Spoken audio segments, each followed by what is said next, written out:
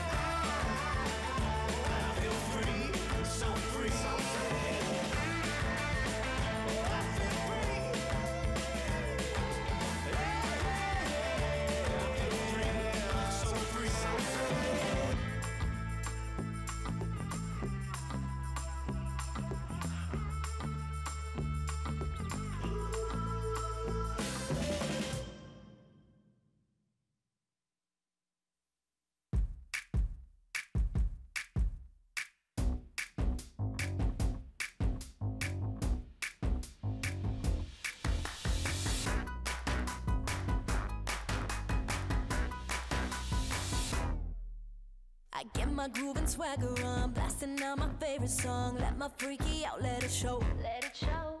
Ain't nothing wrong with confident, loving me, I'm feeling it. Let the rhythm move and let go. Just let go. But some days I'm feeling so down and ain't feeling so pretty. Yeah. But I go on loving myself 'cause I don't need that pity. Yeah. Cause I get high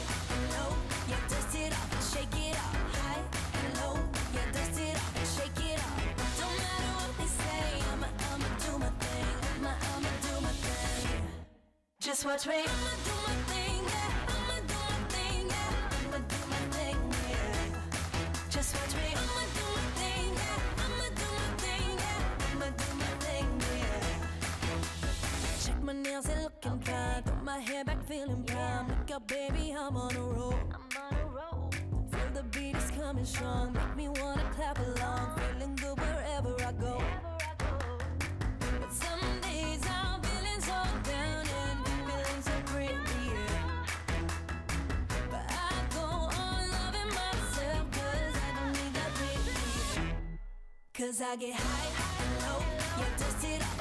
Councilmember Richins, Councilmember Richins. Tom.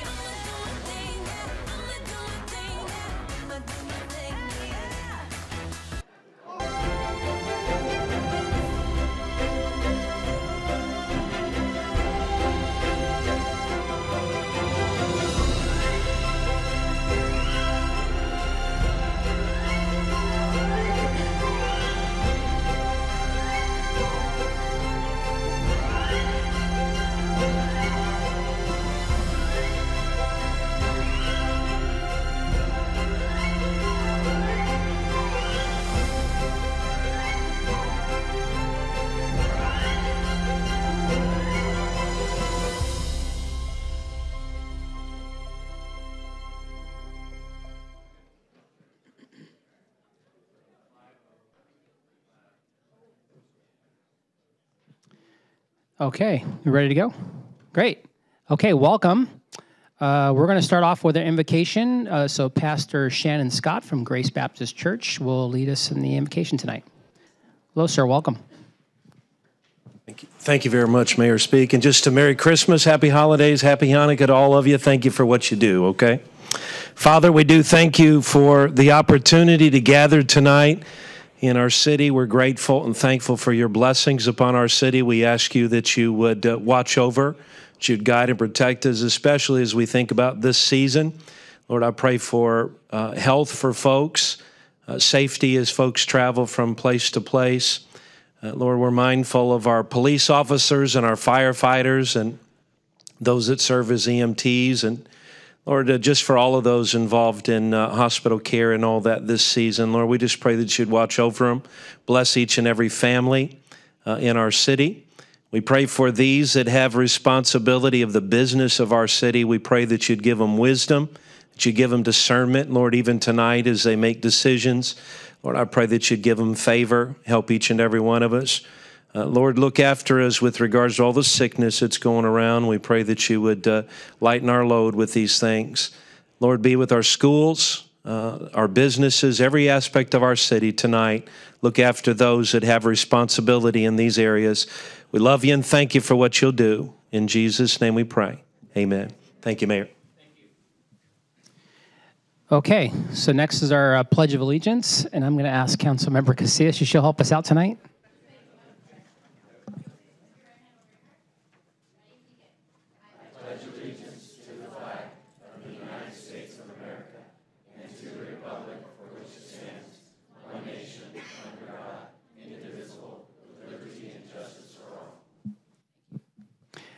Thank you. Okay, so at this time, I'd like to call the meeting to order. Individuals wishing to address the city council are requested to complete a speaker card and deliver the card to the city clerk staff prior to the item being heard by the city council. Please observe a three-minute limit for communications, and once called upon to speak, we request that you state your name and city of residence for the record. So first up, we have uh, proclamations, recognitions, and presentations. We have a, a commendation first, a life-saving award. So I'd like to invite uh, Fire Chief Brian Young, uh, Jessica Sosa, Carlo Placencia, uh, Liliana Placencia, and Eric Rodriguez to the podium to be uh, recognized.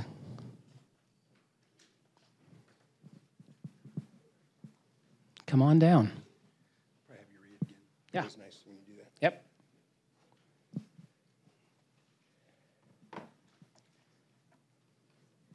Come on up. How you doing? Thank you. Hi. Hi. Hi. Okay, so I'm going to read this uh, commendation. It's uh, for, let's see, one, two, three, four. Uh, whereas on July 6th, 2022, Corona resident Ingracia Luna Sosa was swimming in, with her family in her backyard. At some point, her grandchildren noticed her grandmother had been underwater and not moving. Family members jumped into action, filled vital life saving roles. These key roles included immediate recognition of a cardiac emergency, activating 911, and performing cardiopulmonary resuscitation until Corona Fire Department personnel res- re- arrived on scene. Her family successfully resuscitated the patient. She regained a pulse, began breathing, and was transported to the hospital. The patient recovered and was doing well and has since returned home. So, whereas, this is for Eric, um, self- selfishly and without hesitation responded to cardiac emergency and initiated life-saving actions. Eric's heroic actions contributed significantly to a positive outcome. Now, therefore, I, Wes Speake, Mayor of Corona, on behalf of the City Council, uh, do hereby recognize with respect and gratitude the heroic actions and selfless courage of Eric Rodriguez in the act of saving a life. Presented this uh, 7th day of December, 2022. Thank you. Thank you, Mayor. As he's passing out, I just want to provide another reminder. Um, we've had more of these occurring recently, which is wonderful. And when I say more of these, I mean life-saving endeavors by our citizens. We've seen it recently at schools in a public setting, and, and really more importantly in the private setting. So 70% of the time, these cardiac arrests occur at home. So family members are vital to the overall savability of the patient uh, one of our firefighter paramedics who's instrumental in this program is here, Steve Wells, and he can attest that it's the hard work of everybody in this room, if you get CPR certified, that can have the same outcome and ultimately save a family member. That's the important thing. So I'm so proud of these citizens, and it's just a, a reaffirmation of the great things that happen in this city on a regular basis. So thank you all. And I, I will remind everyone that the CPR training is free. Absolutely free. Every two months. So please uh, contact uh, Chief or one of his team, and they'll they'll set you up. So thank you. Let's get a picture here.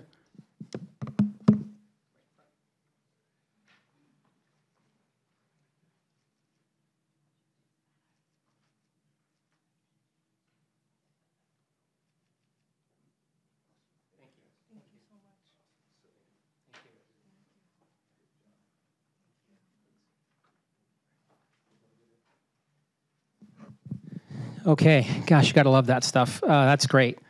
Uh, next up is a recognition for the Boy Scouts partnership with the City of Corona Homeless Solutions. So I'd like to invite up Karen Roper, Homeless Solutions Manager, Karen Alexander, um, and a CityNet Make It Make It Cozy volunteer, and the Scout leaders to the podium to present uh, the recognition. Come on up.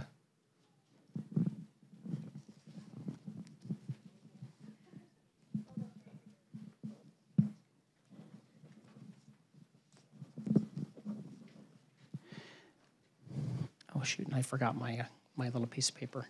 Can you you want to wing it? Okay.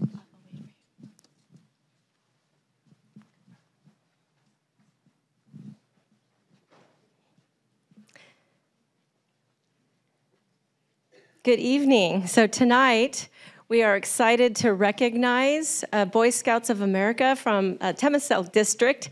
Uh, there's a number of different um, troops, crews, and packs that were involved in working with Homeless Solutions to do a campaign to collect move-in kits. And if you look at the photos up on the screen, you can see all of the wonderful kits that the Scouts collected for all types of um, home furnishings like sheets, towels, blankets, uh, dishes, even uh, Christmas decorations, beautiful cards, all kinds of supplies that our homeless clients that are graduating from shelter into permanent housing need and they get stored in the city's uh, Make It Cozy warehouse, and that is a partnership with CityNet. And we have our, where's our lovely K2 Karen Alexander? Here who is a CityNet volunteer that manages this amazing program that helps our homeless clients. And the scouts did such an amazing job. The leaders did an amazing job. And we're just truly grateful for what they did to partner with the city of Corona to address homelessness. So we just want to thank them tonight and recognize all of them. And I know that the mayor has a stack of certificates because there's actually 34 certificates. Not all of the scouts and leaders are here tonight. Thank you, Karen. Thank you, guys. Thank you very much for being here. Um, the, the partnership with the Scouts, n- not just for this program, but has been so important to the city for so many years. And I want to thank all of you for not only for what you've done, you know, here with us tonight and celebrating tonight, but for all the things that you do for our community um, all throughout the year. So thank you all very much. Okay, step in front. We'll take a picture. Yep. You guys want to squeeze in? We'll take a picture here.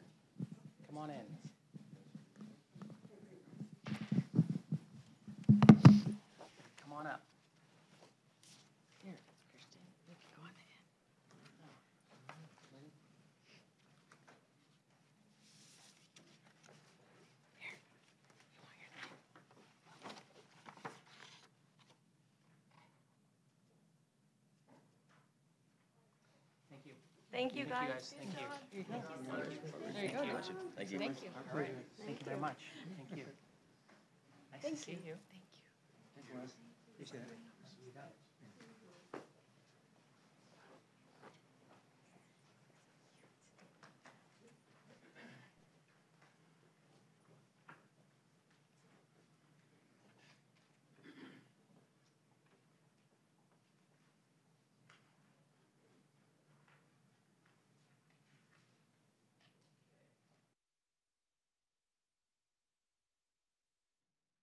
Okay, Ms. Edwards, do we have any, any speaker cards for the items so far? Mayor, no, we do not. Okay, great.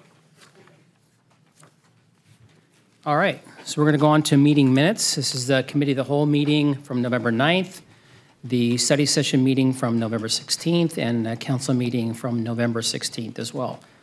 Um, Let's see, do my colleagues have any questions, comments in this at all? Great. Uh, Ms. Edwards, are there speaker cards for the, for the meeting minutes? Mayor, no, we do not. Okay, so we have a motion. Move, proof. I pushed the button, but I can go for second. I pushed the button. Sorry, man. Please vote. Rebel. All right, that passes 5-0. So we're on the consent calendar. Uh, All items listed in the consent calendar are considered to be routine matters, status reports, or documents covering previous city council actions. The item listed on the consent calendar may be enacted in one motion. With the concurrence of the city council, a council member or any person in attendance may request that any item be removed for further consideration. Um, Would my colleagues like to poll any items? 12, please. 12? Okay. Oops, wrong piece of paper. Okay. Okay. None? Vice Mayor, none? Okay, Ms. Edwards, do you have any uh, members of the public? Mayor, yes, I have two speaker cards for agenda item number nine. Okay, and two for number nine. Okay. All right, so can I get a motion for the remaining items? I'll move.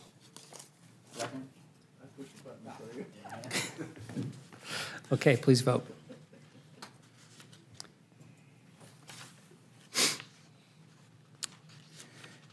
Okay. So I'm gonna, I'm gonna take a, a, a quick little jump in the back here, and the vice mayor is gonna take over for me. I have a conflict on item number nine, as I am a uh, partner on uh, this project. And on number, item number 12 is, uh, happens to be uh, in Zone 19, which is uh, LMD that's in my, my neighborhood. So I will take a break and turn this over to the uh, vice mayor.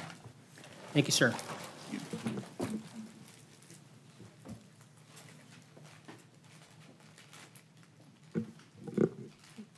Ms. Edwards, I think we'll go in uh, numerical order. So uh, you had two speaker cards for item number nine?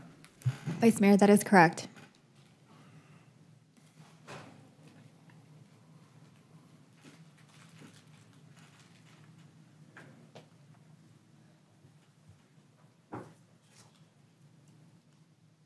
Good evening, Don Fuller. I live here in town. Hope everybody had a good Thanksgiving and uh, so forth. I only wanted to speak on this item because it's, and I'm not clear on all of this.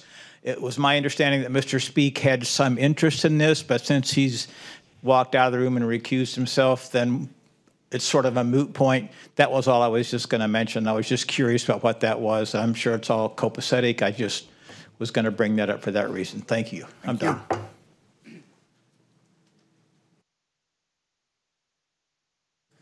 Good evening, Joe Morgan, 206 Run. You may not be surprised that I have a little more to say about this. Um, First off, I want to say right off the bat, um, the mayor's an honorable guy. He's honest. I don't think in any way he's there's any he's trying to advantage the system.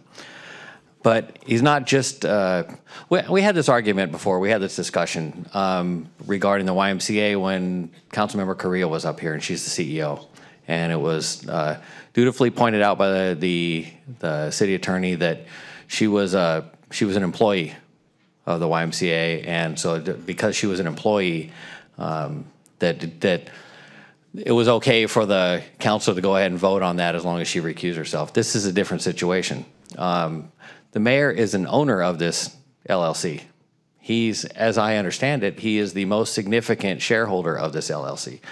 Um, very directly, if you vote one way or vote another way, um, you take an entitled and about to expire project with some risk, with some financial risk to the investors, and you remove the final hurdle to its entitlement. That will benefit the members and the owners of this LLC directly. And if you don't do it, it's about to expire and it will harm them directly. This will directly come out of the mayor's pocket if you vote no. And that is a clear conflict of interest because you guys are human beings. And, you know, nobody's expecting that that you guys are superhuman and you could ignore um, whatever, you know, social ramifications might be for not deciding on this. Further, I have a really serious uh, procedural uh, problem with this. Um, this refers in the staff report to conditions of approval. the conditions of approval are not in the staff report. No reasonable person, including yourselves, can know whether the conditions of approval have been met. My understanding is talking to staff that there have been many modifications over the years. This thing's been sitting around since 2006. Lo and behold, tonight, this is the last, this is it. If it doesn't go by the 21st, it's gone. So the fact that the conditions and the modifications and when those modifications were done and how those modifications were done are not in the staff report is inexcusable.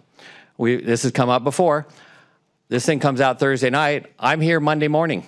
I put in a record request for these for these conditions and the modifications and all the documents that are associated with it Monday. The request went in around noon on Monday. I was assured that I would have them. I still don't have them. Um, there's no excuse for it. You shouldn't be deciding because you don't know what the conditions are. You just basically have to take your word for it. And in no other case do you ever just have to take the word for it. If you're going to say that you meet some conditions, then those conditions should be forthcoming in the report so you can establish that for yourself. Thank you very much. Thank you for your comment. Do we approve them one at a time, or do we do them both at the same time? Ms. Edwards? Vice Mayor, we do one item at the time, Okay. at a time. All right, well, at this time, I'll take, a. will take a- anybody that wants to make a motion on this, on this agenda, or do we have any questions? So there is no deferment option because this is the last extension, correct, Mr. Ellis? So waiting on this for a next council meeting would then by default cancel the map? Correct.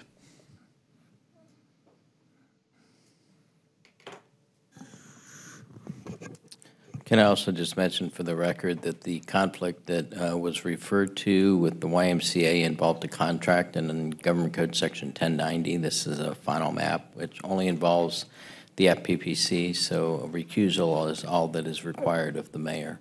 Thank you. Thank you, I'm comfortable with that. Um, I'll make a motion for this item.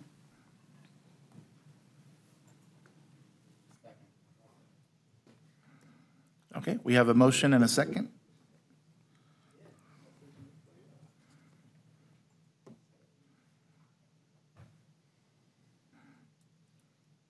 Okay, that item passes four to zero. And um, Councilwoman Casillas, you pulled uh, item number 12? Yeah, I think we, do we need to go get the mayor for this one? From from He's- this one as well? He's recused from both of those. I Okay. think this is where he lives. Is that right? Is that correct? Oh, that's right, the LMD. Okay. I just wanted to pull it for um, uh, Mr. Ellis. Uh, I, I just want to highlight some items off the staff report. Um, So this came before us during the workshop, the fall policy workshop in September. And we agreed that uh, we will fund in the interim.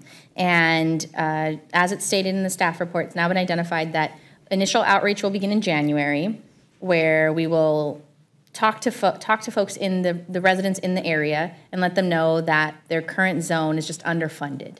So they need to raise the fees.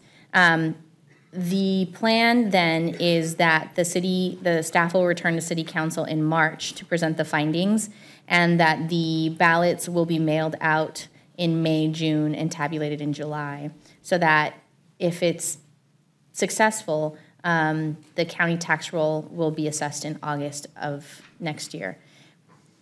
Are we really confident with this timeline? I'm glad because we need to get it done within the year, but are we confident that we'll be able to get it done before? I have had no reason to believe that we're not, and I'm uh, I'm getting a nod. And we do have a presentation if you'd like to, to take a little bit more I would. dive into this. I, but, I uh, would. I'm. I'm I would, Jim. I We'll be would like to know succinct. more. But if you'd like a little bit more information, um, Please. Donna Finch, Assistant to the City Manager, can uh, speak to this one. Hi, good evening, council members. Um, so we do have a presentation on this item today. Um, I'm happy to provide more information based off of what's provided in the staff report. Um, so as you did mention, Councilmember Casillas, we did present this item originally to the City Council at the Fall Policy Workshop back in September um, to inform the council on the challenges that are currently being experienced in Zone 19 um, within LMD 84-2. So the ask um, for you today is a follow-up to one of the requests that was made in that meeting is to provide an interfund loan agreement to be able to backfill the negative fund balance of um, approximately $66,000 that's currently within that zone, and then to provide funding to get us through the remainder of the fiscal year. So the interfund loan agreement um, that we're requesting approval of today is $166,548. So um, just to recap a little on some of the um, background on Zone 19, um, I do have the map up before you on the screen. So as you can see, the zone is comprised of roughly 36 acres, um, consisting of 3,692 benefit units, and it's um, it's kind of a patchy area within the um, South Corona vicinity. The zone was established originally in 1986, and it provides landscape maintenance and operating services to the um, property within the, the zone boundaries within that purple area up on the map. Um, currently, the annual assessment within the zone is $126 um, per year that's levied to each benefit unit, and the zone has not received an increase since 2002, so it's been about 20 years. Um, and any increase right now to um, to increase the levy within that zone would require a Prop 218 ballot measure. So, um, as I mentioned, the challenges within the zone right now is it's operating at a deficit, and this is due to ongoing increases over the last 20 years in um, the cost of labor, the cost of water, all of the maintenance activities that are associated with maintaining the landscaping within that district. Um, we are anticipating that this deficit will continue to increase um, as new regulations are coming through at the state level um, regarding weed abatement, um, use of electrical equipment for um, landscaping activities, and drought restrictions.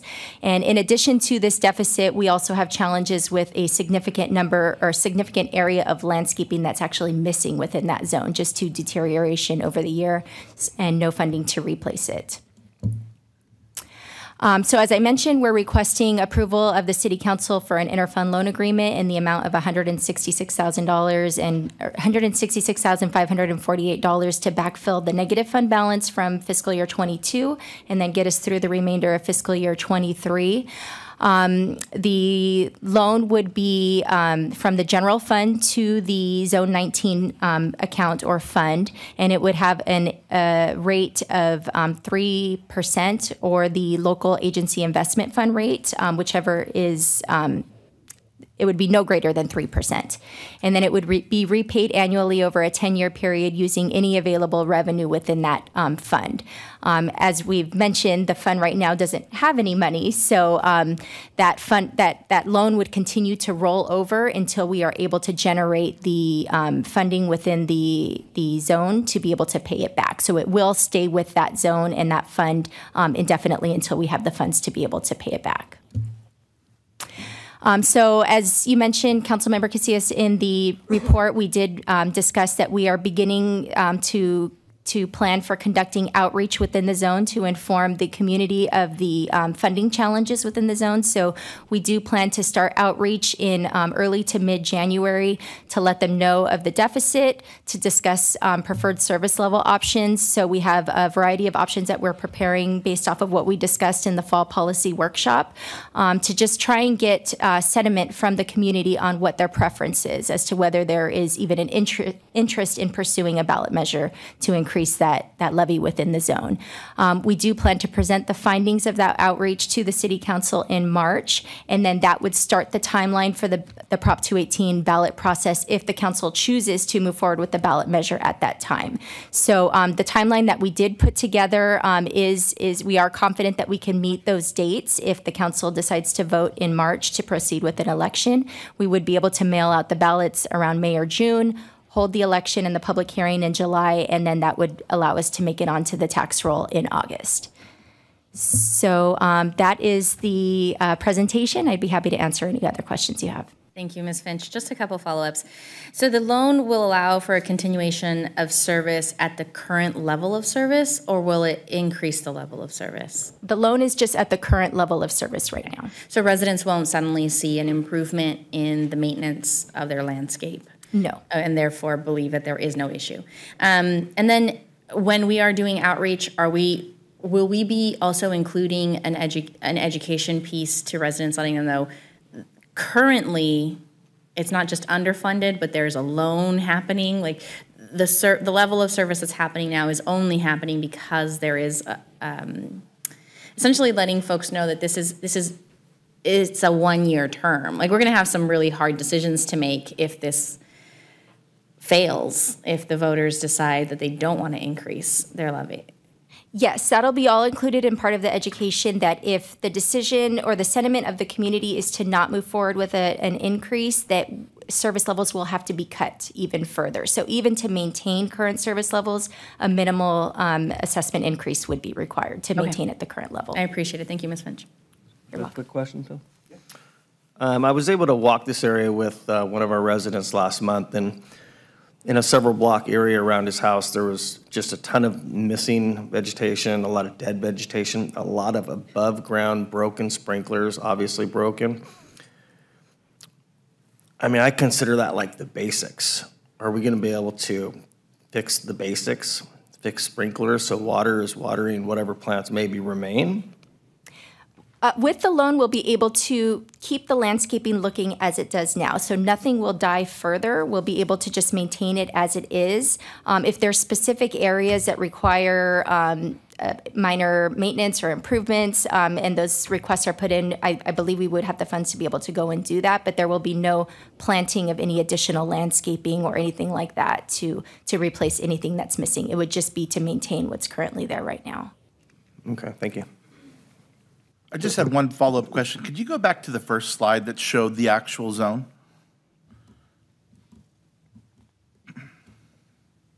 This one here, it, is this the way that it is, kind of very disjointed and not continuous? Is that because that was indicative of the development at the time? I, I, can you? Yeah, it- so the zone was established in 1986. Um, we don't really have the history as to why it looks the way that it does. Um, it, it is, as you mentioned, uh, kind of patchy. There's different areas. Um, I believe it's based off of development, but I don't know that for sure. We'd have to look into the history of that to be able to give you um, a an answer to that question. Okay. You- You know, just because I want to make sure everybody else heard that as well, could you? Our uh, theory on that is, is, is over the course of history, sometimes you get different uh, pieces of the community that get annexed in, and so you'll see little patchworks, and we see that with uh, even some of the CFDs that we have today. So that's probably why you see it the way that it is. Okay. Uh, Any, any, any more questions? Nope. Okay. um, At this time, I'll make a motion to approve this. I'll second. Oh, public comments? Oh, I'm sorry. Do we need to do public comments? I don't think there's any cards for this one. Um, Vice Mayor, we do not have any speaker cards for this item. Okay. Please vote.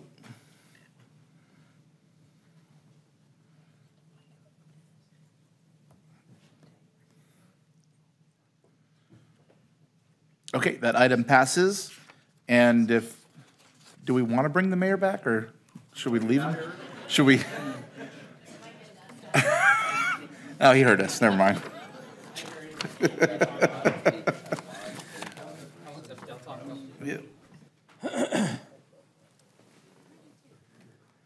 Okay.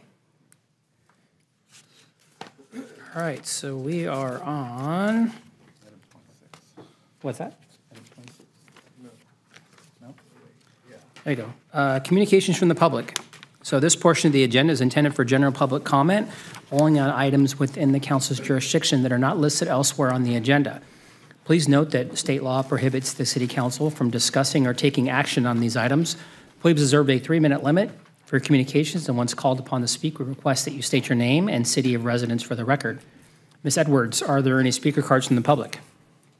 Mayor, yes, we have seven speaker cards for communication from the public. Great, come on down.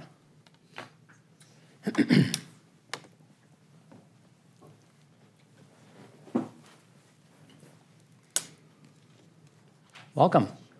Good evening again, Don Fuller.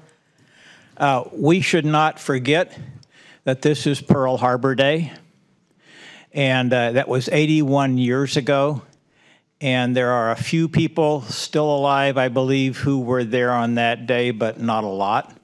And the number doesn't get any bigger, it just gets shorter all the time. So we should not forget that. I knew a fellow some years ago who was on a ship in the harbor that day and he woke up to a lot of noise and he went out on deck and he had a, brief moment of eyeball to eyeball contact with a Japanese pilot of a torpedo plane who was coming in at about the same level he was standing. So we should not forget that. And I don't think there are any uh, Pearl Harbor veterans in the room with us. But I would like to honor all of those who have worn the uniform. So I'm going to make a request of all the people who are in the room who have worn the uniform, the United States military in any way, shape, or form, if you would all just please stand up so we can give you a little hand, please. Anybody?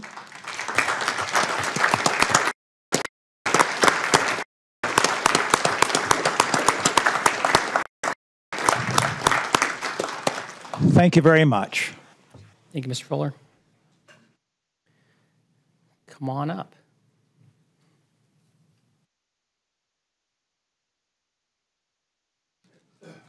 Good evening, Council. My name is uh, Jay Gomez, born here in Corona. Uh, I am the commander of Squadron 742, Joe Dominguez Post of American Legion, Sons of the American Legion, here in Corona. Uh, we're rising up today just to speak, to let the public know about our post and what we're doing and how, how it's going and, and uh, any any rumors or anything going around that, that it's going down are completely false. Um, we're very strong in the community right now. As a son of the American Legion, we are descendants of male descendants of all veterans of all wars. Is how we're eligible to join the, the American Legion.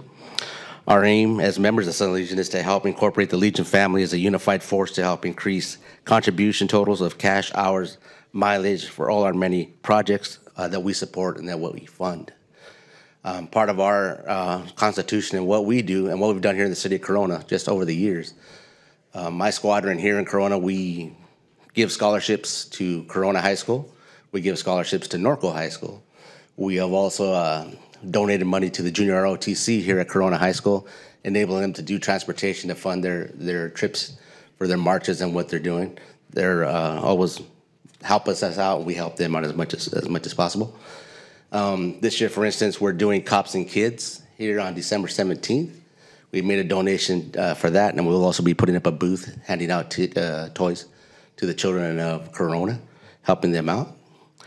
Um, so we're in, involved in the community as much as possible. Part of our members are part of the Honor Guard for the American Legion, and we do a lot of uh, not only burials, but we do um, flag raising for where we need them. We also belong to the Riverside National uh, Cemetery Honor Guard over there. Once a one day a month, we volunteer and go do burials for veterans and we do anywhere from 12 to 19 burials in one day. So it's it's quite a long day when we go out there and do.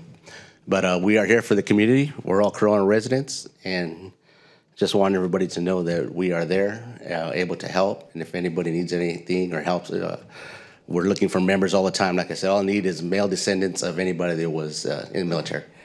So if your grandfather your father, stepdad, great grandfather, you want to come join the organization that helps the city of Corona, come see us. We're here in Corona. Been here 75 years. Thank you. Thank you, sir.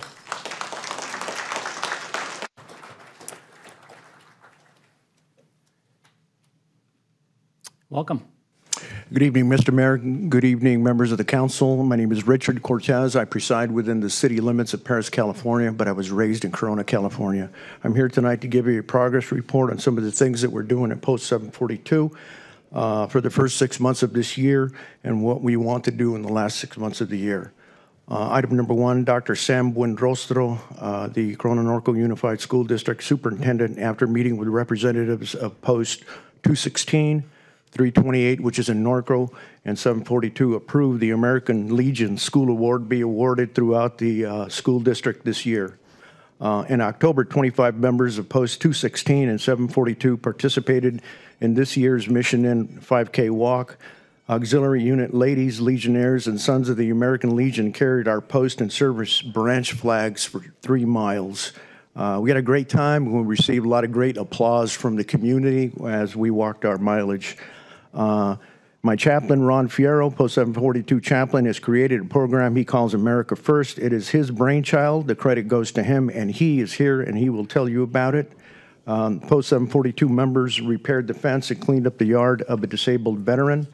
The Home Depot Foundation is deeply committed to giving back to our veterans. Today, members of their team gathered at the home of James Friend to inspect his home to determine what repairs they will do to his home. James is a U.S. Army Vietnam veteran. Excuse me. James is a U.S. Army Vietnam era veteran and a fellow Coronan. Uh, the Remix Dance Group practices daily at the post. Post 742 supports the Unified United States Deported Veterans Organization located in uh, Tijuana, Baja California, Mexico, and we are co-sponsoring a Christmas party for 24 deported veterans and their families on December 17th. Robert Vivar, their executive director, was raised in Corona and attended Corona schools. Veteran Suicide Awareness. I want to organize and put on a Veteran Suicide Awareness Run in Corona next year, together with Mission 22, Post 216, Veterans Connect, and Veterans Honoring Veterans. Mission 22 has pledged their support for this event. It, it would consist of a 5K uh, run, a 5K walk, and a kids 1K fun run. The Post 742 Auxiliary Unit has a Veterans Coffee event, had a Veterans Coffee event in October, and they also had their kids' Halloween party. The unit will have uh, breakfast with Santa this coming Sunday, and the following day, Monday, they will also have another Christmas coffee for veterans on December 12th. These coffees with, for veterans are great events, and they are very much appreciated and enjoyed by the veterans who attend. The auxiliary unit also collected food items to send packages to our deployed troops, especially Army First Sergeant uh, Manuel Cano, who is deployed at Guantanamo Bay Detention Camp. Uh, and I spoke to him this morning, and the packages are starting to arrive. Uh, Post 742 also gave First Sergeant Cano seven $150 so he can put on a Christmas party for his men. It is our goal this year at Post 742 to give back to our veterans and the community more than any previous year before today. Uh, thank you very much, Mr. Mayor and members of the council. Thank you.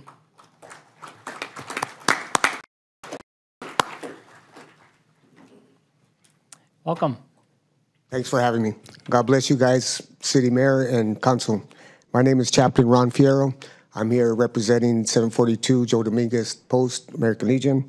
Um, as my commander just mentioned, um, I did start a, a, program in which we're we're encouraging the trainees as they're coming back, the the new enlistees. Um, you know, when you go to the military, you go and you you communicate with your your um, recruiter, but that's the last time you see the recruiter when you get drafted or get enlisted and you come back, no more recruiter.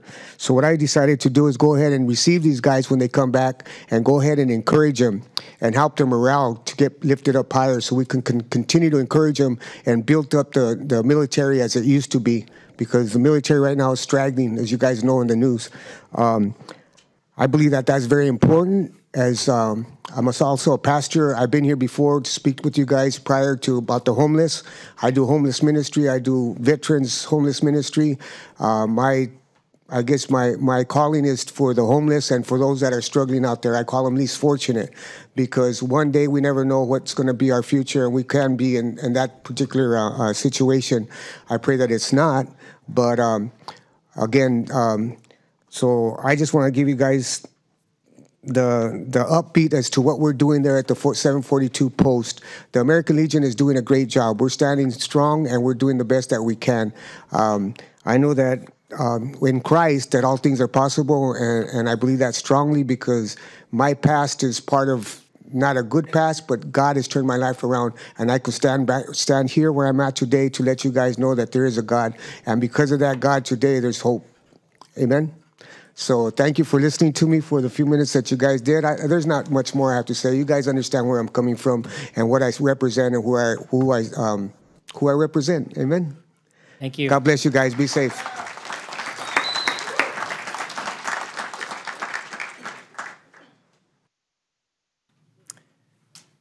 Welcome. Hi, my name is Dina Lepe, and I am here because we have a short term rental problem that popped up on our street. Um, they initially conducted their business without a business license, without the appropriate uh, permits through the city. Um, but since they since then, they have been approved. Every occupant they've had there has been excessively noisy, loud music, profanity. Uh, it's basically become a party house. Um, there's been drug use that's been recorded. Um, the neighbors couldn't use their backyard on Thanksgiving because of the smells that were coming from the drug use. Um, there's been trash on the property, overflowing the trash bins. The garbage bins have been out three, four days prior to pickup, two or three days after pickup. Um, there's parking issues. Uh, they, they've parked in front of mailboxes.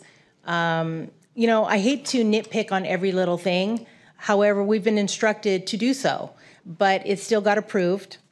Police have been called a minimum of six times for um, loud parties, um, and nothing ever happens. There's been arguments, fights. Um, we have many neighbors that work nights or they're firemen and they're gone for days at a time, which is leaving their families um, vulnerable. So all the a lot of us have small children and when you are having a motel type situation in your neighborhood you don't know who's there so we've been given conflicting information about how to proceed um, these people who bought the house in october they do not live in the state they live in oregon so they are not doing the things that they need to do in order to be compliant with the city rules. Um, the police log was told to me that they were going to be checked before approval. Uh, I don't think they were because it shouldn't have been approved. This is not a destination. This is not a hub for people to come and go to a really nice Disneyland park. This is uh, a quiet community, or at least it was. It is no longer a quiet community. We are all feeling very scared, very unsafe, and vulnerable. We need help. We need help to get rid of this out of Corona itself. We definitely need it off our street. And uh, the property address is 3850 Wasatch Drive. Thank you very much. Thank you. Mhm.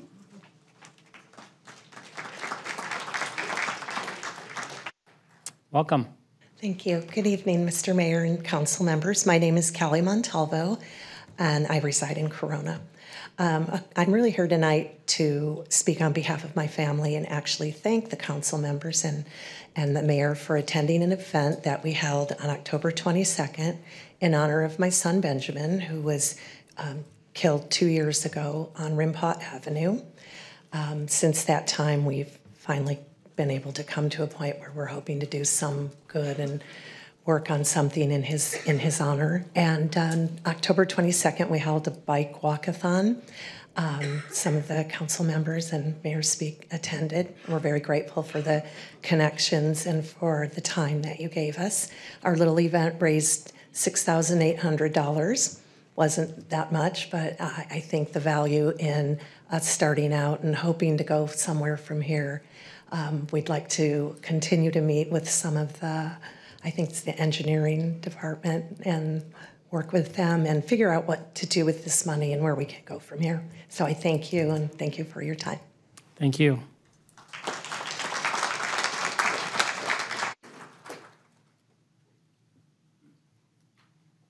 Welcome, sir. Uh, Thank you. Um, Bobby Spiegel, Corona Chamber of Commerce, 904 East 6th Street, Corona, California, 92879.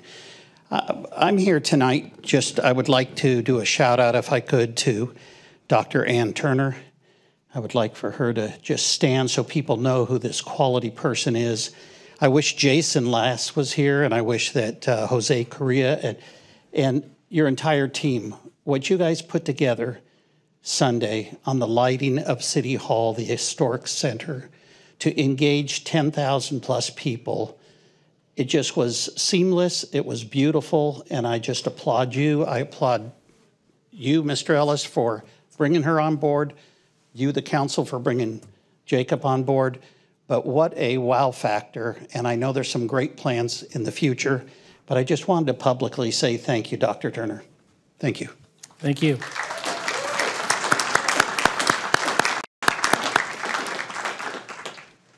Okay. Do we have any, uh, anybody else?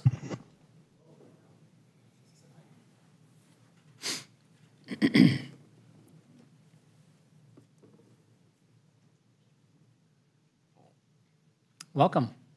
Thank you. Good evening. My name is Ben Luke, 4116 Leicester. Uh, last meeting, I watched that uh, item on TV. And Wes, I want to tell you, it didn't look good. It looked like you either is attorney or either is business partner.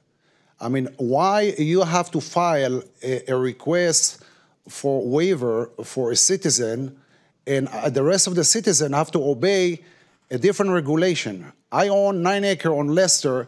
At the time, I put, I enter into a, a lien agreement regarding the street improvement for $30,000. And later, when I developed the property, it cost me over $200,000, okay, to put electricity underground, telephone, do the curb and gutter, sidewalk, or whatever you take. So I think the rule for one is rule for all. It's not fair, okay? Now, I heard some excuse that people doesn't walk on that street. Of course they don't walk on that street because there's no sidewalk on that street. When it be a sidewalk, people will choose to go on either side of the road.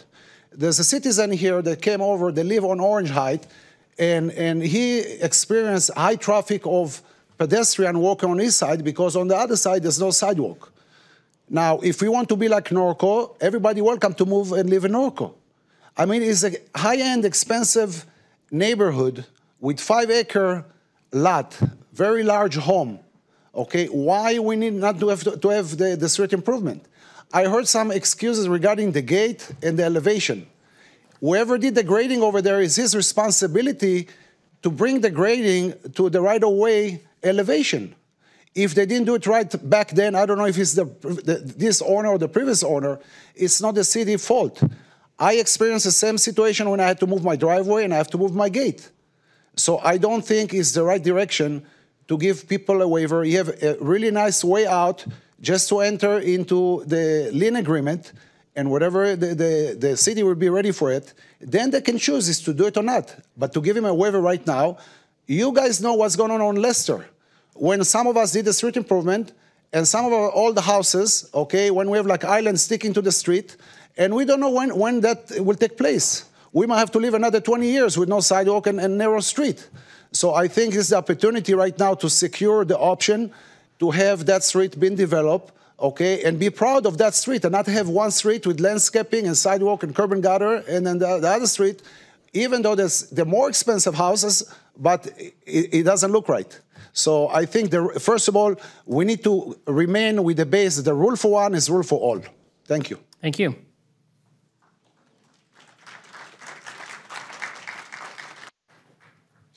Okay, Ms. Edwards, do we have anybody else? Mayor, I do not have any more speaker cards. All right, so we're going to go to public hearings. This this is uh, ordinance amending various chapters of Title 15 of the Corona Municipal Code and adopting reference, by reference, the 2022 Building Standards Code. Um, Does any council member want a staff report on this item? I see, I see one, two, three, four no's. Okay, five no's. All right, so the public, all right, so I'll, uh, I will not ask uh, Ms. Coletta to uh, provide a report. So the public hearing is now open. Ms. Edwards, has the city clerk's office received any correspondence regarding this item? Mayor, we did not receive correspondence regarding the item. Ms. Edwards, have we received, received any speaker cards from the public? Mayor, we do not have any speaker cards. All right, this public hearing is now closed. Do I have any comments or questions? I'm seeing head shakes, great. So do I have a motion for this item? I'll motion. Second. Okay, please vote.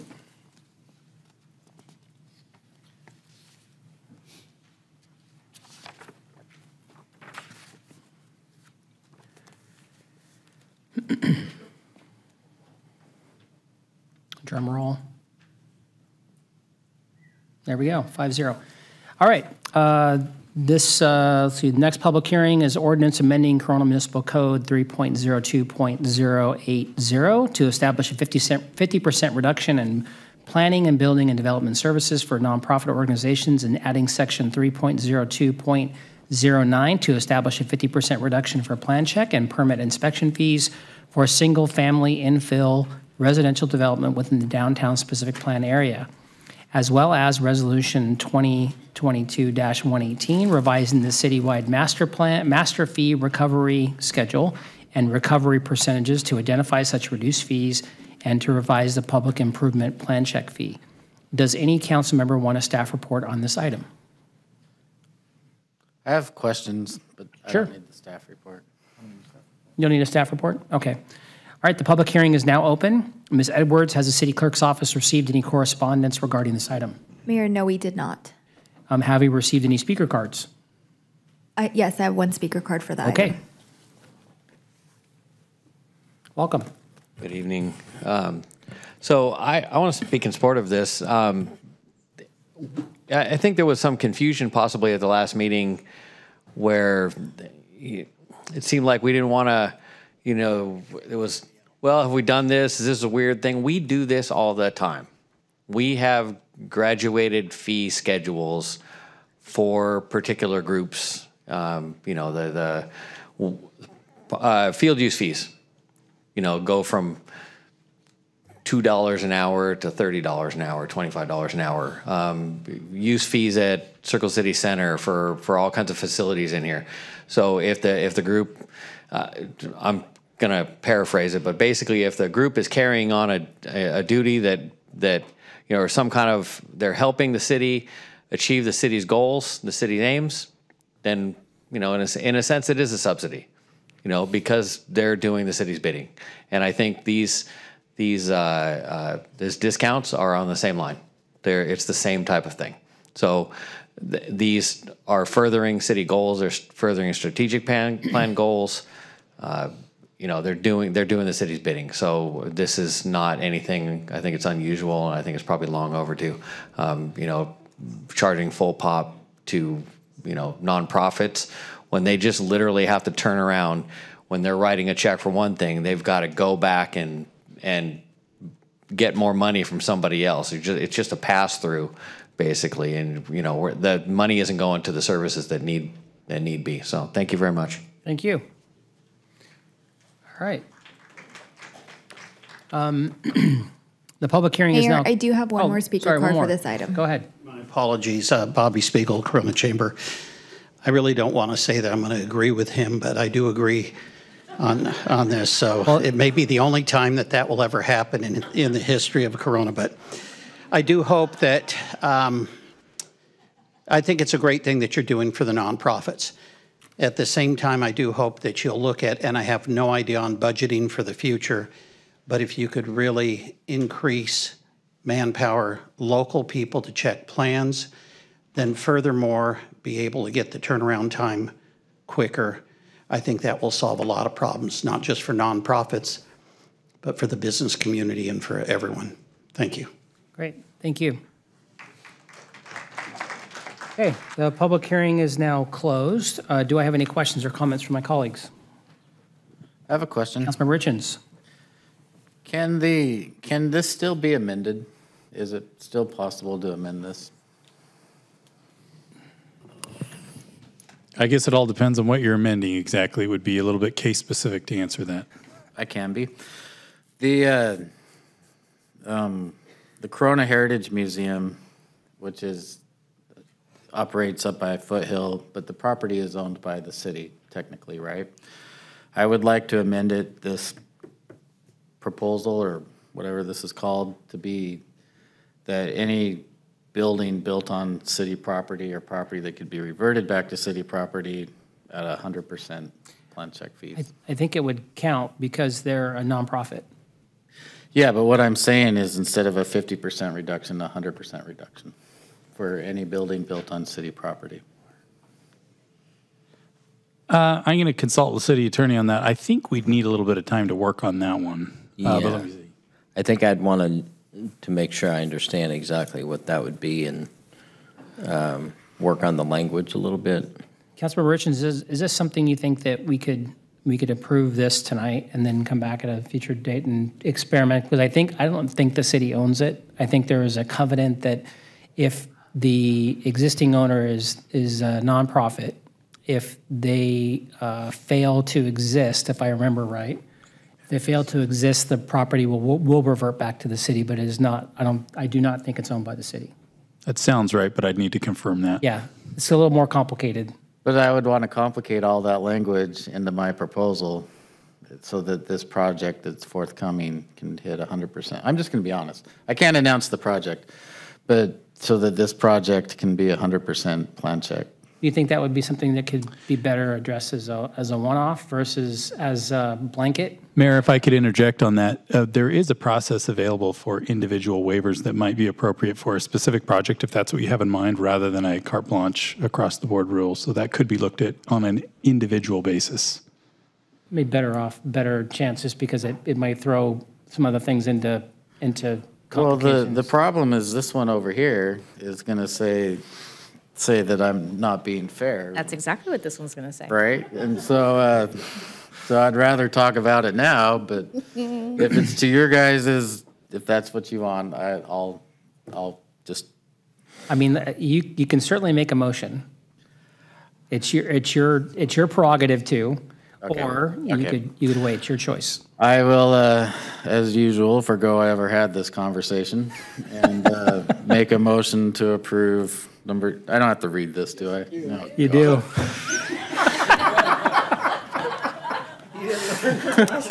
You know, we, you know, we bet before every, I, I actually put down an over-under on which ones Tom's gonna ask the motion for. Sorry, Would you get started, please? It's the part in blue, Tom. Did anybody want to second my motion? I'll or- second. Okay. All right, here we go. Criminal. Introduced by title only and waive full reading of ordinance number 3356, first reading of an ordinance of the City of Corona, California, amending Corona Municipal Code Section 3.02.08.0 to establish a 50% reduction of building, planning, and development service fees for nonprofit organizations, adding Section 3.02.090 to establish a 50% reduction for plan check and permit slash inspection fees. Need another Diet Coke. For single-family infill residential development within the downtown specific plan and making certain other non-substantive clarifications. Got it? Great. All right, please vote. I, I did.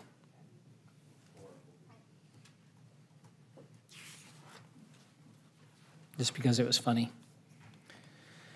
Okay, uh, we're on to administrative reports. Uh, This is a request from myself to have the city council con- consider waiving construction of missing sidewalk improvements on the south side of Orange Heights between Main Street and Jasper.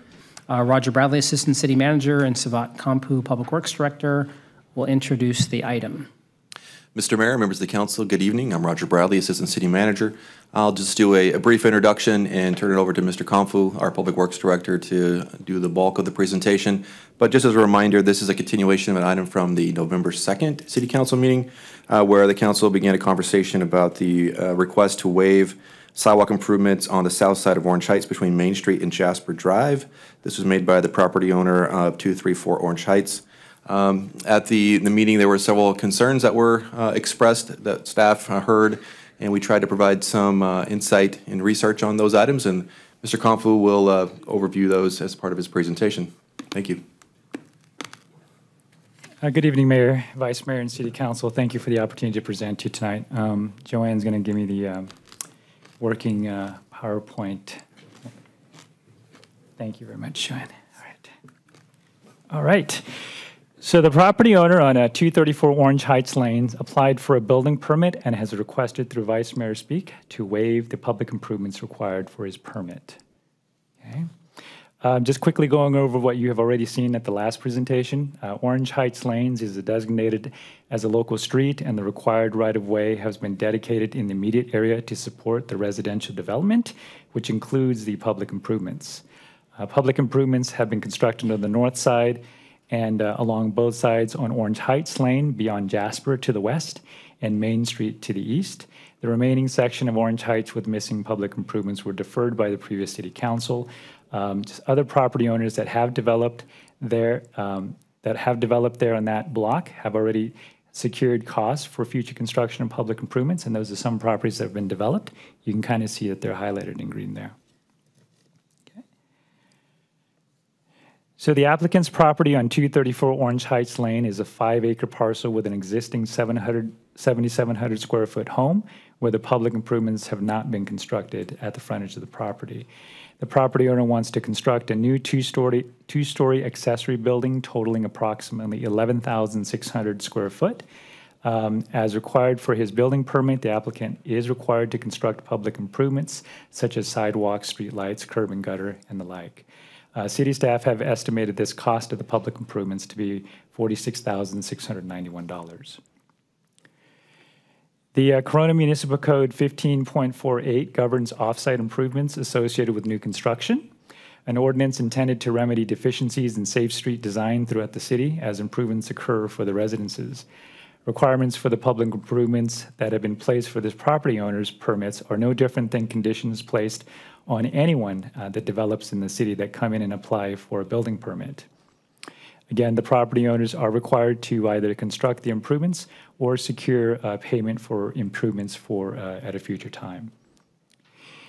The ordinance also makes provisions for the city council to waive or defer missing public improvements if certain conditions such as unnecessary hardship, exceptional circumstances that make it unfair or oppressive to the applicant, and it will not adversely affect the public health and safety um, of the public. As mentioned, the item was deferred to today's meetings to provide time for staff to address some of the concerns expressed uh, from the November 7th meeting.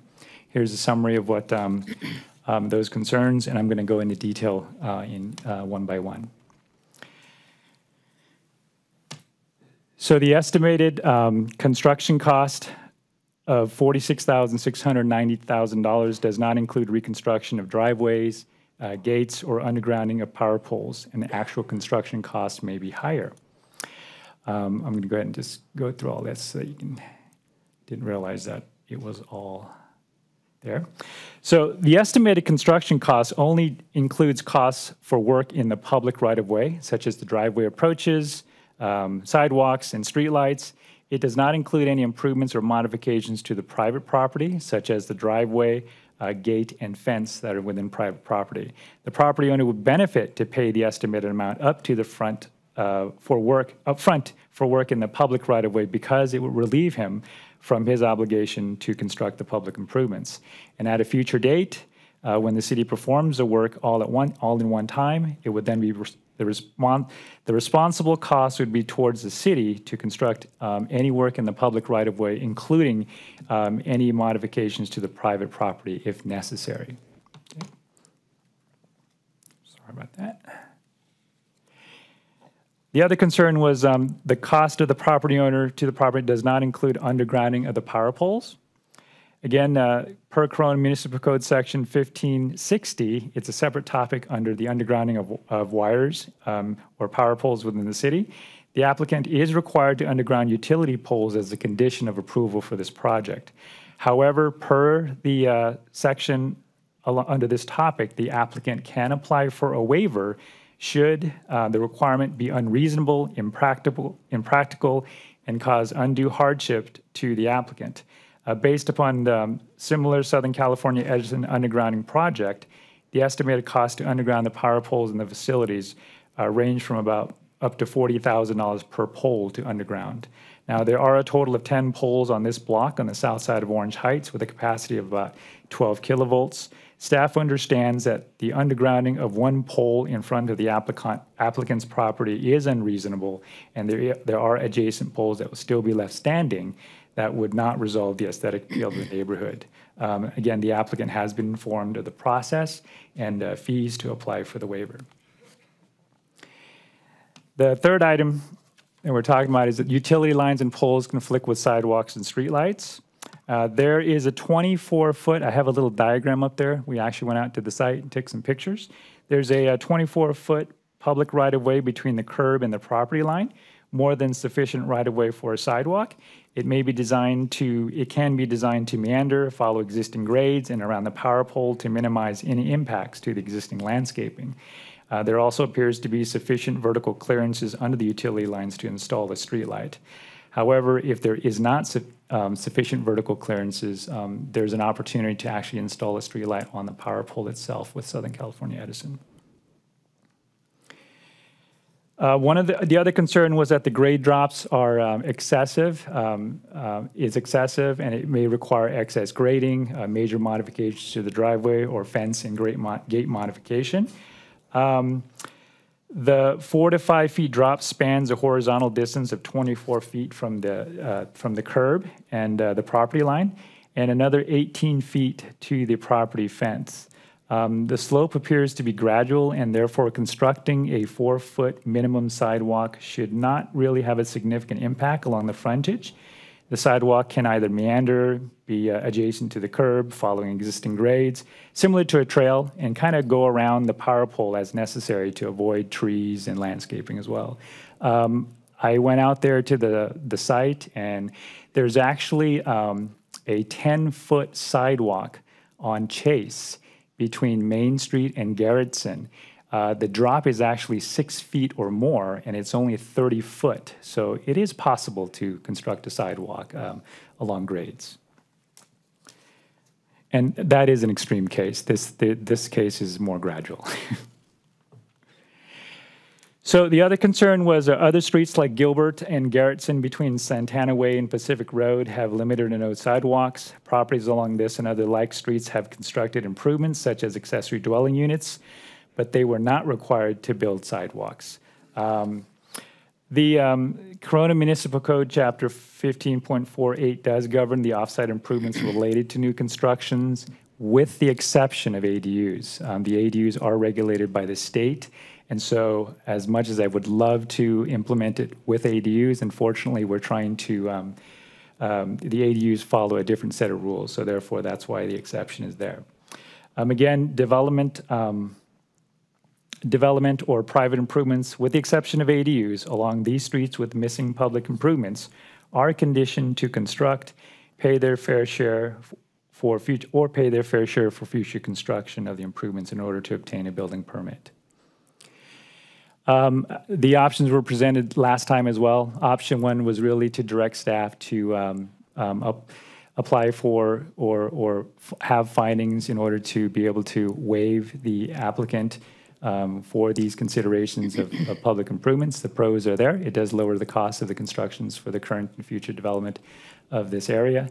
And the cons is that the public improvements would not be built consistent with other areas in the community, and it would actually set, um, it potentially creates precedents for uh, waiving or installing public improvements in other areas of the community, again, as uh, mentioned by the uh, public comment earlier. The other option is what the city, uh, what, what staff is recommending. It's, it's directing staff to implement the required uh, requirements of the Corona Municipal Code, Municipal Code, have the public improvements adjacent to 234 Orange Heights Lane be deferred, have the property owner pay for the estimated construction cost of the public improvements, and have the property owner pay for the cost upfront for the improvements, with the city building the improvements at an appropriate future date and time. Uh, The pros are that it provides for a complete um, provides for the funding to complete the public improvements one time along the south side of the section of Orange Heights at a future date. And the cons, it does, it does increase the cost of the development for the resident, uh, should he uh, develop on his property. Staff recommends option two, as I, as I just had mentioned and summarized in the, uh, the bullet points there. And um, here was the ask at the beginning of the presentation, and uh, we are here to answer any questions. That concludes my presentation. Thank you. Thank you, sir. Uh, Ms. Edwards, are there- are there any speaker cards from the public on this item? Mayor, yes, we have three speaker cards. Okay, come on down.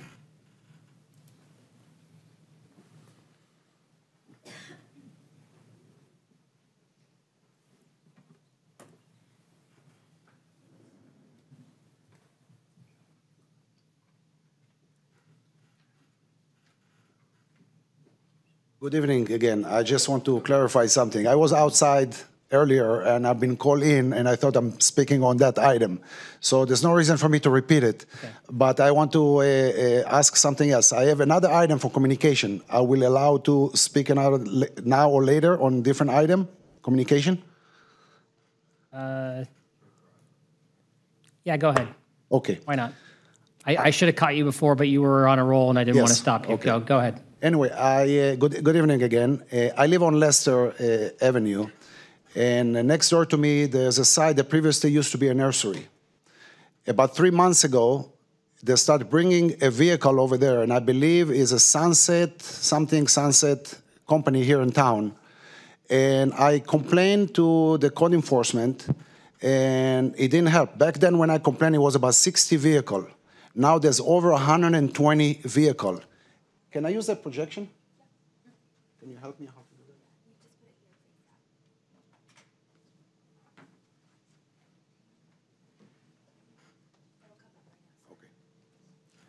that? So anyway, uh, the, the site is a 10 acre undeveloped property. Uh, it's a dirt. There's 120 vehicle. You can see this is what I see from my backyard. I, I, I feel like I'm living on, on a dealership. Okay, this is what I see from the backyard every day. Every morning at 7 o'clock, okay, vehicle coming in, vehicle going out. It's, as I say, it's undeveloped site. It's a dirt. When it's raining, they're dragging mud to the street. I don't know about the concern about con uh, contamination, oil, gas, or whatever, or if homelesses will enter over there and, and burn one car and the whole thing will be on fire. And, and I don't know why it takes the city over three months to stop local business in town from violating the law. It's a residential area. Now, when eh, eh, in, in, general, when you complain to the code enforcement, that's it. They will not give you no more information about update, what's going on, what the process. Okay, and and and those guys just doing whatever they want. It, it's, it cannot happen. Then somebody complain, but you, your hand is tied by just sending a notice to the owner of the property. But the business continue to bring cars and doing like whatever they want. It has to be some kind of legal power to the city to stop them from bringing cars and then taking the legal option to clear all this vehicle. I mean, it's really not, not pleasure to be see 120 vehicle in a residential area. So please, if somebody can answer what can be done, uh, the rest of the neighbor like to know that too. I, I think I can I can tell you that there is an active code enforcement case. Mm-hmm. Um, I don't know how much I can share past that, but I, I can I'll give you a, a call afterward and I can okay. give you some additional information. But I, I know that we are trying to get them in compliance. I appreciate it. Thank you, sir. Thank you.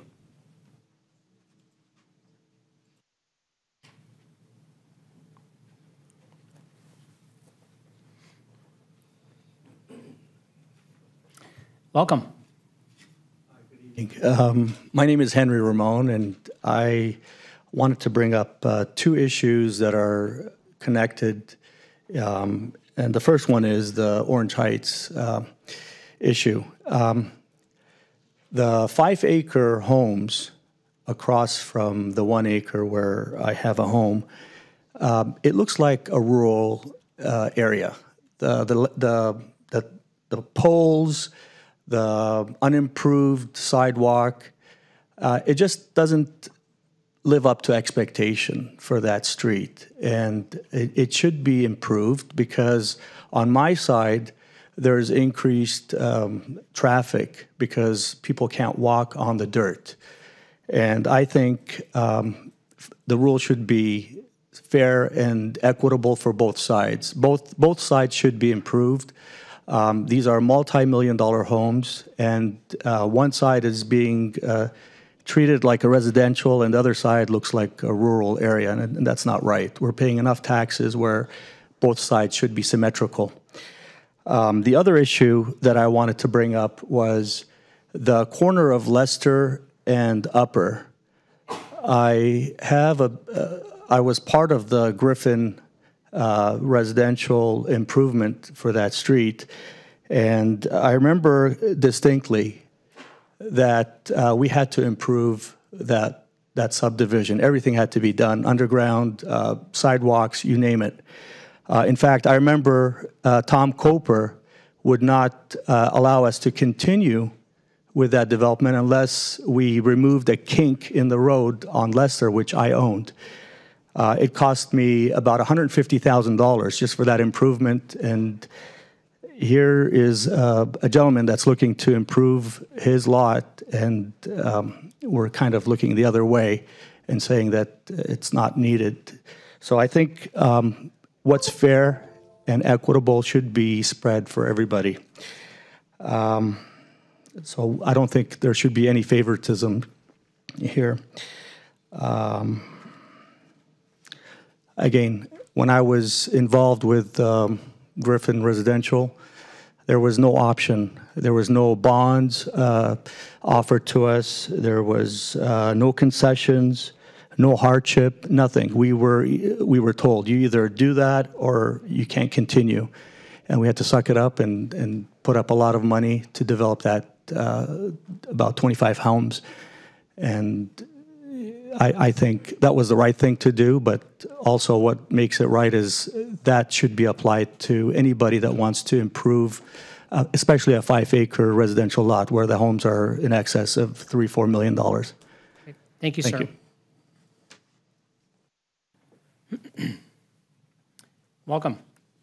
Good evening again. So my friend and I went up there and took a look at this lot because I was thinking that there was going to be some kind of really horrible uh, deal to build, and I saw how much room there was and just how easy it would have been to build it. It's really an insignificant issue, you know, when he's talking about, well, I might have to do 20 feet of concrete. It's not even a truck, you know, it's not even not even 10 yards of concrete to pour the con- pour the whatever he might have to do in order to meet whatever grade. It's pretty insignificant. And so, you know, I, I as far as the undergrounding of the utilities and being on them, I, I see those waived all the time here. You know, that that's a thing that happens in here. If that's going to be, you know, hundreds of thousands of dollars and millions of dollars to underground the utilities there, you know, we do. We've we've waived those or had other grants and funds and everything to get those done if they needed to. So that's something that can definitely be worked around. But not putting a sidewalk up there, not not wanting to do the, just the most basic public improvements that everybody's obligated to do and pay for. Every single development in the city is obligated by plan. If it's built today, you're paying for them. Nobody else gets that waiver. Especially not, it's in the plans already. It's already supposed to be there.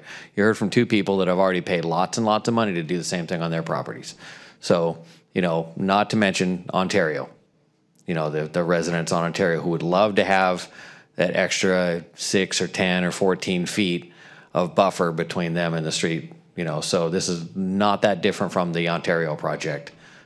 So, you know, they would love to uh, not have the sidewalk, have a little bit more buffer. You see, I see, you see a quizzical look on your face. It's it's it's similar. We're in, we're obligated. We're uh, we're basically building with a lot less room on Ontario than this gentleman has, and so, and also at the previous meeting, we just discussed how to build a house to build a 3,500 square foot house, the fees were in the 80 to 105,000 dollar range. So, and this guy's complaining about the 46,000. So, I would say, why not just build it now? You have you have money or liens for half of these houses. Why not just build it now, and encumber any further any future development? You could lock in the cost. It's going to end up costing them less if you do it now than it would be if you waited and waited and waited, and who knows what the concrete price is going to be in 2050. And you could have the public improvements now. You have almost all the money, and it wouldn't be like we're spending the money. We're just we're spending it up front for a future. You know, for we're going to recover it in the future. Somebody's going to be building on those lots. Somebody's going to be obligated to do it, and they're probably going to be more likely to do it if they weren't. Um, if you had the proper public improvements because it would be a nicer street. Thank you very much. Thank you. Okay, Ms. Edwards, do we have any other speaker cards? Mayor, no, we do not. Okay, so I'll bring it back to my colleagues. Do you have any comments or questions? Councilmember Casillas? Yes, thank you. Um, Mr. Savat, just a couple of questions. So you went out and assessed the, the distance. And so am I to understand correctly that in fact, the fence will not have to be moved and uh, a new driveway would not have to be constructed in order to meet the requirements for a sidewalk? Correct. Okay. Um, you know, and I was wondering, it came to my attention, um, is, does this property owner also own another home on the same block? Do we know? I can't verify that. Okay. Um, okay, lastly, so what is, I mean, I stand by where I stood last time, right? The owner has options. The owner can either pay up front now to build their um, 11,000 square foot garage, or they can have a lien placed on their property um, to pay this whenever it's ready to be built. Um, so I'm, I'm still not in favor of, you know, the, uh, the waiver. But what I'd like to pursue, um, Mr. Ellis, is a future agenda item uh, where these one-off waivers, um, you know, can face more scrutiny before they come before us for a count, for a vote. I just, I, I don't think it should be subject to a vote in this way. If it is, uh, um, if it is applicable to all owners in the city, then it should be applicable to all owners, and it shouldn't be whether or not a council member can bring before a council a vote for a waiver. So I'd like a future agenda item where we can have that discussion. Thank you, Mayor, or uh, Councilmember Casillas. We can do that. Okay, thank you. Councilmember Richins?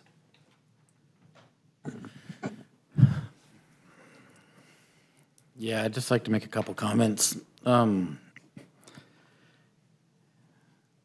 I, I, it's nerve wracking as a council member to put up an agenda like this. And it's, uh, because you don't know how it's going to go. And I think we know how this one's going to go. But, uh, it, th- there is something to be admirable of a council member representing a citizen. And it's even more cool, really, that it's all done in the open and you, what you've seen tonight is transparency and you see it, you see citizens assemble, you have comments, you get, we got a more informed, um, presentation. For example, I didn't know that there is already liens placed on some of the properties and that's a big influencer for me. So I, I just want to say thank you to one and all for that's involved. Some people are going to be heartbroken tonight. Some people are going to be happy. But the process and the system worked, and I'm very happy about that. Thank you. Thank you. Councilmember Steiner? Yes, Savat, thank you for addressing the concerns that came up at the last meeting. I am also supportive of, of option two to maintain consistency. Okay. Vice Mayor? Thank you. Um, Director Khamphou, can you help clarify something for me? I was, I I misunderstood or I don't quite understand the undergrounding of the poles. You said that there's 10 poles on the street. And is this applicant on the hook for undergrounding all 10 poles or would they just be on the hook for the one in front of their property?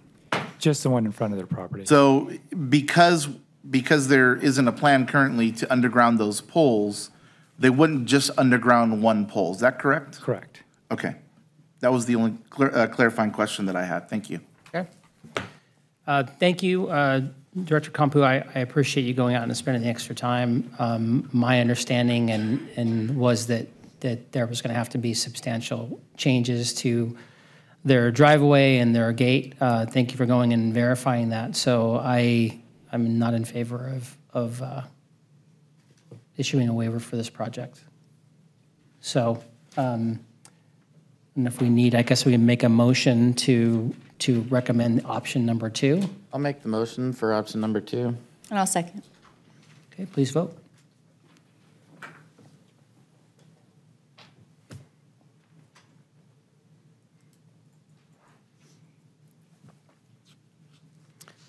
Thank you. I want to thank um, Councilmember Steiner for, for really pushing for this uh, delay so we can go out and, and do the additional, additional homework on this to, to make the right decision. And um, I, I just want to be, to clarify, um, that this, this waiver was not for just a specific property. It was for um, a change in the, the way the street was classified, because not every street in the city is required to have a sidewalk, like in, on Duncan and other cities, other streets that were mentioned. So this isn't necessarily a um, uh, singling out of this specific um, owner. It was really a, an idea to look at the entire street. So, okay, so with that, we'll go on to item number 29, which is uh, Blue Zone Community Assessment. And uh, Roger Bradley, Assistant City Manager, will introduce the item. Mr. Mayor, members of the council, good evening again. Um, I had the pleasure of presenting this uh, present, uh, presentation this evening, and be starting it off. Uh, sorry, excuse me one second. Thank you.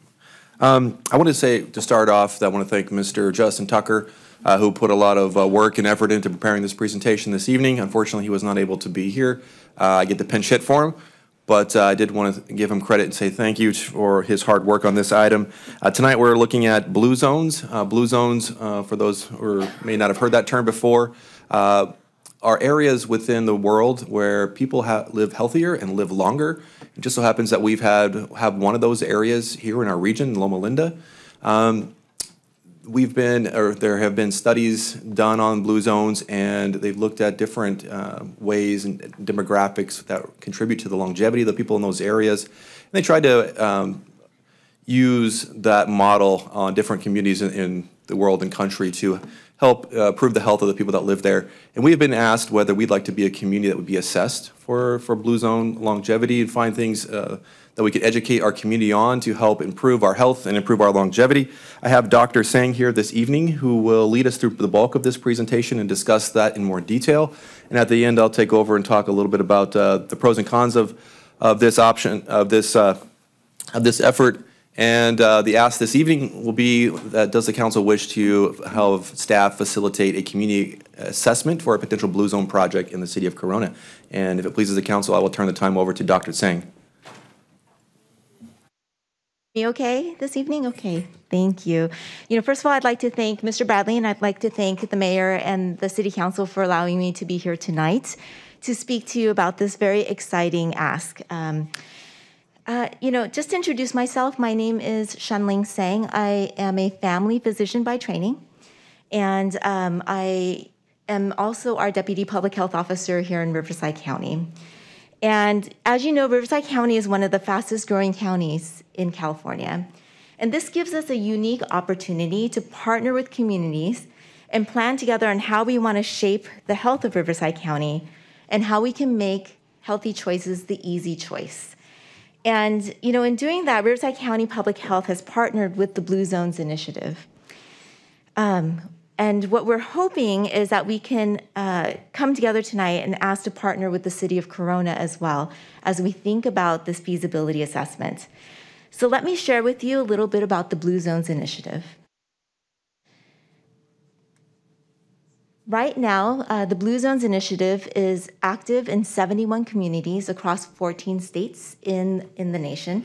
And you can see up and down California, the Adventist Health System has actually partnered with all of their different hospitals in California to create Blue Zones communities around their hospitals.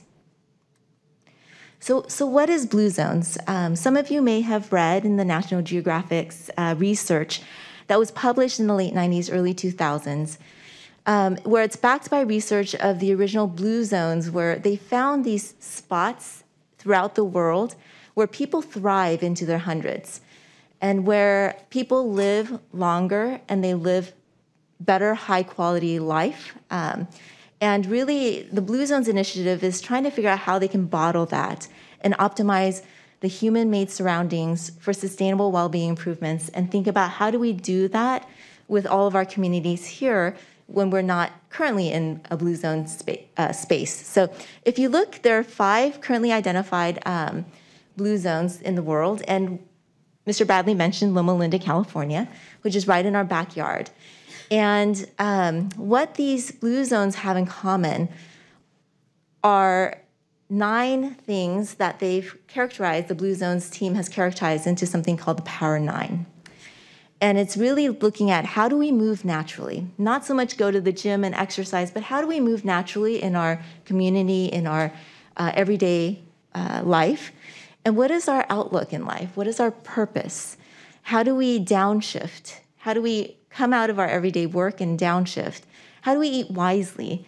So, thinking about the 80% rule, thinking about uh, what that means is that you don't eat until you're full, but you eat until you're about 80% full. Also thinking about what we eat. So having a plant slant, which means, you know, eating less meat, more vegetables, more things that are produced naturally. And then wine is actually something that was found to be a common thing in our Blue Zones communities where they enjoyed wine. Um, and really thinking about what connects us to our community. So if we look at our community, who are the people we like to associate with? Our loved ones come first. thinking about how do we belong to our communities. And those things are um, characteristics that they call the Power Nine. The Blue Zone Solution Model is really a systematic way of how we think about our communities. As you may know, research shows that where we live has a bigger influence on our health than our genetics. And the Blue Zones model shows that we spend 90% of our lives within 20 miles of our home. And this is what they call the life radius. And so, really focusing on the people, the places, and the policy of where we live and how do we influence that to make healthy choices the easiest choice is what we're looking to do with partnership around the feasibility assessment for transformation into blue zones communities. And the process itself consists of three phases. And the first phase is what we're presenting tonight, um, is that accessibility, the feasibility assessment, um, where we look at the readiness of a community.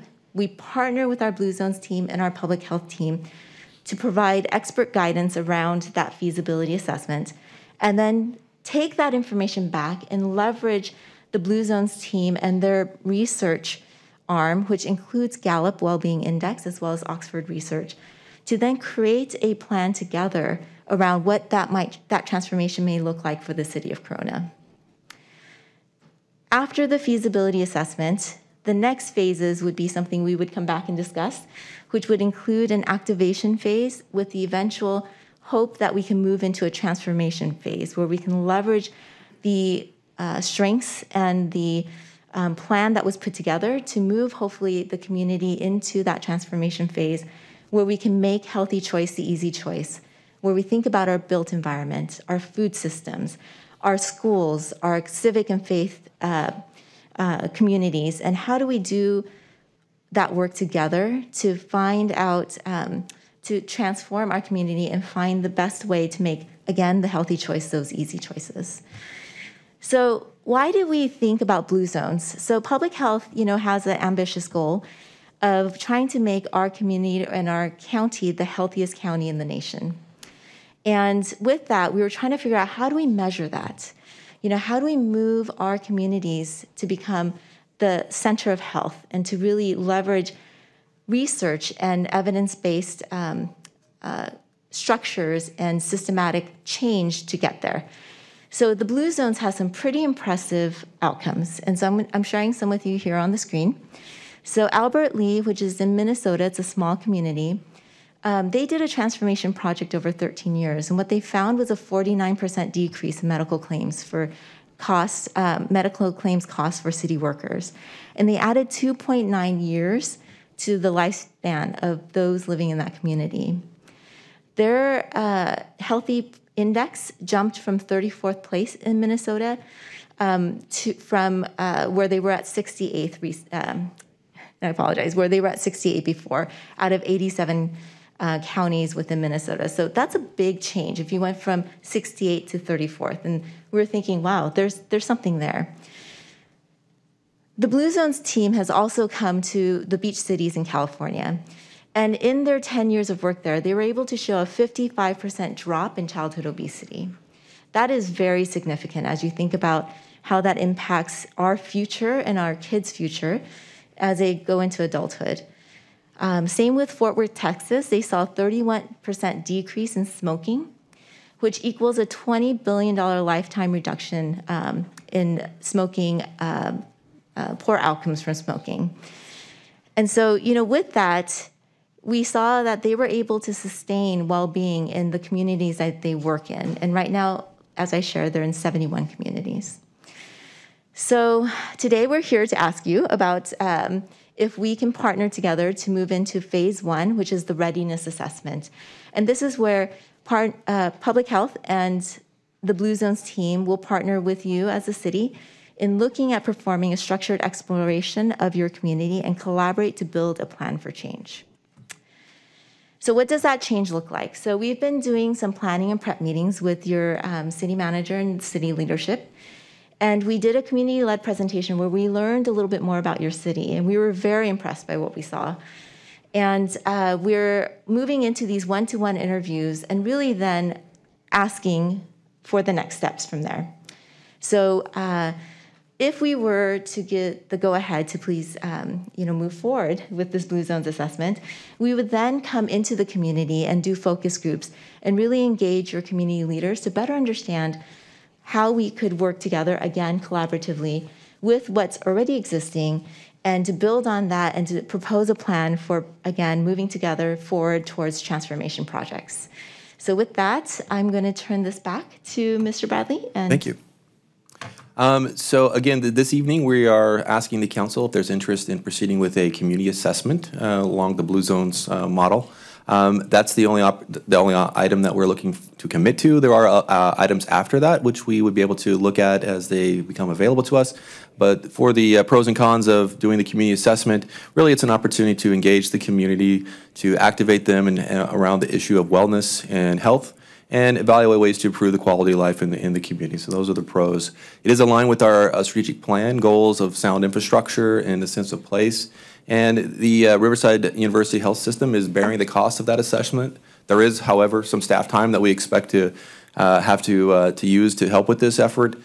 Um, on the, the the other side, if we were not to uh, participate, of course, there would be no staff time for helping to coordinate it. However, it could potentially be a missed opportunity to engage the community around this issue of health and wellness.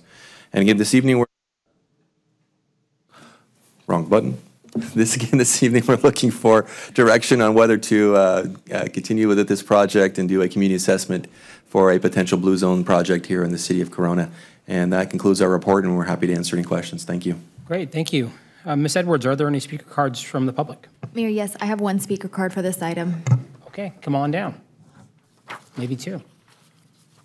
Thank you.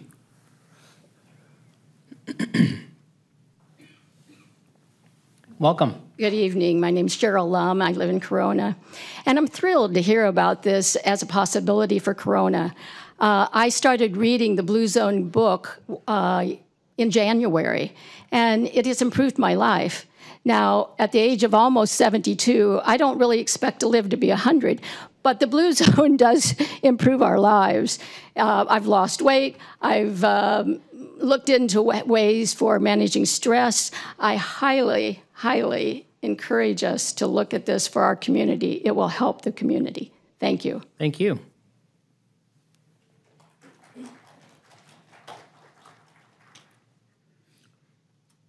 Welcome. Hi again. This is about the spot you get tired of hearing about from me. Um, I don't know any about this, anything scientifically about this stuff, but coincidentally, as I was listening to this person speak on it, it reminded me that over time, from time to time, I will, if I got time to waste, I will sort of Google up lists of states that have certain characteristics, like which states have the highest and lowest levels of education, which states have the worst and the best roads, all these sorts of things, which states have the highest rates and lowest rates of teen pregnancies, whatever, a bunch of things. And you start to build up maps and lists of states. And one of the things that keeps coming up is where people are healthy or not healthy. And goodness sakes, those states where people are, generally speaking, not as healthy have a lot of other characteristics. And I'm not going to get into all those in commonality because we'd be here all night arguing about that.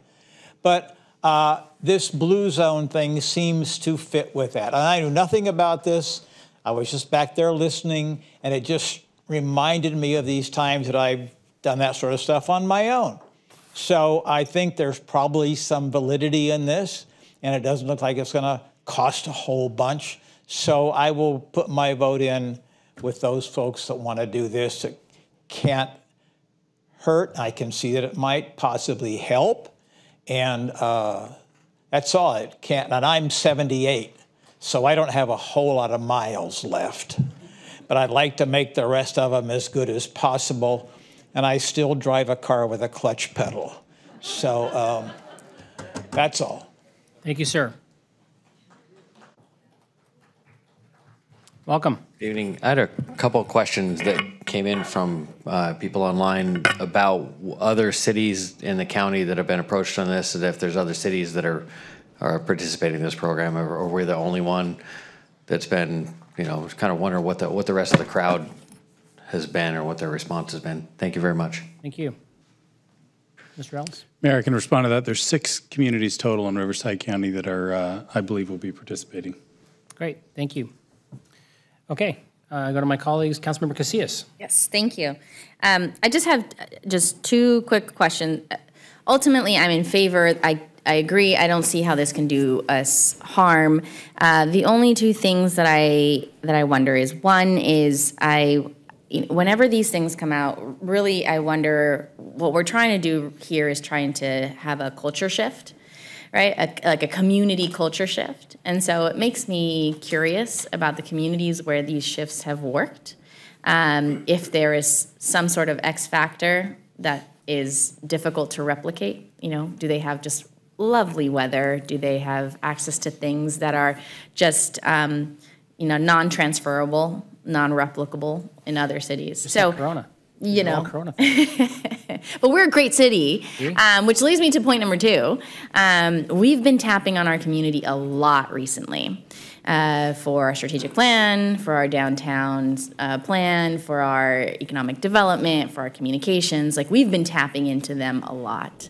And so, um, you know, I have heard a little bit of rumbling about like, you know, not not engagement fatigue, but for lack of a better word, of survey, survey, survey, survey, survey, right? So um, I wonder if uh, there can be further communication, further conversations with staff and the Blue Zone team about being really intentional about the community engagement. Um, there's probably groups that um, would engage uh, rather easily and that we have a captive you know list.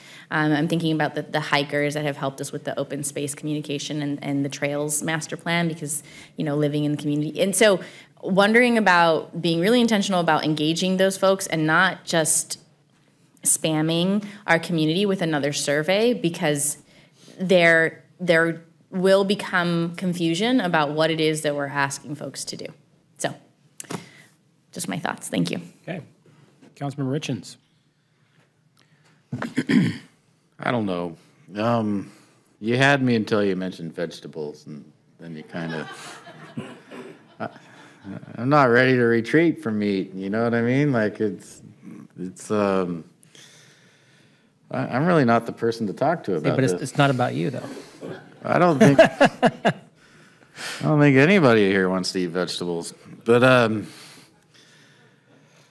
it's all good if Fuller's with it.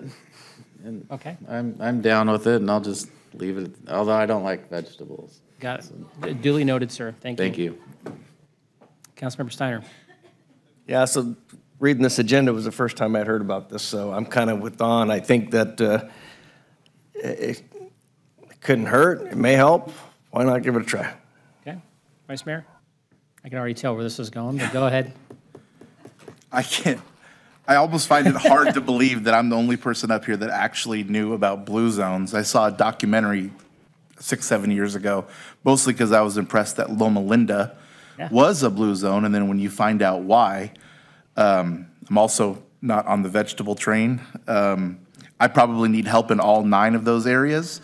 Um, keenly interested to hear more about wine time and um, and how to reduce stress. That seems to be a common theme up on this dais as well, um, including Councilmember Steiner's bag of candy over there, which I'm sure is that's the small bag, folks. There's a much bigger there's a much there's a much bigger bag that goes along with that.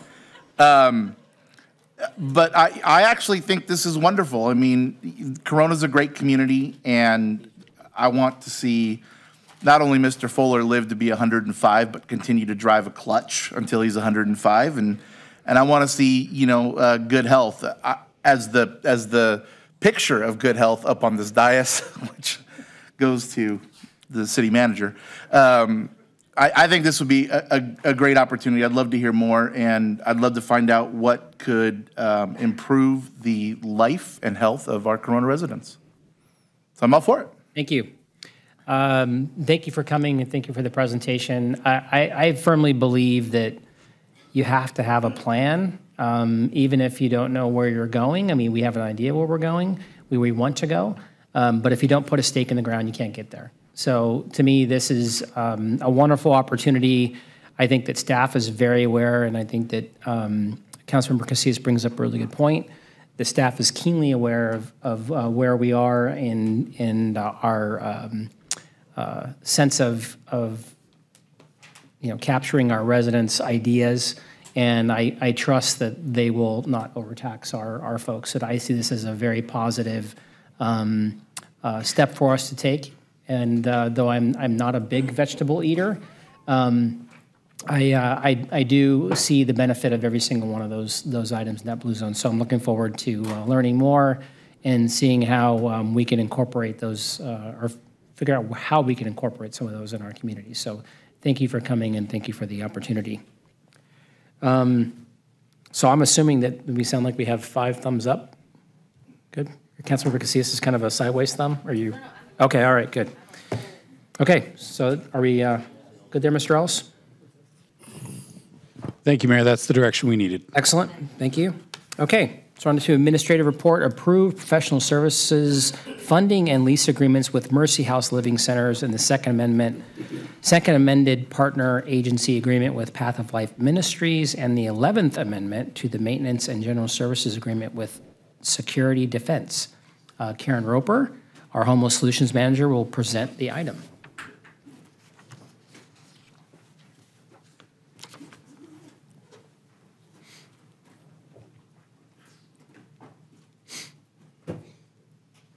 I see you have your troops here. Good evening, honorable council members. Uh, Karen Roper, Homeless Solutions Manager. What do we usually do before Karen Roper presents? Put your seatbelts on. Is there, is there a, dis- can we get a disclaimer for when Ms. Roper, Ms. Roper is about ready to present? Folks, if you're in the audience, hold on. It's gonna be, it's gonna be a ride right now. Stretch first. That's a, stretching is important. So tonight I am elated to present before your council our fiscal year 23 homeless system of services agreements. What, before I get started, I wanted to um, bring some inspiration that actually came from a cool conversation with Dr. Turner. When uh, we were talking about the homeless strategic plan and the culmination of this effort all coming together. And after I talked to Dr. Turner, I had a chance to talk to our wonderful Jessica, who's the uh, head of our economic development department, about how the city of Corona develops. We have a number of different plans that you can see before you. Our citywide strategic plan, city park master plan, parks and rec master plan, downtown revitalization plan, economic development strategic plan, trails master plan, general plan, and of course the homeless strategic plan. And some might think, oh my goodness, just government creating all of these plans that are going to sit and collect dust on a shelf, but that is certainly not the city of Corona. We are serious about execution. And what is so important, and uh, Dr. Turner, you said this and you inspired the heck out of me, that for, let's say, the Parks and Rec Master Plan or the City Park Master Plan or the Downtown Revitalization Plan, how critical the homeless system of services and the homeless strategic plan are to the success of those plans. They are interlinked together and they cannot be successful without one another. So thank you, Dr. Turner, for that, um, that moment of inspiration that I stole from you for my presentation.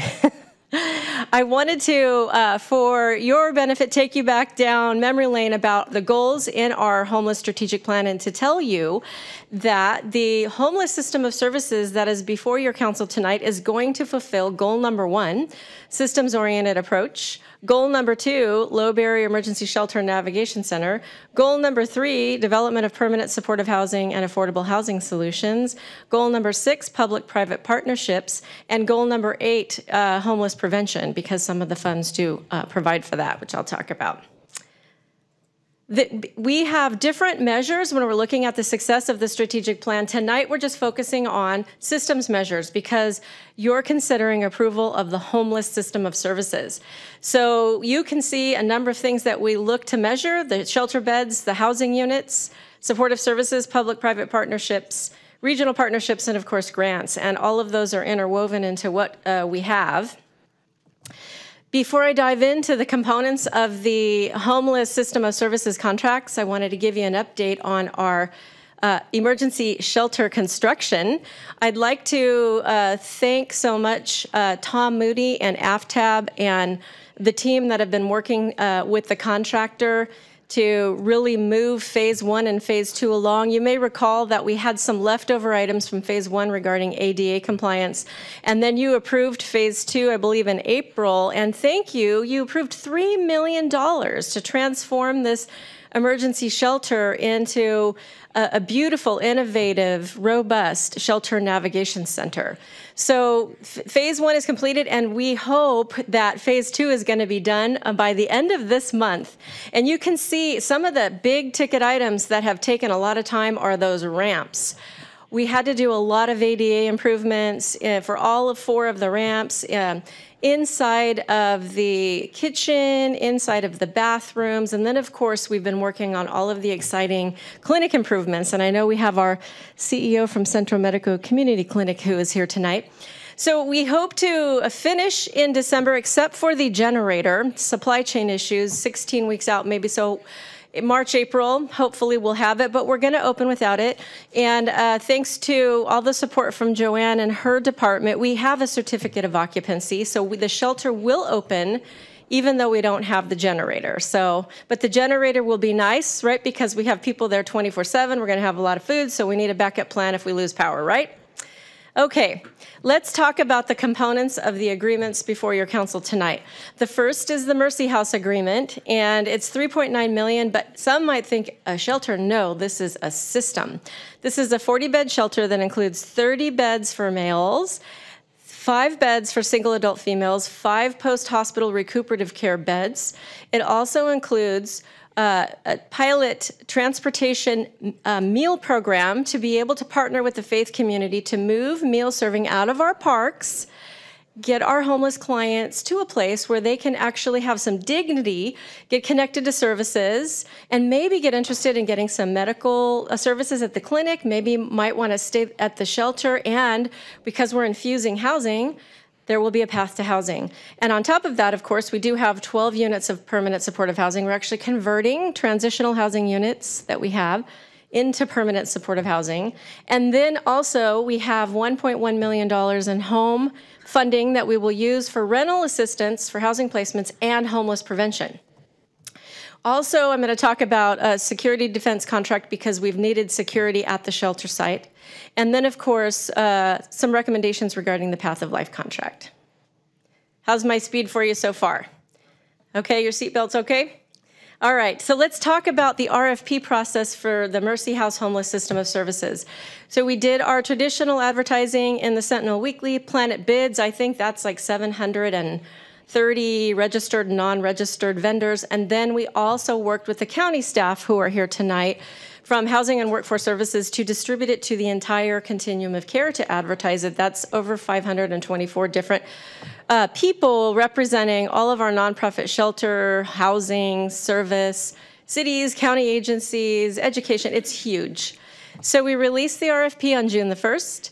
And then we had three nonprofits that responded and came to the mandatory pre-proposal conference on one day, and then on another day, they, they came and attended the site visits at both the Harrison Shelter and the 12 units of housing. We, uh, one of those organizations is Path of Life, who we have a partnership with. They're a great partner. But at this particular time in their agency's history, their CEO indicated that due to changes in staff and just where they are capacity wise, because this is a whole system, they declined to submit a proposal. Another organization that uh, did come to the conference and the walkthrough was Holidays Helping Hands. They are out of Los Angeles County and they missed the deadline to submit the proposal. So we received one responsive proposal from Mercy House uh, Living Centers. Uh, they went through a, a, a, detailed threshold review and passed threshold review for uh, compliance with all the components in the RFP and were passed on to an evaluation committee. That evaluation committee, we have one of the representatives here with us tonight from the county. Um, she will be making some comments along with myself and um, Cynthia, to review the proposals with different um, perspectives of expertise in homeless shelter, affordable housing, and systems of care. So the evaluation committee average score uh, was 111 out of 120 possible points. Normally, you might see 100 points score, right? But we added 10 points for an interview because the committee felt it was important to interview the, the agencies, and also points for project readiness, like how quick they could mobilize. The scores, you have the spreadsheet of all of the evaluators' scores. You will see that they are tight, they are very close together, and that is a good sign that it's a strong proposal and a good committee that knows what they're doing and they review it independently and then their scores are very similar. So uh, really strong proposal process. So let's talk about some of the components of the agreement. One of the things that is uh, requested from your council is to approve a two-month operational and capital advance. The capital advance is for furniture equipment um, and other supplies that are needed because we need to get the shelter ready to be able to have residents. And then two months worth of operation. This is very common. Mercy House is in over 67 different cities. There's a reason why they're in 67 different cities, but when you work with that many government agencies that have all different types of uh, payment processes and you're trying to bring on a whole entire system, they need to have cash flow. So this was uh, uh, critical to their uh, accepting and uh, will, being willing to contract with us. I, although I have um, experience with them when I worked in the county, it worked uh, with Mercy House for many years, we didn't want to just hear from your staff person they're a good organization. So I did due diligence for you and I followed up with three different cities that they are contracting with where they have similar terms and conditions. I had great conversations and email exchanges with the cities of Bakersfield, Bellflower, and Oxnard, who all love Mercy House and had great things to say. So that is one of the requests. And, and, and also too, you should know that, you know, when they submit their payments, their subsequent payments, when they start uh, billing us, they have to give us backup documentation. So they'll get the, if you approve this, the operational advance. And then when they start billing us regularly, they have to give us detailed backup documentation for the actual expenses. So of course, uh, I'll be reviewing those and then uh, we're able to true up if we need any adjustments on the the uh, payment that is listed, the monthly payments that are listed in the contract, so that we make sure everything is trued up to what the contract allocation is by the end of the year. Also, uh, we have uh, Mercy House is uh, requesting a 10% contingency, mostly for the shelter. And this is really just because they're very experienced in developing new shelters and systems, and sometimes things come up when you're developing a new shelter in a new community. It is not an automatic part of their contract. It's similar to what you've seen on like our construction contracts. So as things, if they come up that were not anticipated, they have to get approval to be able to use the 10% um, contingency. Also, because this is a complete system of services with a lot of moving parts, we do, uh, we, I, uh, we're requesting uh, 638,000 Measure X appropriation to be able to fully fund this. You will see in the, the contract uh, the, the the whole system of services is leveraged with 66% of federal home and state PLHA funds. But I, but, but I, and so that's a great percentage for your council when you think about your general fund investment and Measure X. They're kind of like one and the same, right? General fund, Measure X. Um, but it's a little bit higher this year because we have two years worth of PLHA and we have three years worth of home. So uh, going forward in future years, we'll have um, some decisions to make. So I just wanted to mention that to you. Uh, the other thing is when we first uploaded this agenda item, the contract had, under the insurance requirements, $10 million automotive, automobile liability. And then uh, Mercy House followed up, and after they talked to their insurance broker, that out of all the other cities that they contract in, that that was extremely high, and that their their standard um, the, the, coverage requirements are 4 million per accident and 5 million aggregate. I think part of that is Karen Roper made a little boo-boo when she was uh, giving information, I said six shuttles, not six drivers. So it's actually two shuttles with six drivers because it's a seven day a week program. So one shuttle for seven days is three drivers, and another shuttle is three, so six. So that was just a li- so uh, I have to really give credit and thanks to Dean and Jamie who uh, were so wonderful to talk to our insurance company and we did a quick turnaround made that little tweak and re-uploaded it so that was one uh, minor little change in the meantime, Mercy House has already been partnering with us and they don't even have an approved contract yet, which is really super cool. So we've been meeting with Centro Medico Community Clinic because when you're looking at collaborating for certain types of initiatives and grants, you need certain types of supportive services partners. So uh, the county recently had a continuum of care unsheltered notice of funding opportunity. It's special money that is not necessarily guaranteed, but uh, the counties are competing nationwide. I think our county stands maybe a 30% chance of getting these funds. But Mercy House was super collaborative and uh, partnered with Centro Medico Community Clinic and myself and looking at, they wanted to, because typically when uh, proposals are submitted to the county, they want to see it surface to a subregion.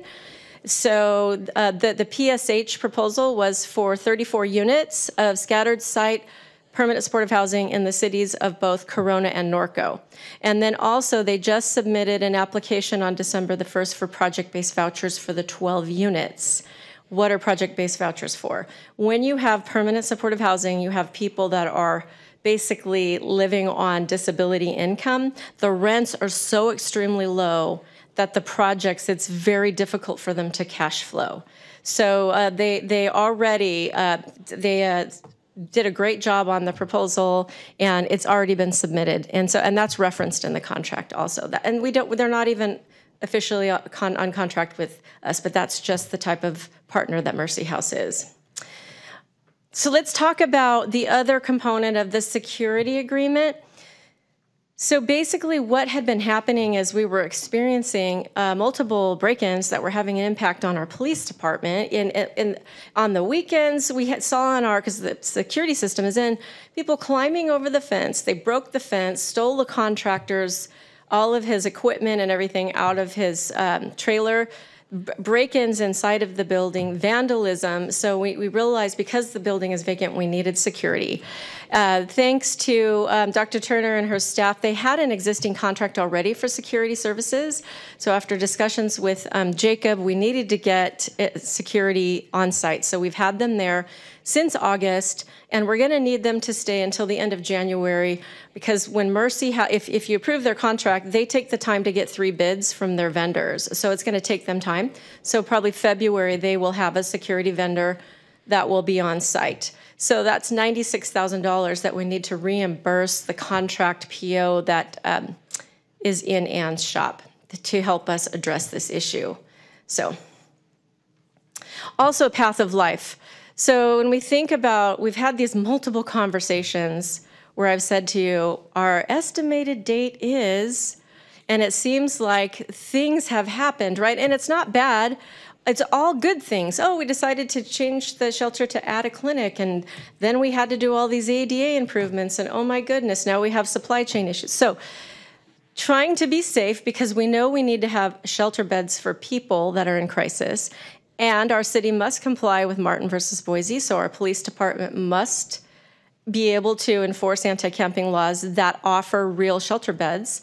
I am recommending to extend the Path of Life contract through the end of June.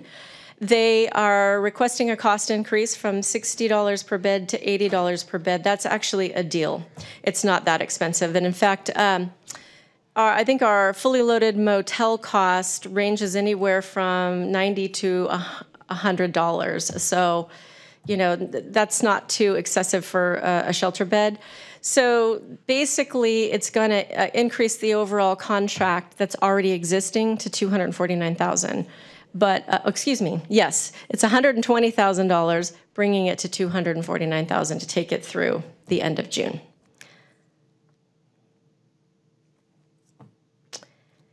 And that concludes. Oh, I have to, before I finish, I just have to say, I, I think you all know that there are numerous city departments involved in this effort that support homeless solutions from our community services department to planning and development to our police department to finance to purchasing uh, people in management services but most of all to our city manager and I don't say this because he's my boss and I'm trying to, you know, impress him. I'm telling you as elected officials, coming from someone that's been in government for many years, I've seen many a city manager and I've seen many a CEO. And in those positions, they can make or break the success of local government. And we really are fortunate to have Jacob Ellis. So if you're happy about the progress tonight, I hope you'll give it to him. That concludes my presentation. Thank you, Ms. Roper. Um, Ms. Edwards, I'm, I'm gathering that there are maybe a few speaker cards.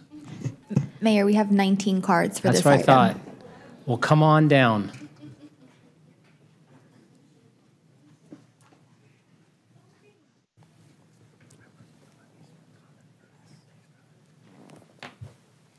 Welcome. Hello. How are you guys? Great. This is exciting. This is exciting. So, you know, I'm thinking back to when I first met Karen. Um, gosh, um, 2019. We had just overcome homelessness ourselves. We had just been housed. Um, we started attending the homeless solutions meetings. And back then, there wasn't a lot going on, right? Here we are, four years later. you guys, I'm blown away. Um, so much has been happening, so many wonderful partnerships, and just so many people working together to house our community. Um, I feel like just in the last six months alone, you know, there have been so many families housed. It just was like the floodgates opened, and all of a sudden the housing was there. The families with the vouchers, everyone just got housed. And it's because of this great program, this great homeless strategic plan that Karen has come up with. You know, CityNet, you know, we've doubled CityNet reps, we've got double Hope Team officers. Angels Over Cliffs is growing. And um, I'm just happy. Karen, where's Karen? You're awesome. Thank you. Thank you. This is really amazing. Um, I'm excited for the future. Um, I didn't come with anything to say, you know. I'm just you. happy. I'm That's just good. happy. You know, um, coming out of homelessness and addiction, um, living in that motel for two years, there was never anyone who came to check on us. And it was the loneliest time of my life. And now we have so many programs, boots on the ground, you know, doing the outreach, hitting the streets, hitting the parks, hitting the motels. And it's just an amazing feeling. It's an amazing feeling. I'm so happy to be a part of this community. Thank you. Thank you so much. Yes. Come on down. Good evening, Mayor and Council. My name is Tanya Torno. I'm one of the deputy directors with our county's Housing and Workforce Solutions Department, and I directly oversee our homeless continuum of care services. And so, through that role, I have the privilege of working very closely with Karen, who, um, in addition to representing your city, also serves as our continuum of care chair. And I just you know, I've been in these meetings before and I've commended you for the work that you've done in really building out a homeless system of services, as Karen described it, that really ensures that someone who is experiencing homelessness not only receives temporary interim housing, but is connected to permanent housing and wraparound care that they need to, you know, lead purposeful lives like like we do, you know, and that um, allows us to wake up every single morning and um, find meaning in in what we do. In my role as the director of our continuum of care, I have the privilege of overseeing different federal and state grants that we receive. And so, in that process, I can tell you that I've uh, participated and reviewed uh, various proposals, uh, like the one that Mercy House submitted, and I wanted to share that um, I also participated in the RFP evaluation uh, committee for uh, your the, the homeless system of services. And um, you can see from my scores that I was also very impressed with the proposal that, that Mercy House submitted. And like Karen shared, they're in 67 cities, which I think alone speaks to the great work that they're doing. And I can tell you that um, there is um, there are other cities in our county that also work with them and have experienced um, some of the same results that have already been shared. Additionally, I wanted to um, add that um, what I spoke with one of my colleagues, Marcus Cannon, who is a di- director with the Riverside University Health System, Behavioral Health. And although he was not able to be here today, he also wanted to stress that on behalf of his department, they are very grateful for the work that the city of Corona is doing because, again, it ensures that individuals receive housing and supportive services in order to, you know, truly receive the, the support that they need to resolve their homelessness. So, thank you again for what you are doing. You are truly a model city, a city that uh, we share and commend not only here, but also when we go out and try to engage other cities to uh, partner with us to address homelessness in their communities. We appreciate you. Thank you. Thank you.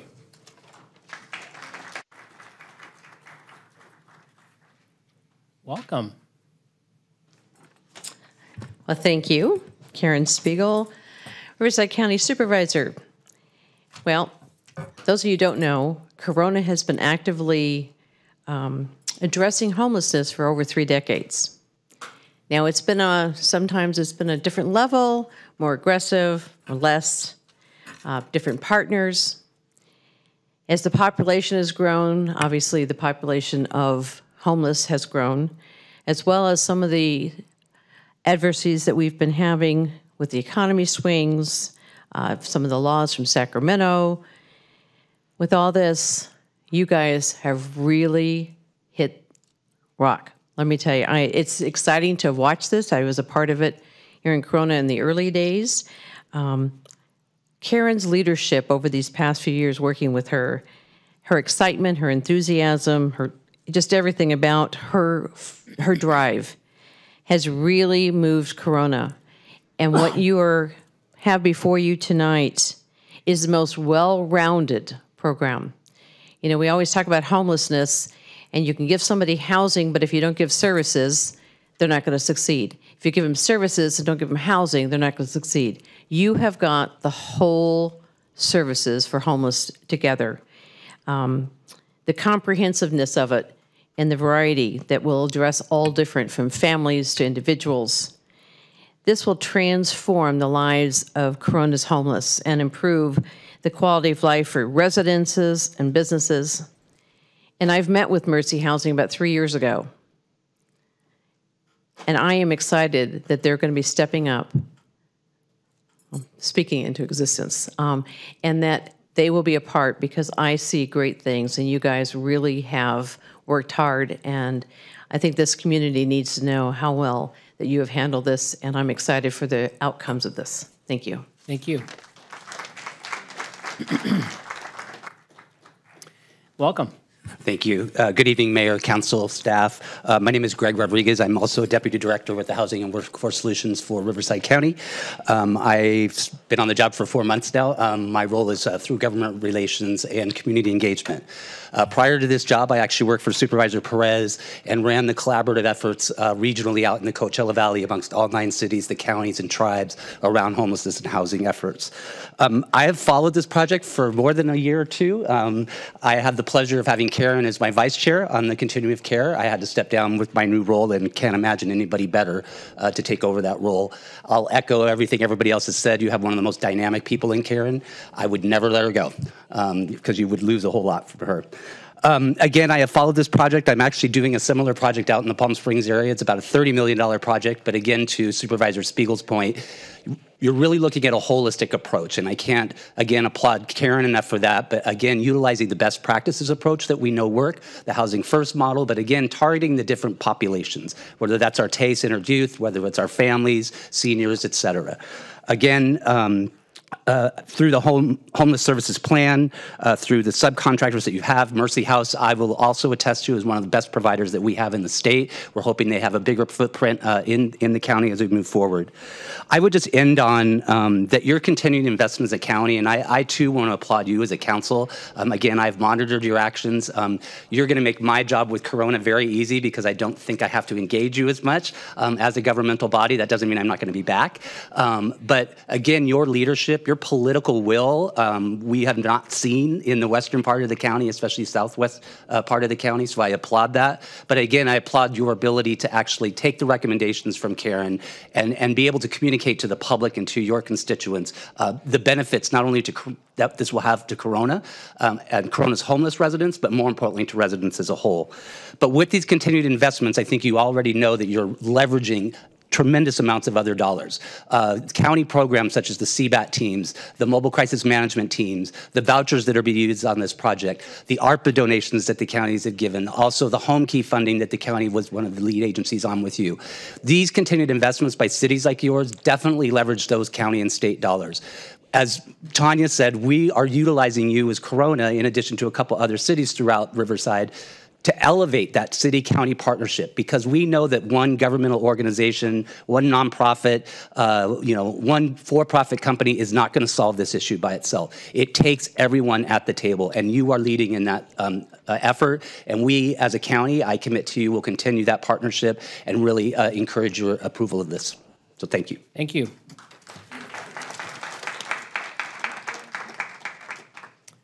Come on up. I'm seeing you're being voluntold. You guys, um, I'm going to speak on behalf of on behalf of Vanessa Rodriguez. Vanessa Rodriguez is a mutual client between CityNet, Angels Over Cliffs, and she is a product of this program. Vanessa was homeless in our city for over two years. Vanessa just got housed a few weeks ago. Thanks to all of these different programs working together. CityNet, Angels Over Cliffs, the City of Corona, Make It Cozy, all of these wonderful organizations. And this is a family who makes me so incredibly proud. She's not only been housed, she is breaking those generational curses. She is breaking the cycles. She is learning, she is growing. And this is a product of our homeless strategic plan, Miss Vanessa Rodriguez. Wanted to say thank you, especially to Jim, for helping me move in. And his own furniture, he, yeah, thank you. Thank you. Come on down. I didn't know I was going to cry before I came up here. It's okay, everybody's doing it. Okay. Yeah, thank you, Jim. Um, good evening, uh, everybody, mayor and council members. My name is Marissa, and I'm with my own non-law, uh, nonprofit Love Foundation. And I, am it's in hopes to bridge the gap of judgment due to financial, religious, or cultural backgrounds, bringing hope and joy back to the community one soul at a time. Um, I feel like we need to retrain our brain to get back to pure thinking, simple pleasures, warm feelings in our heart, jumping in a puddle of water, the smell of, of the rain, you know, the driveway after the rain, staring at a Christmas tree, and being grateful with the hot cocoa in your hand. A simple mental check in with a friend or family. Um, if I may make a suggestion for the homeless strategic plan, I think a minimum of three day detox, uh, depending on the folks. Um, a decent meal, a haircut, a good shower, and an outfit for success. Offer help and make sure you let them remember they're special and important and worthy of the best life ever. Um, some people can't handle to cohabitate because some of our ladies have been sexually abused. So they're not comfortable with the co-ed uh, situation sometimes. Um, we really got to know our people and where to put them, and that way they feel safe and comfortable to open up and bring down those layers of onion, you know, those onion layers, and get down to the nitty gritty of why are we hurting? Why are we here? And are we going to pass this on to our children if we don't you know, take the wool over our eyes and just be honest and love each other. And you guys are doing an excellent job. Thank you for being there for us. Karen Spiegel, Bobby Spiegel, all, you know, we're already doing the, what was it, the blue zone? Right? We're already kind of doing a miniature blue zone ourselves because it takes a village and that's what we are right here, you guys. And we're, we just need to be open, love each other, be courageous. I'm being courageous right now. I'm so scared. But, um, you know, we're doing it. We're doing it. We're seeing the action. We can do better, though. We could. We always can. There's room for improvement, always. Um, I personally have been at Pathway to Life shelter, feeding the people, telling them to stay alive till we find a, a parking lot structure because it's already been passed. Um, it's going to be like a triage for them. So the people that are living in their cars can park somewhere safe. Um, we're shopping for that right now, Dr. Larissa is. Um, so this strategic plan, I hope, will work. And once again, I offer all my services for free. I'll go in there, hugs, food, whatever you guys need, I'll help. Thank you.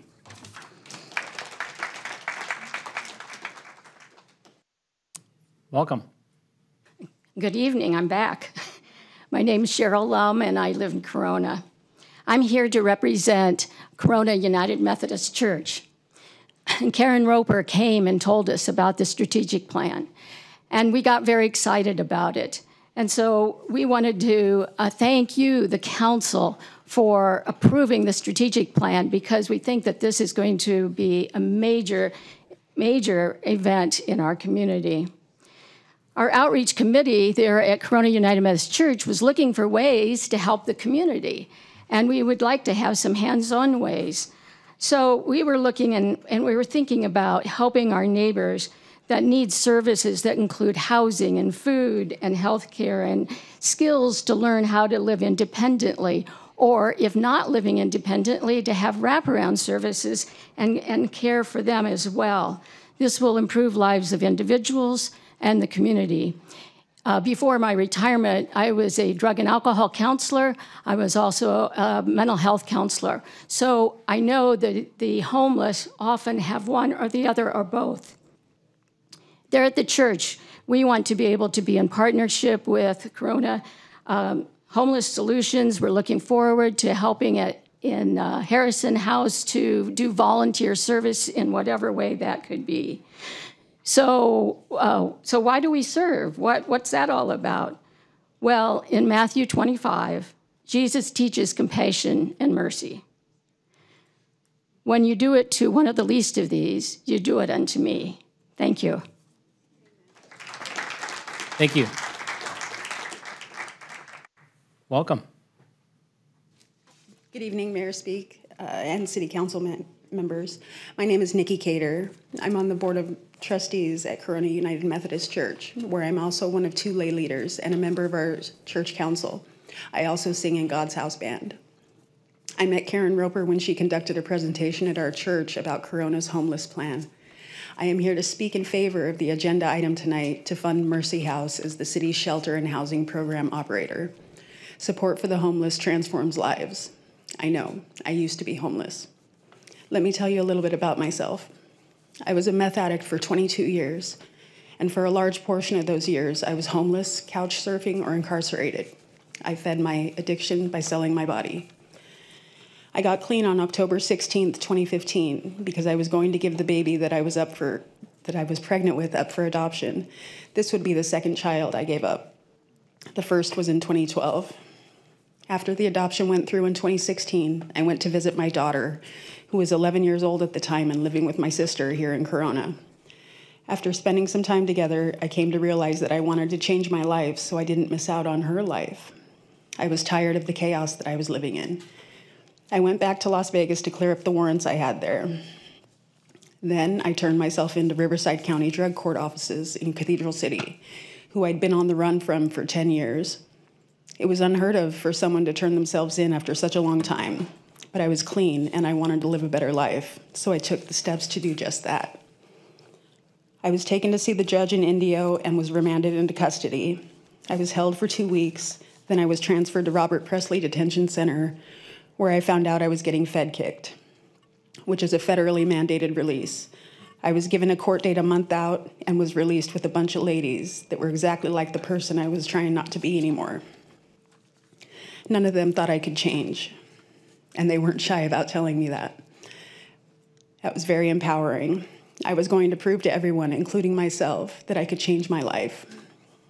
I called my sister and told her I was being re- released and asked if I could head to her house. She said yes. Two weeks later, I had an interview to work at the Shell gas station on Rimpau and Magnolia, and I actually got the job. Two weeks after that, I was able to go to court in Indio, gainfully empl- employed, and ask if my case could be transferred to Riverside. They said not yet. I was given another court date, another month out, and when I showed up for that, they transferred my case. I believe this was a test. The courts were giving me chances to mess up. They wanted to see if I was serious. I was very serious. At my next court date in Riverside, I found out that I no longer qualified for drug court, as I was no longer abusing drugs. It was bittersweet. I didn't have to meet all of the drug court requirements, but still needed to learn how to live my life without the drugs that I had always depended on. I was sentenced to 100 hours of community service and provisional probation. It took me a year to finish my community service at the Corona Norco Settlement House, which is where I met members of my church Sally Carlson, who led the choir, and Alan Davidson, who was the drummer for God's House Band, and had invited me to go to church. Soon after that, I finished paying off my fines. Reentry society was difficult. Thank you. I could not have done it with, on my own, but with the love and support of my family and my church family, I was able to change the life that I thought I'd be doomed to live forever. I'm no longer the hopeless dope fiend that you pass by on your way to work. I'm now a dopeless hope fiend that wants to shine a light for those still suffering. Thank you. Thank you.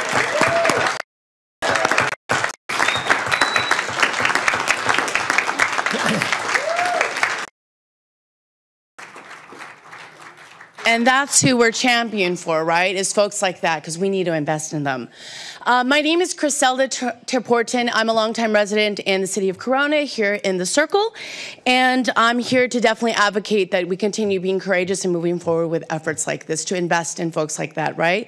In 2017, um, I joined a local community-based organization called Building Above Corona. We wanted to produce a qualitative research on our community to find out what's happening. Are people um, uh, happy with what's happening here? Can we have improvement? Essentially, we wanted to be a bridge and be that voice and bring it to our local leaders when we actually met with our city manager then um, and our elected leaders, there was no support. The support was here's a box of uh, click it and what, whatever the our, our thing is called um, to spread the word about you know graffiti dumping, etc. Which was not our audience. It was like really house, helping the unhoused folks. In 2018, I actually spearheaded Corona's very first resource fair because if the city was not going to champion my efforts and our need in the community, we were going to do it on our own. We had 40 vendors there. We had um, lots of folks that came through. And what we learned through that qualitative report is essentially that, again, what Karen mentioned and Angela mentioned is people want to support. There was just not a vehicle to help. So that's where we stepped in, right? Um, so then come 2019, we were getting some elected uh, leaders such as um, Jim Steiner um, and um, Yolanda Carrillo as well. I spearheaded the second resource fair, and that's when, of course, we did it at the city park because you meet folks where they're they're at. We met Angela and all these other wonderful folks. We had 80 vendors. Again, people want to support. We just had to create a space. We had to get champions in our elected um, space to give us those resources. But if you're not going to do it, we're going to step up and do it for you all, right? So now here we are in 2022. Like, I cannot wrap my head that we came so far. But essentially, and to be honest and be real, we just had to get new leaders. Leaders who were compassionate, leaders who cared and wanted to invest in folks like the lady before me, right? And as the woman mentioned uh, before her, is we have compassion now, right? Corona's trying to figure out who our identity is, and I think you're really spearheading that compassion, and it's contagious. So continue that, and now hopefully we'll have mercy. So as the speaker before said, compassion and mercy. So please move forward, be courageous, keep championing this, invest in our our, our fellow uh, human beings, right? Because we cannot waste any resources to not invest in them. We need life. We need you guys to give us hope and continue that work. So thank you all. Thank you. Welcome. Thank you. Uh, Good evening. My name is uh, Matt Bates. I'm the Executive Vice President for CityNet. Um, I live in Azusa, California. Uh, As a brief aside, I drove here in my car, which also has a clutch pedal. And Bravo, one, sir. One other aside, uh, I, I applaud your movement into the blue zones. Um, I try to remind my wife that French fries are also vegetables. Um, although I don't know if that'll count. But um, I'm here to, uh, to speak on, uh, um, in support of item number 30. Um, CityNet, we're a proud partner uh, in the city of Corona um, as we conduct street outreach and engagement with homeless neighbors. Um, we have four full-time case managers that do that. We also operate the, or manage the 25-room motel uh, emergency shelter program in the city. Um, we're encouraged to see the, the progress in the city. When we started working in Corona in, in 2018, the city only had five shelter beds through Path of Life. Um, and CityNet was only uh, contracted to, to deploy uh, two, two part-time outreach and engagement staff that were working three days a week. And part of the, the challenge back then was uh, you'd come across homeless neighbors who were wanting to change, who were wanting to get off the streets, and there were just limited resources and limited beds. So we were very uh, excited um, on this item tonight, but more broadly, um, for the city's uh, uh, growth in its homeless strategic plan. Uh, we've been proud to work with Karen Roper and others in the city to participate in the development of that plan, um, and it's very exciting to see that come to fruition in another part tonight. Um, CityNet, like uh, Mercy House, works across the state of California. We work in seven counties. Uh, um, not quite uh, as many cities. We're, we're in just over 50 cities. Um, but I would echo the statements that have been made tonight, which is that what you're doing here in the city is really a model that we wish others across the state would replicate. Um, we really do wish that we could bring people here and show them the, the, the overall approach. And I think the, the key difference is the, the approach to homelessness not as a series of programs that are discrete, but to think of it as a systemic uh, issue that, that needs a systemic response. Um, this, this, and this contract that you're considering tonight is not just a shelter, but it's a system of, of related uh, resources. And CityNet is happy to participate in those. Um, along with your CPD Hope team, we are listed in the, as a referring agency in the Mercy House contract. We're very comfortable in this role as we have a great working relationship with Mercy House. Um, and we already work in this capacity with them in other cities, including Bellflower. Um, we're also been hard at work uh, in preparing clients for the abode communities uh, that will start in the spring. And when this shelter opens in the spring, um, we're encouraged to be part of that kind of network of related activities that will not only help individual people, but that will help the city get closer to its goal of ending homelessness in Corona. So I applaud the work that you've done, encourage you to support item 30, and thank you for your time. Thank you, sir.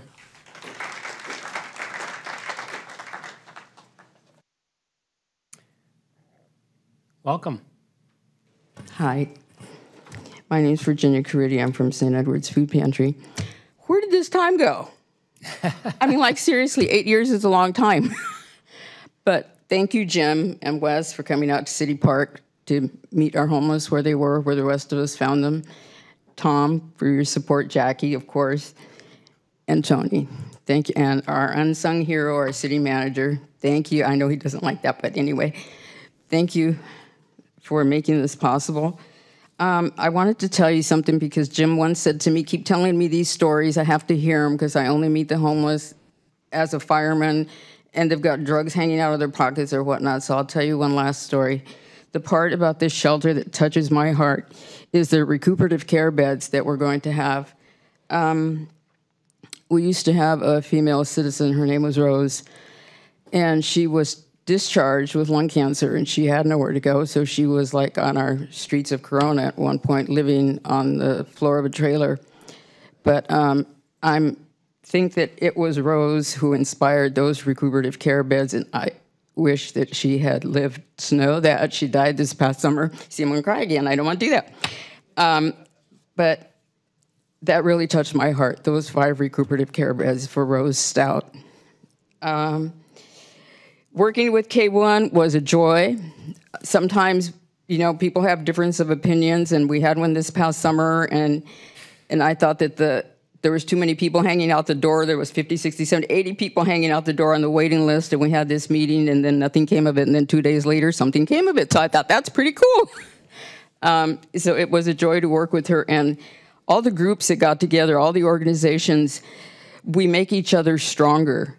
And that was because you opened up the table to us. You let us come to the table and give you our ideas and our concerns, just like we're doing right now. And so I would like to end with one last thing. Um, I called the police earlier today because there was a homeless woman on South Main Street and East Grand at the Valvoline station, and she's sleeping on the sidewalk about that far from the curb at that intersection. And I'm sure that they responded to the call. However, on my way here, she was still there, or she returned. She's just sleeping on the corner with her head up against the street light. Her head's that far from the street. So I, I don't know what kind of help she needs, but she needs help. Thank you so much. I love you all. Thank you. Thank you. Welcome, sir. Thank you. Good evening. Uh, Mark Allert, 637 Greengate. Uh, Wednesday night is church night. You can usually find me at Stone Church uh, with my with my blessed pint engaged in fellowship. This is true. I've, I've seen Mark Um, many times. You, however, have, have pulled me from my station to uh, come here and express uh, sincere uh, thankfulness for your service, but uh, your leadership. Uh, I would specifically name Jim and Yolanda. Uh, you know, some years ago, you guys uh, took your curiosity and you went vulnerable with this community and said, there's just a lot we don't know and we need to learn and you were uh, honest about that. And from that place, uh, you know, leadership really flowed. And uh, a lot of these pieces have come together. Uh, you know, Karen and Karen and advocates and, and agencies, you know, collaboration, CityNet, Brad, a lot of these voices came together in ways that um, I just really wish Sally was here tonight Yeah. to see this. And, uh, you know, in her, in her spirit, just thank you. Thank you. Enthusiastic thanks. Thank you. Back you. to my pint.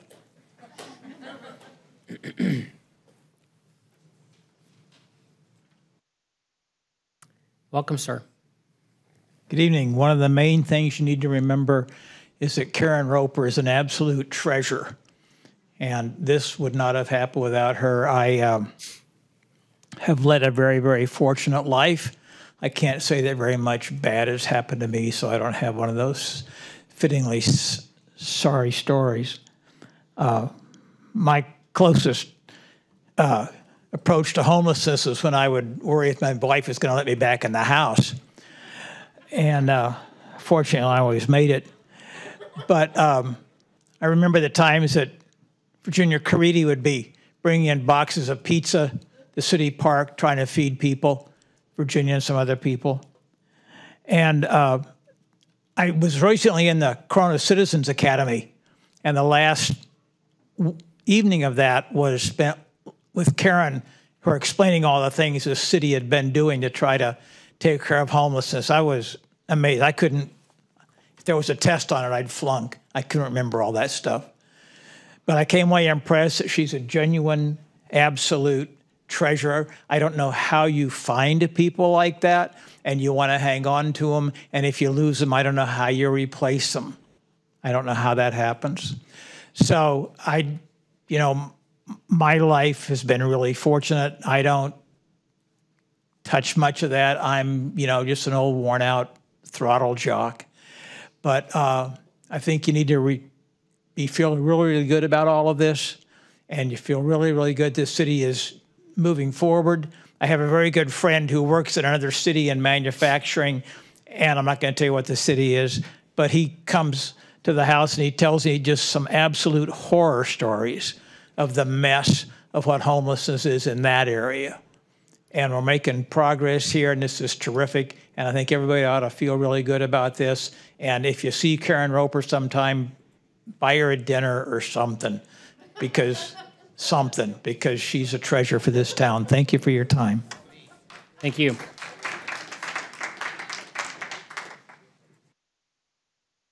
Welcome. Hi.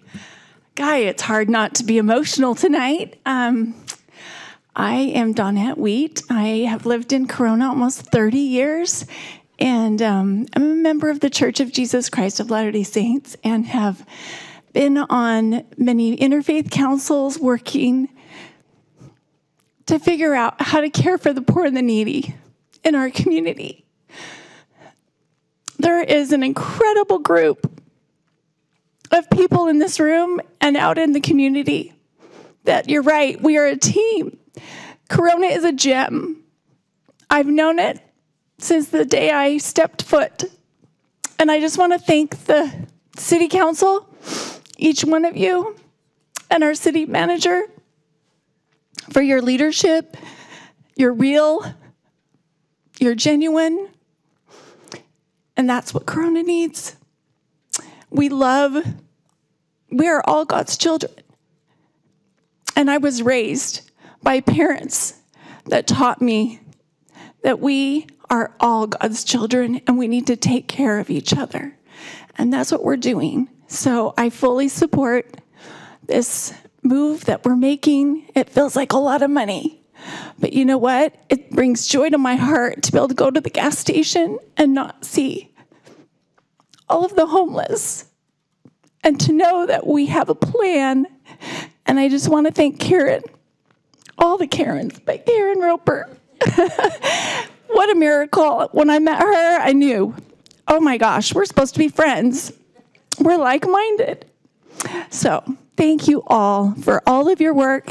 And I just want you to know moving forward that as I'm an administrator for justserve.org, that I, we look for opportunities and projects to serve and bring community together to provide whatever is needed for anybody that needs help and volunteers. All right, thank you. Thank you.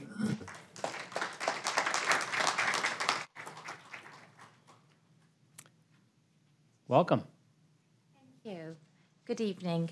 Um, Palbinder Badesha um, with, and obviously Bobby Spiegel, he's famous, uh, with the Corona Chamber. Um, just want to applaud you as a city council and your leadership for the adoption, hopefully adoption of this homeless system of services.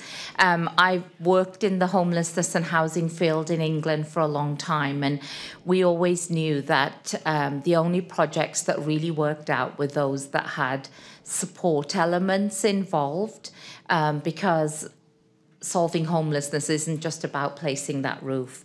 And uh, as you know, um, issues related to homelessness are the number one complaint that we hear about at the chamber and some horrific stories and we have seen so much love and compassion here this evening and those business owners and employees also feel that and they've been torn for many years about what to do about this. So we welcome the continued collaboration and communication with you all. The, the other uh, number two and number three are like permits and things like that. We'll talk about those another time.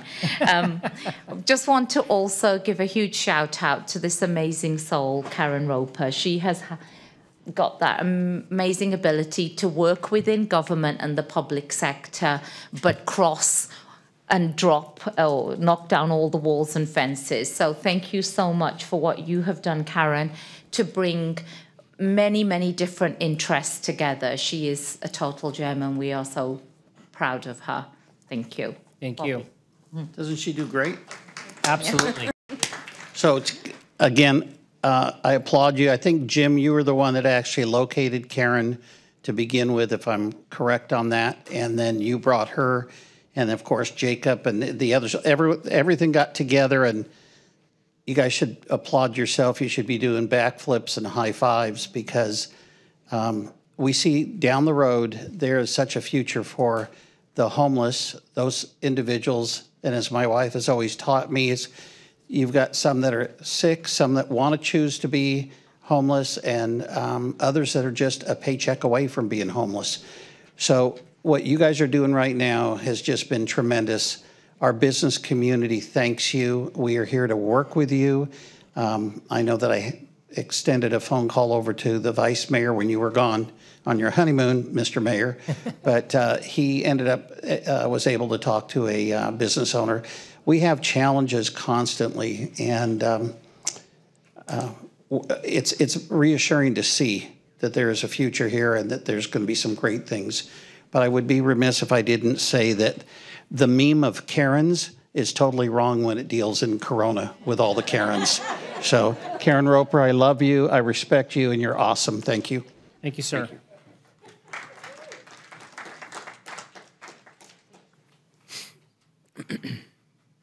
Welcome. Thank you. Uh, honorable council members, my name is Andy Piscolian. I'm the CEO of Central Medical Community Clinic. First, let me thank you for allocating the 3 million in funding for phase one and phase two improvements at the Harrison Shelter Navigation Center. I would especially like to thank you for your support to convert the west wing of the shelter to house our Central Medical Community Clinic satellite. Thank you for that. I've been working with Karen Roper and your construction team on details regarding the improvements related to the clinic, excuse me, my voice, uh, related to the clinic portion of the shelter. It's been a pleasure working with the team, and we are thrilled with our experience on the project this far. I'm extremely pleased with the report Central Medical received on the site approval on October 4th from HRSA. HRSA is the governing agency that oversees community clinics. We look forward to partnering with City of Corona, excuse me, Mercy House to provide medical, behavioral, and oral, oral health care services to Corona homeless residents receiving services for emergency shelter residents at the Harrison facility, transportation meal program clients receiving day services at the Navigation Center, Corona's motel emergency shelter clients, residents of permanent supportive housing projects in the city of Corona.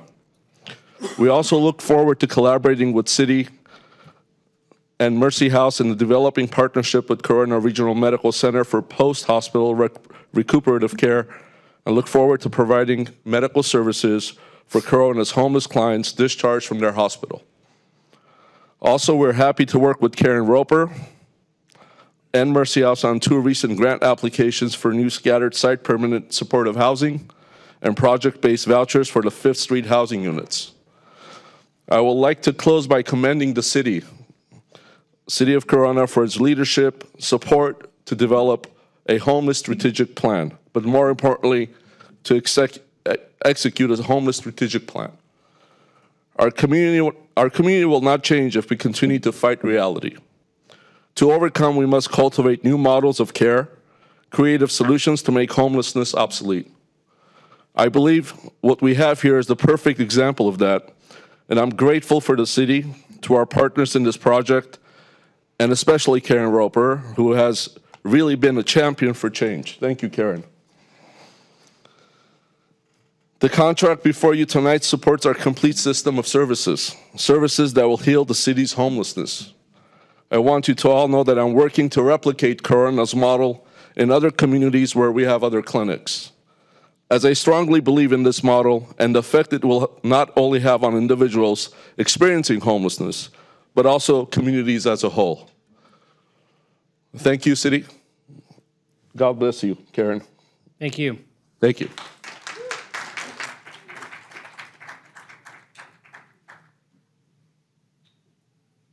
Welcome. Good evening. Thank you. Uh, Sam Mitani, I'm the CEO of Corona Regional Medical Center. As we all know, Corona is home to the third largest unsheltered homeless population. So naturally, Corona Regional being the only hospital in the region, we provide hospital services, emergency service to countless homeless patients on a daily basis. The challenge we face is when they're done being hospitalized, there's no place for them to go. and the street is an unhumane place to discharge them. So we hold on to them. And unfortunately, in Riverside County, there's only one shelter located in downtown Riverside that can accept them, and they have very limited beds, and they're always full. And sometimes when there's a bed, our homeless patients don't want to go to Riverside City. They want to stay here in our blue zone. They don't want to go anywhere else. So this program, and with those five recuperative beds, is going to solve a huge problem not only for the homeless, but also for the rest of the citizen of Corona. Because when these patients are occupying beds that they don't need anymore because they don't need hospitalization, it creates a backlog to the rest of the patient that do need that care. So it solved two problems. So, and what makes this program even more effective is that it's a comprehensive solution. Not only is going to provide recuperative care, but once they're done, it will provide emergency shelter for them and hopefully permanent housing. So those patients are no longer homeless, which means it's going to provide a taxpayer savings because being in a hospital is the most expensive way of housing these patients and these homeless. So this program will save taxpayer money, will save the police department and the fire department countless trips and visits to dealing with them. So with your approval tonight, hopefully, Corona Regional Medical Center will team up with the City of Corona, with Mercy House, and Central Medical Community Clinic to develop a, memorandum of understanding to, develop a care for this shelter. So with your approval, I'm looking forward for a yes vote on this, and thank you for allowing me time to speak tonight. Thank you, sir. Welcome. Good evening, Karen Alexander. Uh, today is not only a history day for uh, Pearl Harbor, uh, a solemn remembrance, but a local history day because we're here, and, and number 30 is before you. Um, Alexander Graham Bell once said that the only difference between success and failure is the ability to take action. And council, you decided to take action. When others were hesitating, you went forward. You did the investigation, you jumped right in, you figured out what the assessment is of our city, uh, what it took to combat that, and put resources together. Um, you uh, hired an expert in her field, uh, K1. She developed the plan for your review and your consideration, and you adopted it fearlessly when others weren't doing that and stepping up. So, uh, building a system is not just a, a plan, it's a complete system. And just to be a little page turned over in that book of a plan uh, is an honor. I'm going to blame Donette for bringing the tears here. I was doing fine until she stood up there. So, congratulations. Uh, I wanted to also congratulate um, uh, Jacob Ellis for putting a team together to support Ms. Roper and her um, undying efforts and dedication and energizer system. I don't know where she gets it, I really don't. Um, but you're a shining beacon in the county, showcasing for others what model to move forward. And on a serious note, um, the RFP to score 93% for Mercy House, how lucky are we that they have the capacity to meet 358 pages that Ms. Roper put together as the operation plan. and she will hold their feet to the fire. So thank you, Council. Thank you.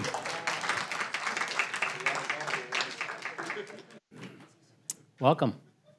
Hi there. Um, my name's Kim Lay, and I've been a Corona resident for since 2009. And I just wanted to um, basically echo everything that's been said at the meeting tonight. Um, I first off wanted to thank Karen Roper for all the countless hundreds and thousands of hours that she has put into this homeless strategic plan. Um, I remember going to meetings. Um, I'm a member of the Church of Jesus Christ of Latter day Saints, and I attend a lot of uh, city and meetings and clergy meetings. And I remember attending one where there was a lot of contention in the room, a lot of differences of opinions on how to handle the homeless, and it was a very uncomfortable meeting. And so it's it's wonderful to be here to see all of the support and the um, positivity that I see now that we have a solution and we have a plan in place to help with this this issue that we have in Corona. And I also wanted to thank the city council members and our mayor and everybody um, for for doing the work and being willing to listen and being wi- willing to move forward in a plan to help our homeless friends. And um, I just wanted to share uh, just a few personal experiences through working with my church. We've, you know, we've got it's a very comprehensive plan, the home, homeless strategic plan, and but yeah, it's pretty. A lot of it is already working through the partners that the city has partnered with, with, um, and with our church. We have in the youth from our church and members, we have partnered with uh, CityNet to help make homeless kits for the homeless. Um, we've partnered with Make It Cozy to help them with the furniture and move them move move the furniture from houses to the warehouse to the new to the homes where the home uh, where our friends our homeless friends are are being rehoused to, and um, Angels Over Cliffs. We've been able to partner with them as well in our youth, so we're um, it's very a very exciting thing to see, and. Um, I just wanted to say that, you know, because it is a very comprehensive plan, you know, there's a lot of pieces, but we look forward to working with the city and with these um, partners as um, personally and through our church uh, to uh, be able to help the this plan um, succeed and to help you achieve your, your goals. So thank you. Thank you. Welcome. Good evening. I wasn't trying to be last. I was uh, trying to make sure everybody's name got recorded. Um, look, this is an example of why, I'm excited about local government. I'm excited about local politics. The the possibilities are not endless, but they're substantial, and and it's an this is an antidote for the cynicism that people have about government. I mean, the, it- to watch Ms. Roper work and the way she's worked, you know, the way that uh, Virginia and Mark and Paul Bender talked about, she she builds bridges between people and and here's what they what do you have to contribute? If you want to help, here you go. Here here's a here's a phone number. Here's a way to do it, and it can be small things, it can be big things, but she's gonna you know she's gonna bring you into the system. She'll open the door, and this is an evident this is an example of what happens when you open the doors. When you open the doors and you bring people in. Um, look, this is a policy. This is a they're, they're exciting opportunities here because I'm telling you, this issue is at the top of everybody's list, whether they love homeless people or whether they hate homeless people. You can bring everybody together to the same table. I've watched Karen make people who are really, really upset about what's going on go, oh, I think we got something here. Like she, I've seen her make a believer out of a non believer. And that's substantial. I mean, things have moved here. Um, and they moved here largely because of this guy with the with the white hair over here, grayish white hair. There's only one of you up there, and eh, you did this. You know, you you uh, Yolanda uh, and Jason. You know, when he named the committee right off the bat, you know, you knew something changed right there. Yeah, I, he was he probably fell over when I went and hugged him at that pancake breakfast and thanked him for doing it. You know, it, this is that was a sea change. That was a big moment that something shifted here, and we said we're going to do something here. And you, brought you brought Miss Roper here, and then she's been the Energizer Bunny. You know, it, she, I, I can't. I'm, I don't want to just keep on going on about that, but um, it's been a team of many different people from many different walks of life, many different interests, um, and so I want to applaud everything that's going on here. I know this is going to work because we're doing it the right way, and we're we're bringing everybody in on it. Thank you very much. Thank you. Okay, uh, Ms. Edwards, any, any other speaker cards? Mayor, I do not have any more speaker cards. Okay, so I'm going to go to um, comments from my colleagues. However, I- I'd I'd like to go to to Councilmember Steiner first. Um, Thank you, Mayor. You're very welcome. I'm the guy with the white hair. Huh? That's what I hear. Well, listen, you're just bragging because you got hair, Yeah, but that's true. Well, listen, you Bragger. guys. Um, I want to first thank all the speakers who came out tonight. Um, and for many of the very heartfelt and personal stories that you told. Uh, that, that must have been hard for a few of you. Uh, so thank you. Tonight is a historic moment for the city of Corona. I'm going to walk you down memory lane a little bit. Uh, when I made the decision to run for council five years ago, I, I pledged to the citizens that I was going to try, I was going to try to do my best and make it a priority to work on real solutions to address homelessness in Corona. Since that time, I've personally been on just a journey of learning that includes meetings with our homeless advocates, uh, attending seminars, speaking with experts, and touring homeless shelters and transitional housing units and personal supportive housing units from Coachella Valley to Orange County. Former council member Yolanda Carrillo, a couple people mentioned it, we were partners on the Homeless Solutions Ad Hoc Committee. And we did everything together for, for two years. And we soon realized that we just didn't have the expertise or the time that was necessary to develop real solutions to our, our homeless problem. We also didn't have anybody on city staff that had the expertise to lead that effort. We needed a full time expert, and along came my dear friend, Karen Roper. Karen had served as the homeless and housing czar in Orange County for 35 years, and she had just recently retired. So one day, I think I was, I think I was in tears, and I was chatting with her, and I told her, you know, we're really struggling to get something off the ground here in Corona. And she says, well, I can help you. And I'm like, really? so, yeah. So of course, we took her up on her offer. Uh, she actually helped in a volunteer capacity for about six months. Um, and then we were able to, to rope her into a rope, get it? Rope her in? Uh, to a full-time a full-time gig. And really that's when everything changed. There, everybody's mentioned it tonight. You're 100% right. Karen made this happen. In 2020 we spent six months engaging the community to develop a homeless strategic plan. And in june of that year we adopted the plan from June of 2020 to now, uh, we have been implementing our homeless plan and building pieces of our system of services that do include the 25 room motel emergency shelter program, expansion of CityNet from two to four outreach manager or outreach and case managers, expansion of our of our Hope team from two to four, uh, uh, the addition of a Hope uh, Police Department Hope team sergeant. We invested $3 million in capital funding to renovate our Harrison emergency shelter. So the, the Mercy House contract really fulfills many goals and objectives in our homeless plan because it will literally bring a complete system, including an emergency shelter, two types of housing programs, homeless prevention, recuperative care. Uh, plus, we're, we're piloting a program to move meal serving out of the parks. So I support staff's recommendation to extend the Path of Life contract to ensure that we have shelter beds while Mercy House works to hire staff and furnish the shelter and the housing units. It's really important to have a smooth transition. I support the allocation of additional Measure X funds. Uh, the system is critical to the, to the success of our homeless plan. It's uh, important to reiterate that our general funds, Measure X funds, are being leveraged with federal home and state PLHA funds.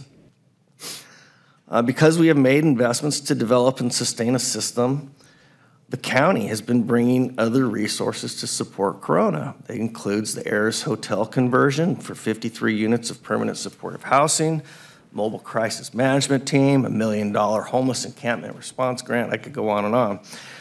Mercy House and uh, Larry Haynes, the CEO, I saw him back there. Um, it's a triple A plus organization, and I've personally toured their facilities there absolutely is a reason that they work in over 67 cities. They have the experience to operate a system of service like ours. Uh, lots of people to thank, but I, am going to thank the homeless advocates really, because that's that's who I met with early on, and that's who educated me and helped me understand a lot more than than what I knew at the time. Um, I also want to thank um, past members Yolanda Carrillo and Jason Scott. Um, yeah. Um, you know, and my council colleagues, just for having the, the political courage to do what needs to be done. Of course, I want to thank Karen Roper for working so hard and just bringing it all together. She did it. And I, I too think it's um, very, very important to acknowledge our city manager, Jacob Ellis. You know, Jacob, Jacob provided the leadership and the strategic support that Karen Roper needed from multiple city departments just to make this system of services, you know, this effort a reality. And I support the recommended actions and look forward to having the honor of moving this item forward when it comes up. Thank you, sir. Absolutely. Councilmember Casillas. So well said, Jim. You're you're incredible. Wisdom with gray hair. There it is. Wisdom comes with gray hair. Okay, got it. Skip right over to no hair. So. or no hair. you know, it's interesting. Um, I've I've been taking notes, jotting notes, changing my notes, um, and I uh, I just I I want to take a point of privilege and and echo what so many of you have said tonight that um, there's a lot of kudos to be given and you know as a, a, a a former student of public policy, there's it's interesting because when you're studying public policy, there's a, a concept that's uh, that's that's uh, talked about frequently, which is like a, an opportunity window, a policy window to get something done. And you need things to line up. You know, you need you need the actual policy, like to do something right, to know how to do it. Uh, it needs to be the right time. You need to have a community that's engaged. You need to have, you know, um, will to get this done. And then you need people, people who know how to do it, and people in decision making, you know, positions to actually say yes. And so it doesn't happen often. Um, and when it does happen, you get this kind of you know, cataclysmic, like amazing. Um, you know meeting of all these things and and and you see it here. This is a case study in that uh, what it takes to get good policy done.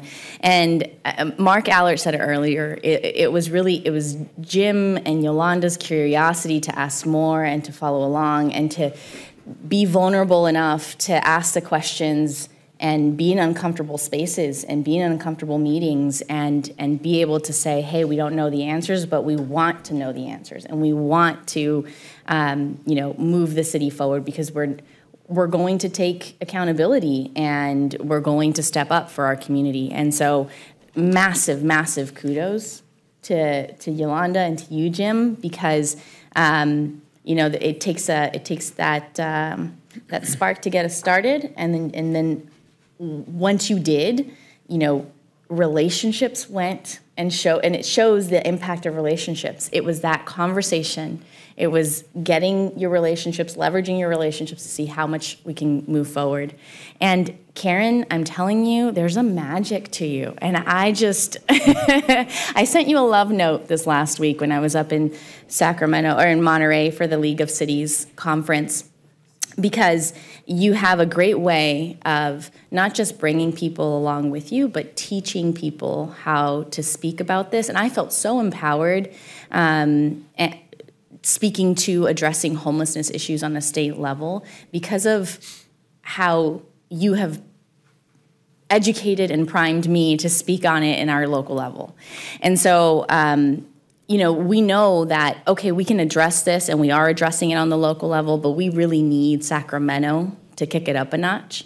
And I'm so, so proud of the fact that, and I'll be providing my report later, but one of the top um, issues uh, for this next year's uh, League of Cities policy advocacy um, plan is homelessness and homelessness alone. And that's because of you, Karen, because I was able to speak on it and, and, and debate on it um, using you know persuasive arguments um, and examples from your work here locally. So thank you for that.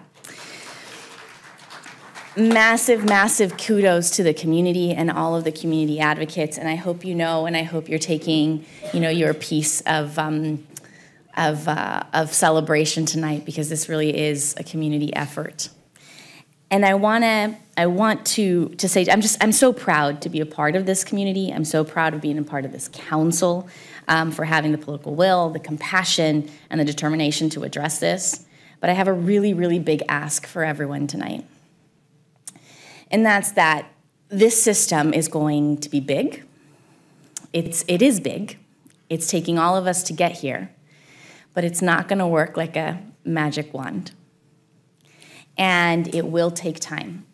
And we will undoubtedly still face a bumpy road ahead. And we will face likely tough conversations in the future where we will be asked about the cost of this system and the success of this system. So, my big ask for everyone in this room, for everyone on this council, is that when the going gets tough, we don't give up. So, so having um, having that expectation, that will, that compassion to move forward, to recognize that this isn't tonight isn't when we solve homelessness, right? Tonight is when we build a, um, and invest in this system to address, you know, these um, big issues for our unhoused community. So that's my big ask. I am so on board with this, um, and I know that we're up for the task. So thank you. Thank you. Councilmember Richins. Thank you, Mayor. Um, there was a candidates forum a few months back, and uh, Councilmember Steiner promised to cure uh, menopause. and I uh, beginning to think that dude can do it. so, I'll have to ask Karen Roper for help. um, there, there are moments where there's magic in this room, and tonight was one of those moments, and it was a long moment. And it's a moment where hard work is paying off. It's a moment where the road will still be bumpy, but better. And it's a moment where our city can celebrate and move forward. Um, as for K1, Karen, your city council cherishes you. And, and your city council cherishes all your friends that are here standing behind you tonight, and they've let it be known. I, uh, it's no secret that, that my mother thinks Jim's her favorite city council member. and uh, you can see why. And I too would like to, to mimic what others have said about our city manager, Jacob Ellis. He, uh, that dude's amazing. Even even when I'm mad at him, he's still amazing, and uh, he's great and he's wonderful. And uh, I don't want to drag on with my comments. I do want to say I've never met someone with blue hair that I didn't like, and uh, all of you guys are magical, and I thank you. And uh, Jim, I hope you'll be the one that pushes the button for this one tonight. Thank you. Vice Mayor? so uh, my default in heavy situations is humor. So here we go. Uh, first, uh, to our city manager, um, something is in the air here. It keeps getting in all of our eyes. So if we could take a look at that. It's causing my eyes to water. That's, that's not good. Um, uh, I want to mention that uh, in the beginning parts of uh, Ms. Roper's speech, she highlighted her um, her gratitude to Dr. Turner and Ms. Gonzalez for um, looking at this plan as a way to help elevate the, all of the other plans. Um, I would be remiss if I didn't remind folks that in Dr. Turner's previous life, she also, uh, you know, dealt with homeless in other cities, and not only is she the queen of parks here, but she's a pretty well-rounded individual. Um, that that leads me to uh, our city manager, who um, hired her. So you know, no offense, you're not the smartest guy in the world, but you're smart enough to understand that you got to hire people that are smarter than you. So congratulations. Um, also, I want to say thank you to uh, Jim and, and uh, Yolanda Carrillo, or I'm sorry, Yolanda uh, and Jason Scott. There's a great Walt Whitman, Walt Whitman quote that I had to look up. It says, "Be curious, not judgmental." And if there's any um, uh, any people out here that um, are a fan of Walt Whitman, I think that quote sums him up pretty good. You have to be curious and not judgmental to really look into something like this. Um, and really, you know, when you when you look at your own network of people, you know, I, I joked with Jim that um, that he was you know, having a beer with, with with Miss Roper's husband and said, "Hey, you know, she's available. Let's uh, let's get her to help us out." But the reality is, is that that's a relationship that's almost decades long, and and um, how serendipitous it, is of him to put those two together at that time. We're really the beneficiaries of that. Um, I want to I wanted to ask the city clerk. Uh, I, I I think this this must be some sort of record of speakers on one topic, and certainly speakers on one topic that weren't yelling at us. So that's great. I really appreciate that. Um, and and then to Ms. Roper, um, I, I don't really see what the big deal is here. I mean, we just asked you to create a, a holistic, comprehensive plan to really combat homelessness, include wraparound services, permanent supportive housing, medical clinics, build a clinic, uh, form partnerships, rehab an old shelter, don't piss off Virginia Caridian. If you do, make that right. Um, go out and find a bunch of money that we could spend other people's money in order to support this, single handedly change the outlook of the Karen meme. I mean, really, it seems like just a, an average day's work for most people. So I commend you for, for your approach and for dragging us along. I mean, we weren't going kicking and screaming, but we, we certainly had no idea the, the magnitude that this is going to provide for our community. And you know, my hat's off to you. Really and truly, you're the one that needs to stand up so we can applaud you. This is just, an, which is, yeah, come on.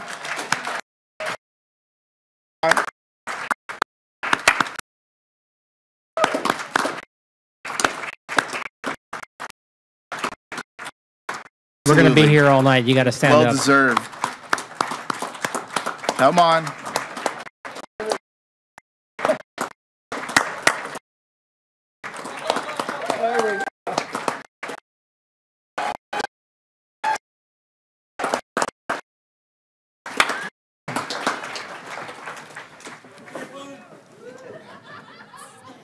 One of the most interesting things about Miss Roper, she definitely is the Energizer Bunny. I've received calls from her at 10 o'clock at night, which is two hours past my bedtime, and I've also received calls from her at 6 o'clock in the morning, and she's already ready to go. She's got 100 miles an hour. Um, there's many highlights, but there was a quote from, from our new friend with the blue hair, and I'm sorry, I, I missed your name. Um, but really, no longer a hopeless dope fiend, now a dopeless hope fiend. That, I, I actually wrote that down so I didn't mess that up. That was great. Um, I couldn't support this more. If there's a way that I could vote twice, I would. Um, I'm very excited for 2023 when, when everything comes together. I don't know who's going to be in charge up here at that time, but um, it's going to be great. so thank you very much. And I also am in support of it when we get to vote. One of these days. One of these days. All right. Um, one of the one of the benefits and the curses of, of being the, the mayor is is that you get to go last. But I'm I'm very very pleased to to listen to all my colleagues and listen to all of you talk so eloquently about how we got here, and it's been an amazing journey, really has. Um, you know, and I, I go back and I, I think back to 2018 uh, Karen Alexander called me when I was running for, for council, and she said, Hey, Jim and I are going to go tour some homeless shelters in, uh, in Orange County. You know, uh, be, you know, you can you know, meet us down here and we're going to go on a bus. And I said, You're going to do what? And uh, I didn't know much about it. I, I had, you know, listened and kind of read and watched a little bit, but didn't know a lot. And, and I want to thank Karen for that invitation. And and uh, got to tour probably about five different homeless shelters from all these different uh, models, different stages, and it really opened my eyes. And I want to say thanks to Jim for for allowing me to, to accompany accompany you on that trip, and I learned you know quite a bit, um, and that kind of launched my journey to learn more. Um, going out in the park and, and meeting folks, and and I've gotten you know this. Um, my my my wife tells me all the time, if I see a homeless person, I walk up and I know isn't that funny? I got to say, wife. Um, it's almost natural too. It's great. Um, uh, that I, I, constantly will walk up to if I see a homeless person, I, I want to walk up and say, "Hi, my name is Wes, and what's your name?" And I learned that from Virginia. um, and trying to connect them. And it's funny because they know who Karen is. They know the Hope Team officers' names. They know the CityNet people's officers' name, and they they almost repeat to me what I'm going to tell them, um, which is that you know there's a possibility, there's hope, there's all you have to do is say yes, and they go yeah yeah yeah I know I've already talked to to Angela, and I've already talked to Karen, and I've already talked you know I'm I'm I'm good I'm good I'm good. Um, but I, I kind of saw this all work you know full circle. I was up. Um, uh, Mary and I were having an ice cream up on Main and Foothill, and there was a, a young lady that had, had, was sleeping on the on the sidewalk, and um, somebody had called the Hope Team. Hope Team came out and talked to her, and uh, you know she had to move, and she was in front of a business, and they got her to move. She moved down the street a little bit. Uh, saw her the next day. Uh, was over getting gas, and uh, she was behind a building Hope Team officer was there with one of our um, folks from Riverside Community, or from, sorry, from the county, helping her, and she actually got in the vehicle and accepted help. So it was cool to kind of see it ha actually happen because there was a willingness for, for people to, um, to, to call, to uh, not not to harass her, not to not to you know bug her, but to engage with the people that could actually get her off the street. So I see that as really this kind of like short version of seeing how we've done this because you've all been here. You know, I met most of you um, in different, you know, different parts of my life, and and seeing you all come together, and really, it's because of Karen. She's the connector, and it's really cool to see it all happen tonight. And, and you're right, seeing it know, gosh darn it, the dust is up here again. Um, seeing uh, seeing it all come together tonight and, and being historic is, is really a, a real thing. But I want to say thank you um, to our, our residents, our businesses for being patient. Because I get calls, you all get calls every day complaining about you know um, this or that and, in relation to the homeless, and, and we we funnel them right to Karen. Karen, you know, takes them from being someone that's angry and upset to being a, an advocate uh, to help, um, to understand. Um, taking those people that want to help, that don't know how, and funneling them to the right people so they can help.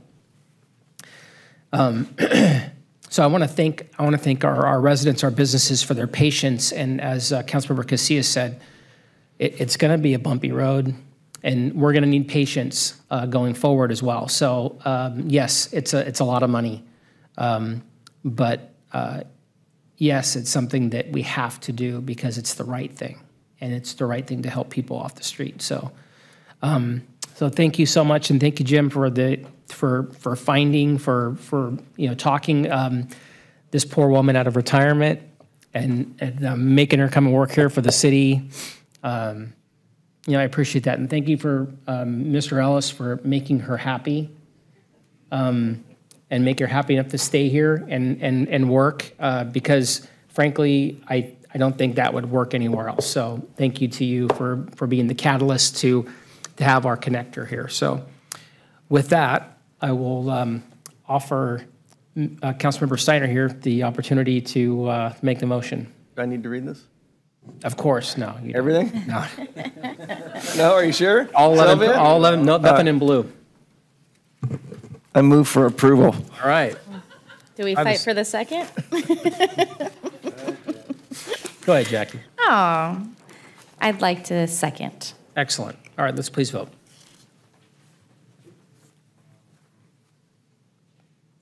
It's a tough one, Tom.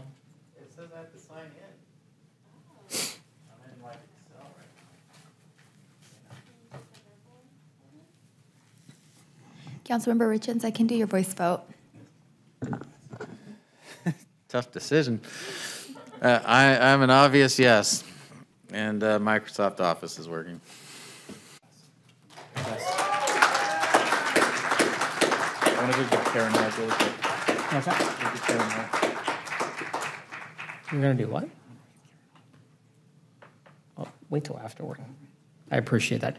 Um, Ms. Roper, um, the vice mayor would like to reserve a hug for later, just so we can continue our meetings if that's okay? Okay, great. All right, So we're going to go on to item number 31, which is receive and file auditor's report related to the uh, uh, fiscal year 2022 annual uh, financial audit, auditor's communication, uh, annual comprehensive financial report, development impact fee report, and our annual report on voter-approved debt for the fiscal year ending June June 30th, 2022. Uh, Kim Sitton, our finance director, will present the item. Good evening, Mayor and Council. Um, I have to say that's a tough item to follow, but um, so The dirt's still in my eye, so Yeah. you're okay. Try to make us cry. Don't listen to him. Well, I'm just going to give a really quick introduction and tell you that um, the, the items that you just listed are what's on the agenda item tonight for fiscal year 22. And I'm actually going to turn it over to um, Frances Coe, a partner with our auditing firm, the Pun Group. And she's going to give a presentation and talk about the items that are um, presented tonight for council for their uh, receive and file. Great, thank you. Welcome.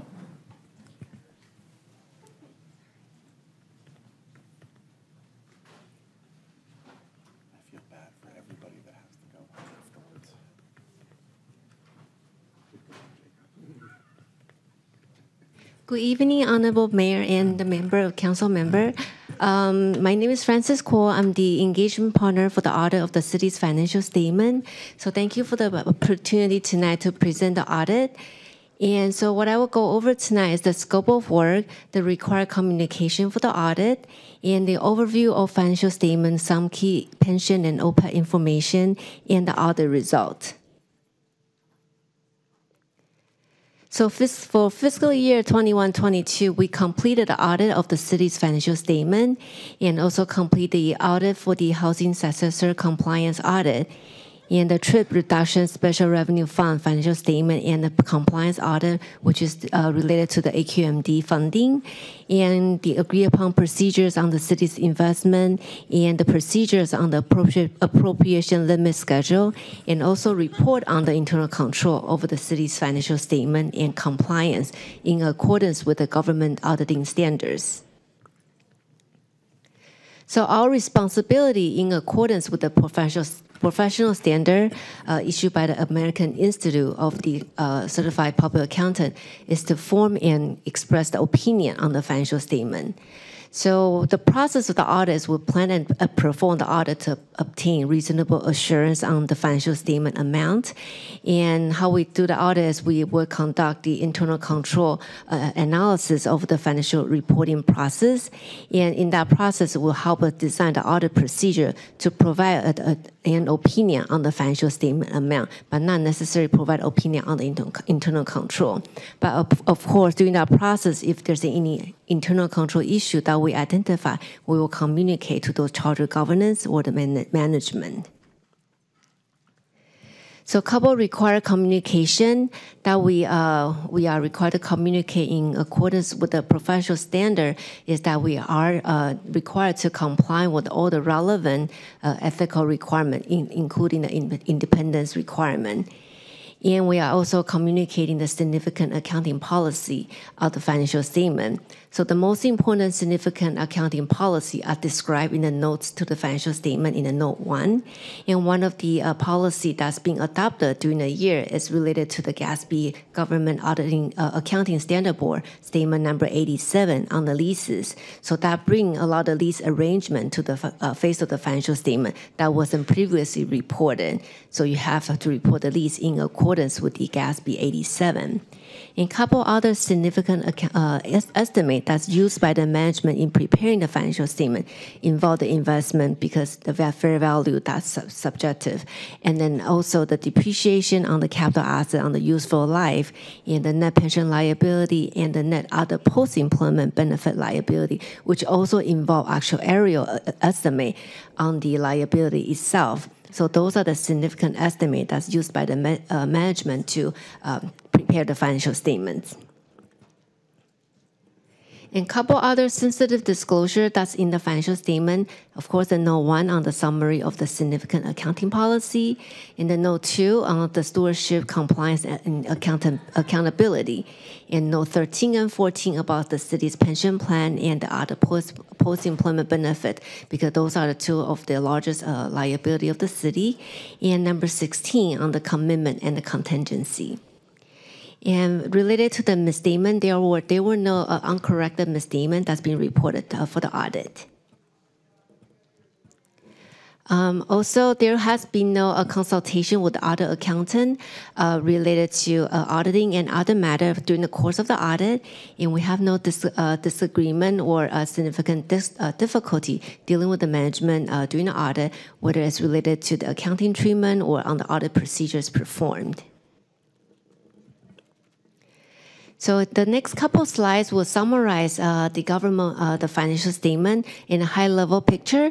So you can you can see the governmental activities and the business activity combined has a net position for the city of 1.2 uh, billion dollars, and of which uh, you have 1.1 uh, billion dollars that's invested in the capital asset, net with the uh, the related debt to put the capital asset together and then you have $150 million of restricted resources uh, in the net position that's restricted through external uh, restriction, whether it's grant requirement or uh, enabling legislation. And end of the year, the governmental activity had $53 million of the unrestricted net position, and the business activity has 66 million of deficit, uh, unrestricted deficit. And this slide is going over the uh, the statement of activity of the uh, government, uh, the city. Uh, so the governmental activity for the and the business activity. So the net cost of service, which is the expenses that to carry out the city's program, whether for the governmental activity or the business activities. So the net cost of service is the expenses uh, and then covered by the uh, program revenue, what is charged for services that you're charging the, the residents or the ratepayers, and then also the grant revenue specifically to provide those services and then the program. So the net cost of service is 87 million, uh, 86, 87 million for the governmental activity and about 10 million dollars for the business activity. And the general revenue is used to provide uh, the to provide the um, the resources to cover the cost of service. So the governmental activity and the business activity combined has 160 million of general uh, revenue, which include um, unrestricted tax revenue and then also the investment earning. Uh, that's the general revenue. And so the net change in the position for the year is $83 million of increase in the net position. So if you look at the tax revenue, compare the tax revenue to the uh, to the um, cost of service, it's at 55% of the cost uh, service is provided by uh, uh, tax revenue. Now moving on to the general fund. So the general fund um, has uh, 20, um, $25 million of increase in fund balance. So the city ended the year with a 321 um, millions of uh, general fund fund balance, and 187 is non-spendable, um, and then 30 million is the restricted fund balance, which is related to the uh, contribution that's made into the uh, separate pension uh, trust to help provide the future retirement of the city employees. And then $48 million of committed fund balance for contingency and emergency reserve, and the $55 million of assigned. And that leaves the city with uh, 222,000 of uh, unassigned fund balance. So in comparison with the prior uh, prior fiscal year, that's a 25, 26 million dollar increase in the general fund fund balance. So here's a comparison of the uh, statement revenue expenditure in change in fund balance compared to two years. So you could see that the $25 million of increase coming from the $191 million of the revenue, uh, net worth expenditure of $390 million expenditure. And the reason for that big increase of the expenditure is related to the uh, unfunded liability contribution toward the CalPERS uh, contribution. And of course, there's uh, other financing sources with the pension issuance of pension obligation bond to help pay for uh, the unfunded liability with CalPERS.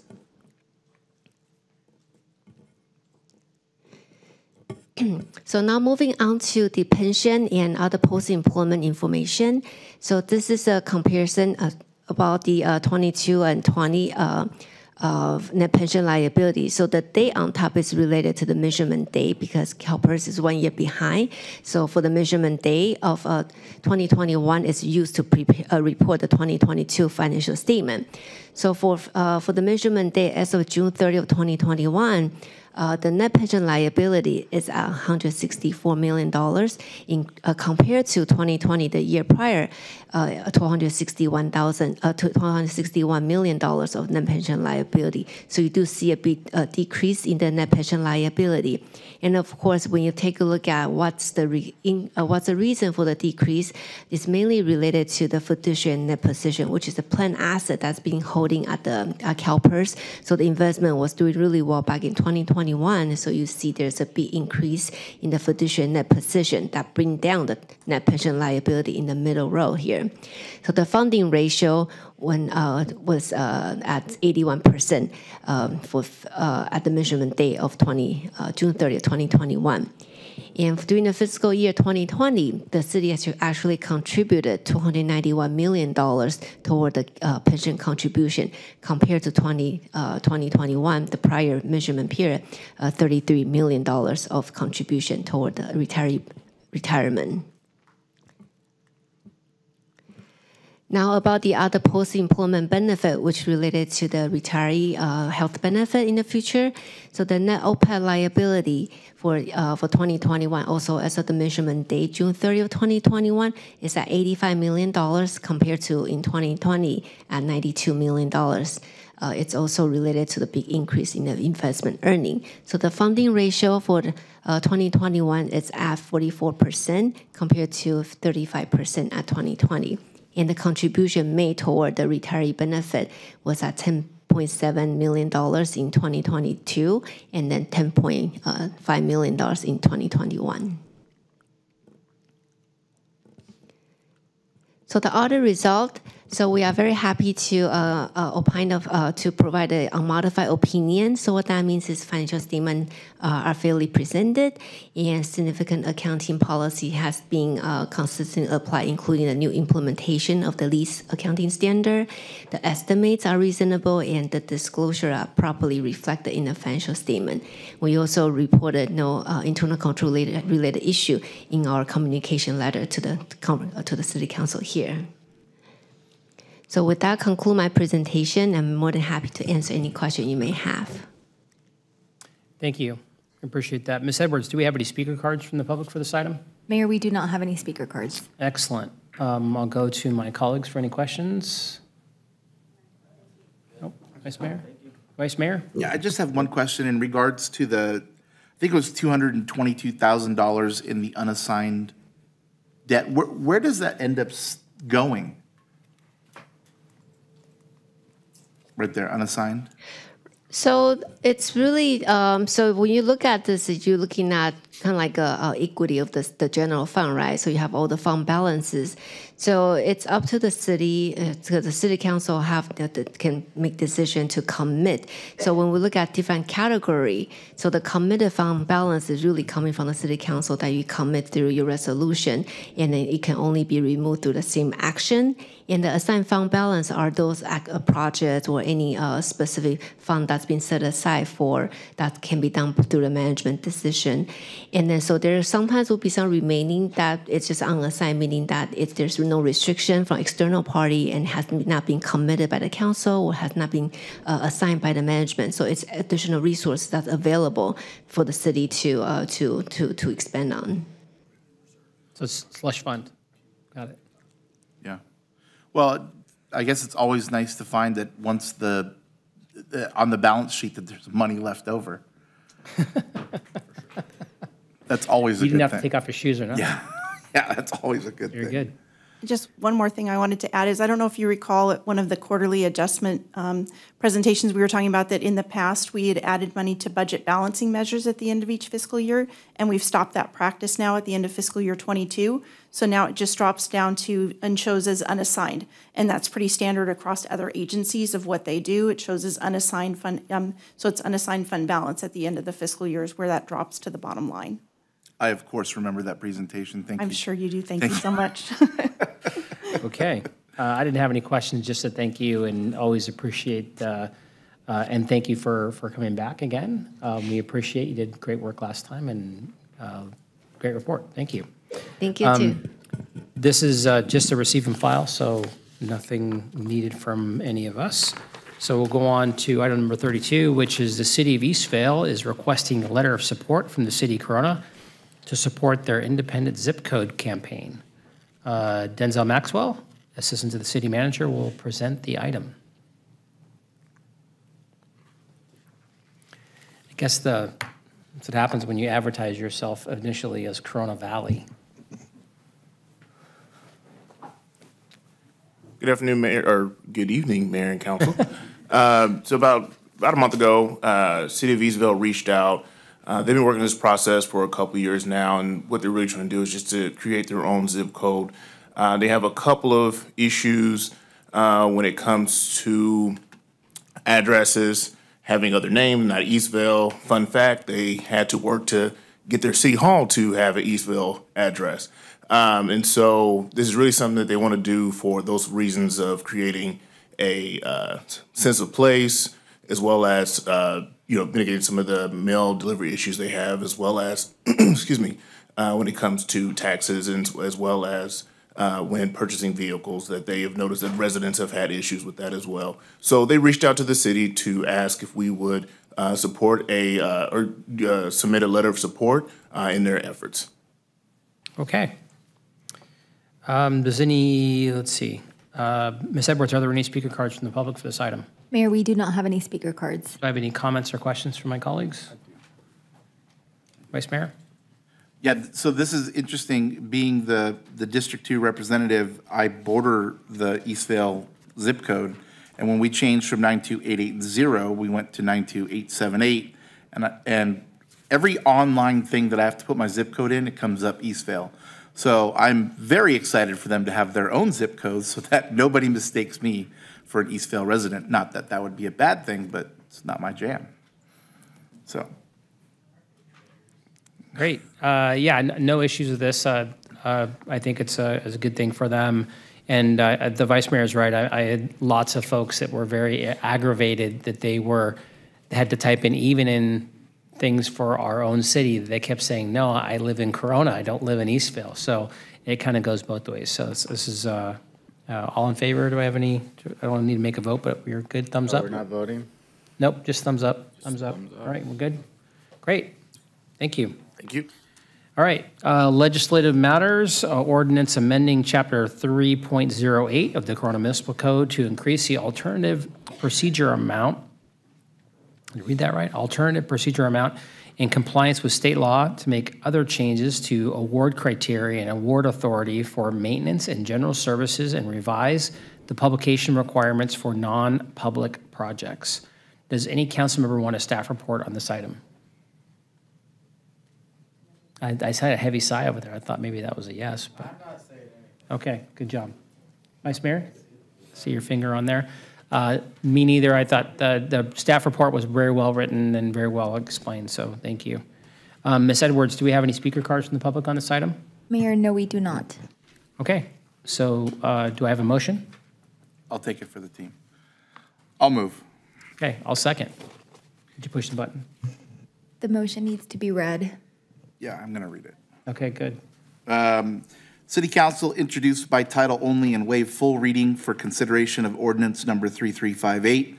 First reading of an ordinance amending Chapter 3.08 of the Corona Municipal Code to increase the alternate, alternative procedure amount in compliance with state law, make certain other changes to award criteria and award authority for maintenance and general services and materials, supplies and equipment, and revise the publication requirements for non-public projects. Okay, all right. So uh, you made the motion. Yep. Push button. Sorry. There you go. I'll second. Please vote.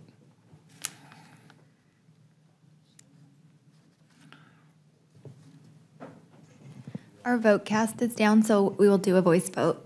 Um, Councilmember Casillas? Aye. Councilmember Richins? Aye. Councilmember Steiner?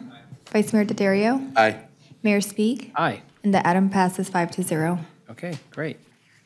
We're on to item number 34, which is ordinance setting commercial cannabis business tax rates pursuant to Measure G adopted by the voters. Um, Does any council member want a staff report on this item? Nope, me either. Um, Ms. Edwards, are there any speaker cards from the public? Mayor, we do not have any speaker cards. I know the city attorney really looked like he wanted to talk. so- No, I just want to note for the record how short I kept this ordinance title for you. And you just made it longer, but I'll make a motion then. Okay, so no questions or comments. Okay, excellent. Do you have a motion? I'll push the button and make a motion. Okay, do you have a second? second? Damn button doesn't work. Please vote. The the As short motion as, needs to as be short read. as it is, you have to read the title. I'm excited to read this motion.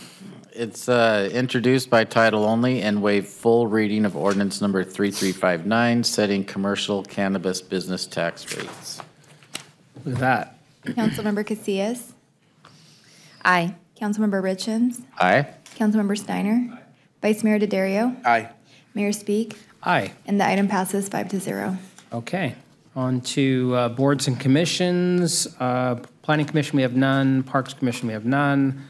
Uh, Regional meeting report from Councilmember Jim Steiner on the RTA board meeting of November 17th. Yeah, right. Okay, so um, RTA implemented a $5 monthly pass promotion uh, that started December 1st, and it goes through January 31st of next year. Um, Eight new nonprofits were added to the agency's waitlist for retired vehicle donations.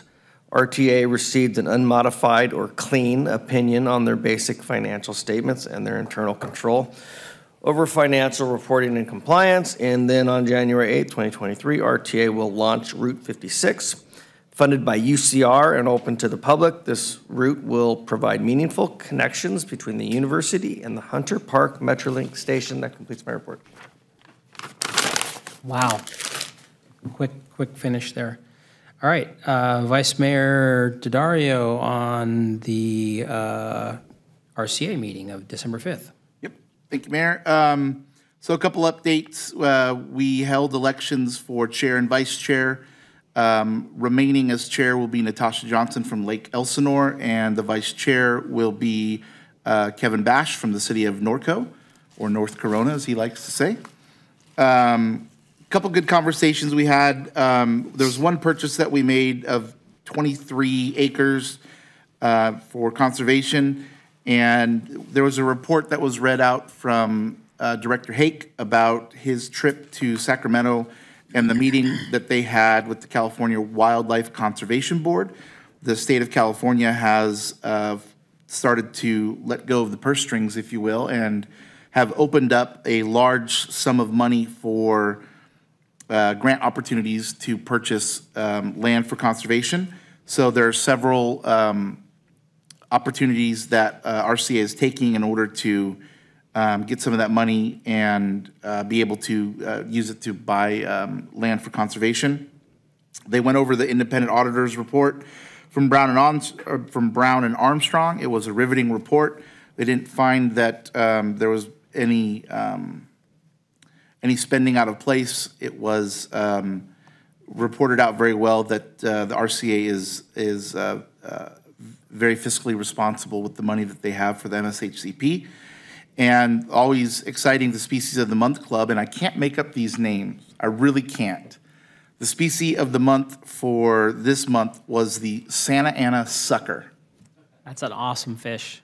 Which uh, Wes and like three other people know exactly what that is. It's a fish that lives in, in our waterways and tributaries. Um, I, I, I don't even want to repeat it because of, of the way that they presented it, but the fish itself lives for lives lives to be about four inches long, and uh, lays four to sixteen thousand eggs, and lives in shallow water. Um, and again, it's the Santa Ana sucker. Has cute little puppy lips. Look just like a puppy. I, now, now, yeah, yeah, uh, that concludes my report of the RCA. Yeah. Okay. All right. You, Um, Update from the Vice Mayor is going to continue here on the Western Riverside County Regional Wastewater Authority Board of Directors meeting of December 1st. So thank you for covering that for me. Yep, uh, went ahead and covered that one because the mayor here decided to get married and go on his honeymoon. So that was a, it was another um, interesting meeting. Uh, The Western Riverside County Regional Wastewater Authority, or is it WICRA, Mr. Moody? WICRA? Um, My wife and I had a whole conversation about government and their acronyms. Um, the most of the majority of, of the of the agenda was a receive and file, but there's a couple things that I did pull out. Um, they did their capital facilities plan. Um, there was a company, uh, where is it? Um, Aqua Web that did the uh, the draft for the capital facilities plan. It's a five-year plan where they've decided to to lay out the capital improvements of the River Road facility. It's outlined by priority and it's very detailed. Um, we had some conversation about the ability of Western Municipal Water District to complete this project in-house. And it seems like um, the WRCRWA is going to be proposing to get some outside help in order to, to, um, to complete this plan. It's, um, it's a very detailed plan. They went through that facility top to bottom and really called out all the things that really um, needed to be repaired. And again, they're doing it by priority. Um, For those of us that were interested to know, the, the Western Riverside County Regional Wastewater Authority is made up of the City of Corona, the City of Norco, Home Garden Sanitary District, Jurupa Community Services District, and the Western Municipal Water District. And the largest amount of time that we spent, um, one of the members brought up the fact that the board members on WRCRWA are unpaid board members. And there was some conversation about whether or not the, the board members, in order to attract people that want to actually serve on this board and go through the 900 pages of staff report, thank you, Wes, because apparently I'm the only other sucker that will read it except for you. Um, Man. yeah. Which included three or four calls to Mr. Moody to try to understand what it was all about.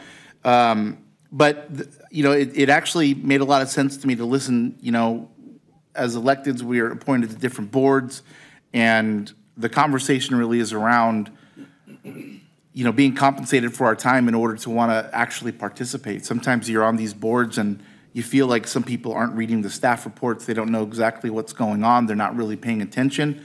And in order to attract folks on a small group like this, it seems as if um, compensating them for their time, although it's a very small amount, really makes up, um, or really makes some sense. So uh, next month, you'll have some decisions to make. Good luck. And that concludes my report. All right, great. Thank you very much. Okay, Mr. Derleth, do you have any comments tonight? Mr. Ellis, any comments tonight? Mayor, I'll be quick. Um, It's our last meeting, regular council meeting of the year. Um, So I just wanted to quickly make a comment or two. First of all, great, great meeting today. Um, It has been a busy year.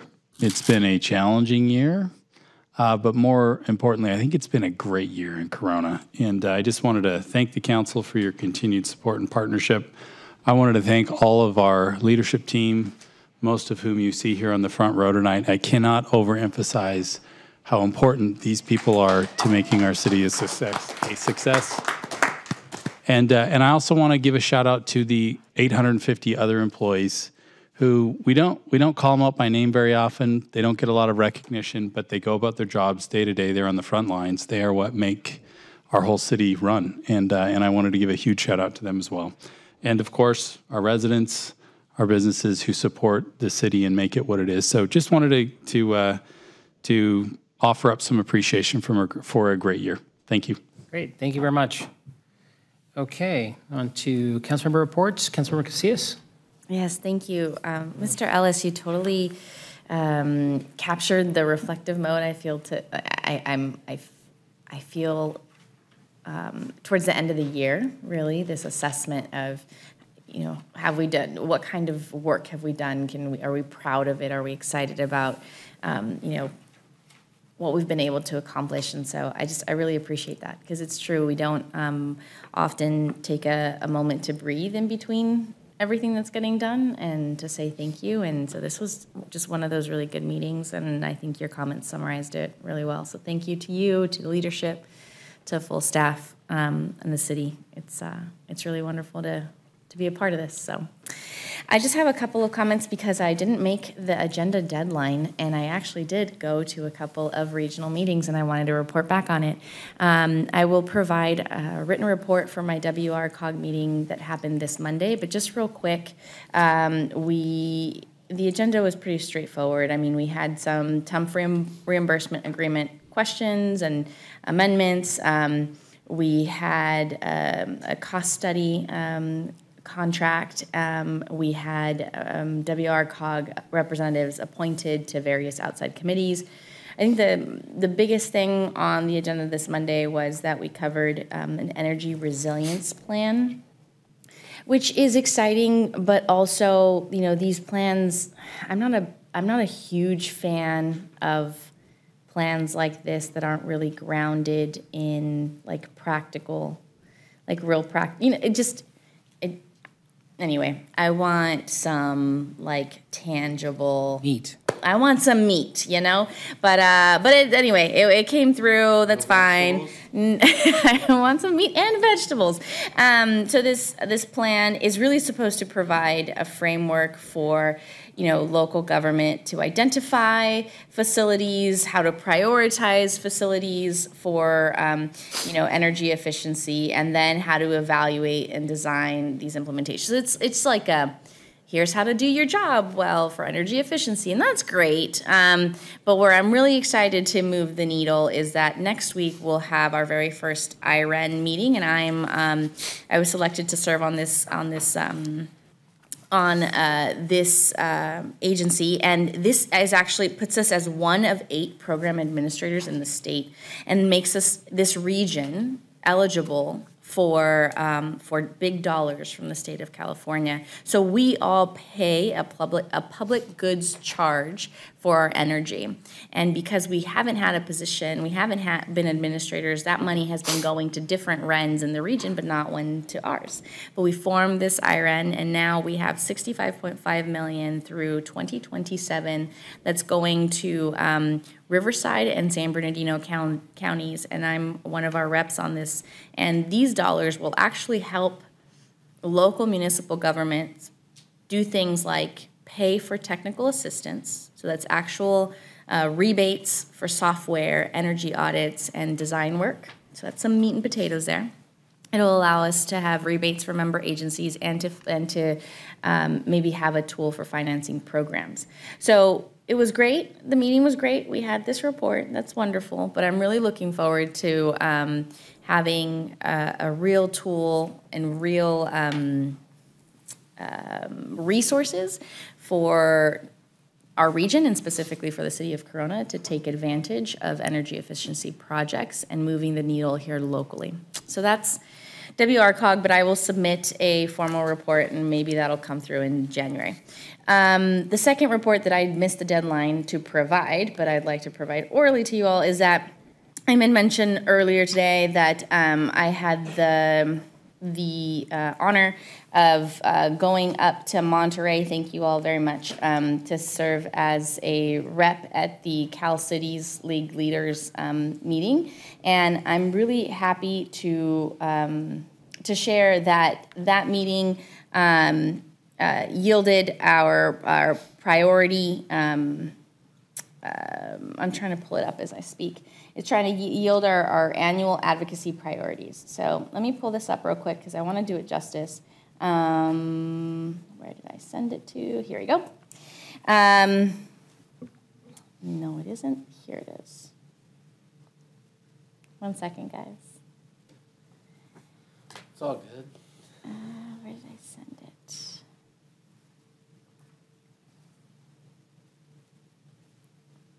I don't see it here.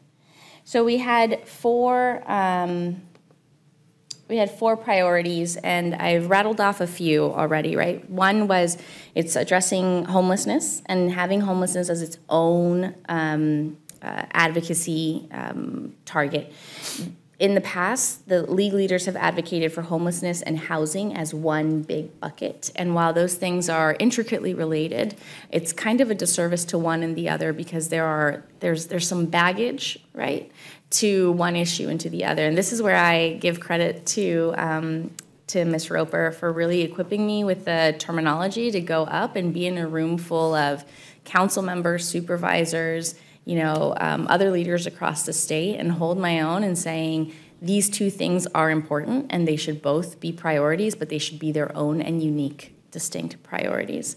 And we were successful. So housing is one of the top four, addressing housing. Homelessness is one of the top four. Um, creating a sustainable fiscal government is one of the top four. And lastly, public safety.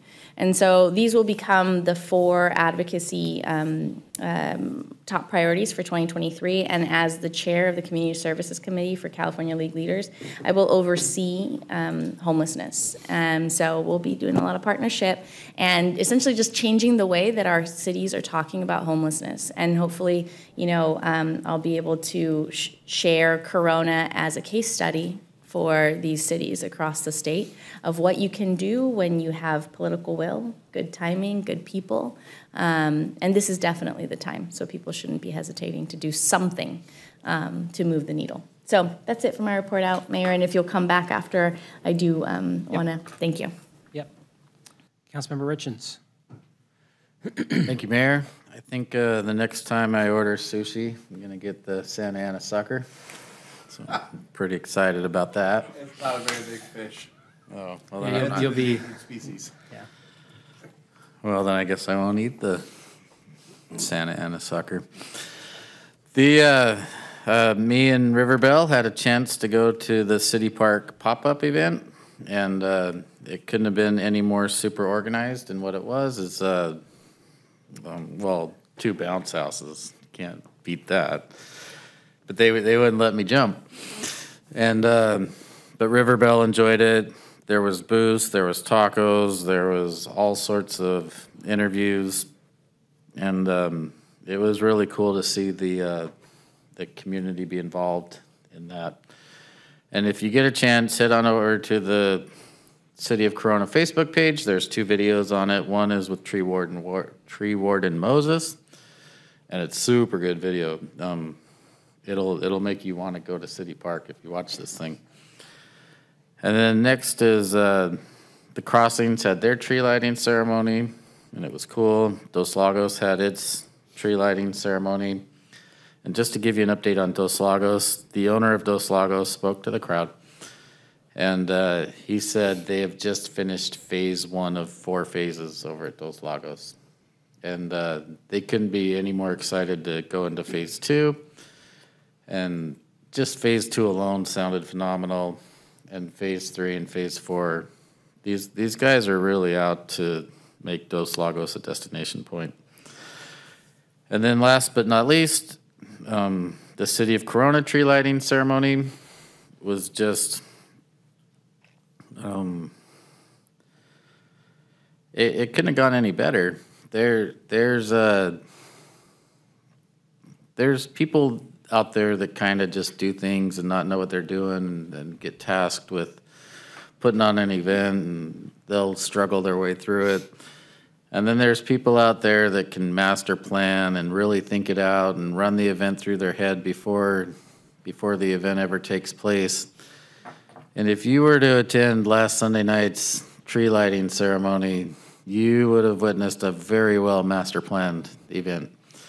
The spacing was great. The snowball area, um, they moved it to where it was more open. They made it to where people could sled and play. They, uh, every little point of it was just perfectly thought out. There was a climbing tower, there were slides, there was a balancing beam, which I did make across. There was uh, um, there was booths and there was stuff inside and outside and and most and Santa Claus, but most importantly is you saw everybody there was just happy. There there was nobody sad. They were just happy. And then uh, this evening I had a chance to talk to Dr. Turner, and um, I, I, I I just wonder where she comes up with ideas because she was telling me about the Christmas tree and they're going to plant one here and plant this year. It's going to go somewhere I don't know where, but so and they wouldn't tell me if they did. She, she's learned a lesson. She's not going to Yeah. tell you anything anymore. But it's gonna go somewhere, and then she's all like, "Hey, listen up, Richins. There, we're gonna get like ten of these in the ground, and then we're gonna put plaques, and then we're gonna light them all up, and fly drones, and and it's just, it's just a myriad of details, and, and really, it's how cool can you make your city? That's that was it. It was how cool can you make your city, and our city is cool. So that, sorry to take so long, but that's my report, and I will adjourn. Thank you, Mayor. Thank you. Councilmember Steiner? Yeah, I just want to reiterate, the tree lighting was amazing. And there was probably a dozen kids out there today when I drove by still sledding on the snow. But um, nothing but great, great comments from the public and just wonderful. Wish everybody happy holidays. Um, And this is, this is Mayor Speake's last council meeting as mayor. So I just wanted to thank you. Uh, I don't think I've met anybody quite as passionate as you. Um, You were saying that that way, not the other way you knew you were gonna say reports, um, Or sends as many emails. I think uh, Jacob's probably stoked that you're no longer going to be mayor. Um, But you did a great job, and thank you for leading us this year. Thank you. I appreciate that. Vice Mayor?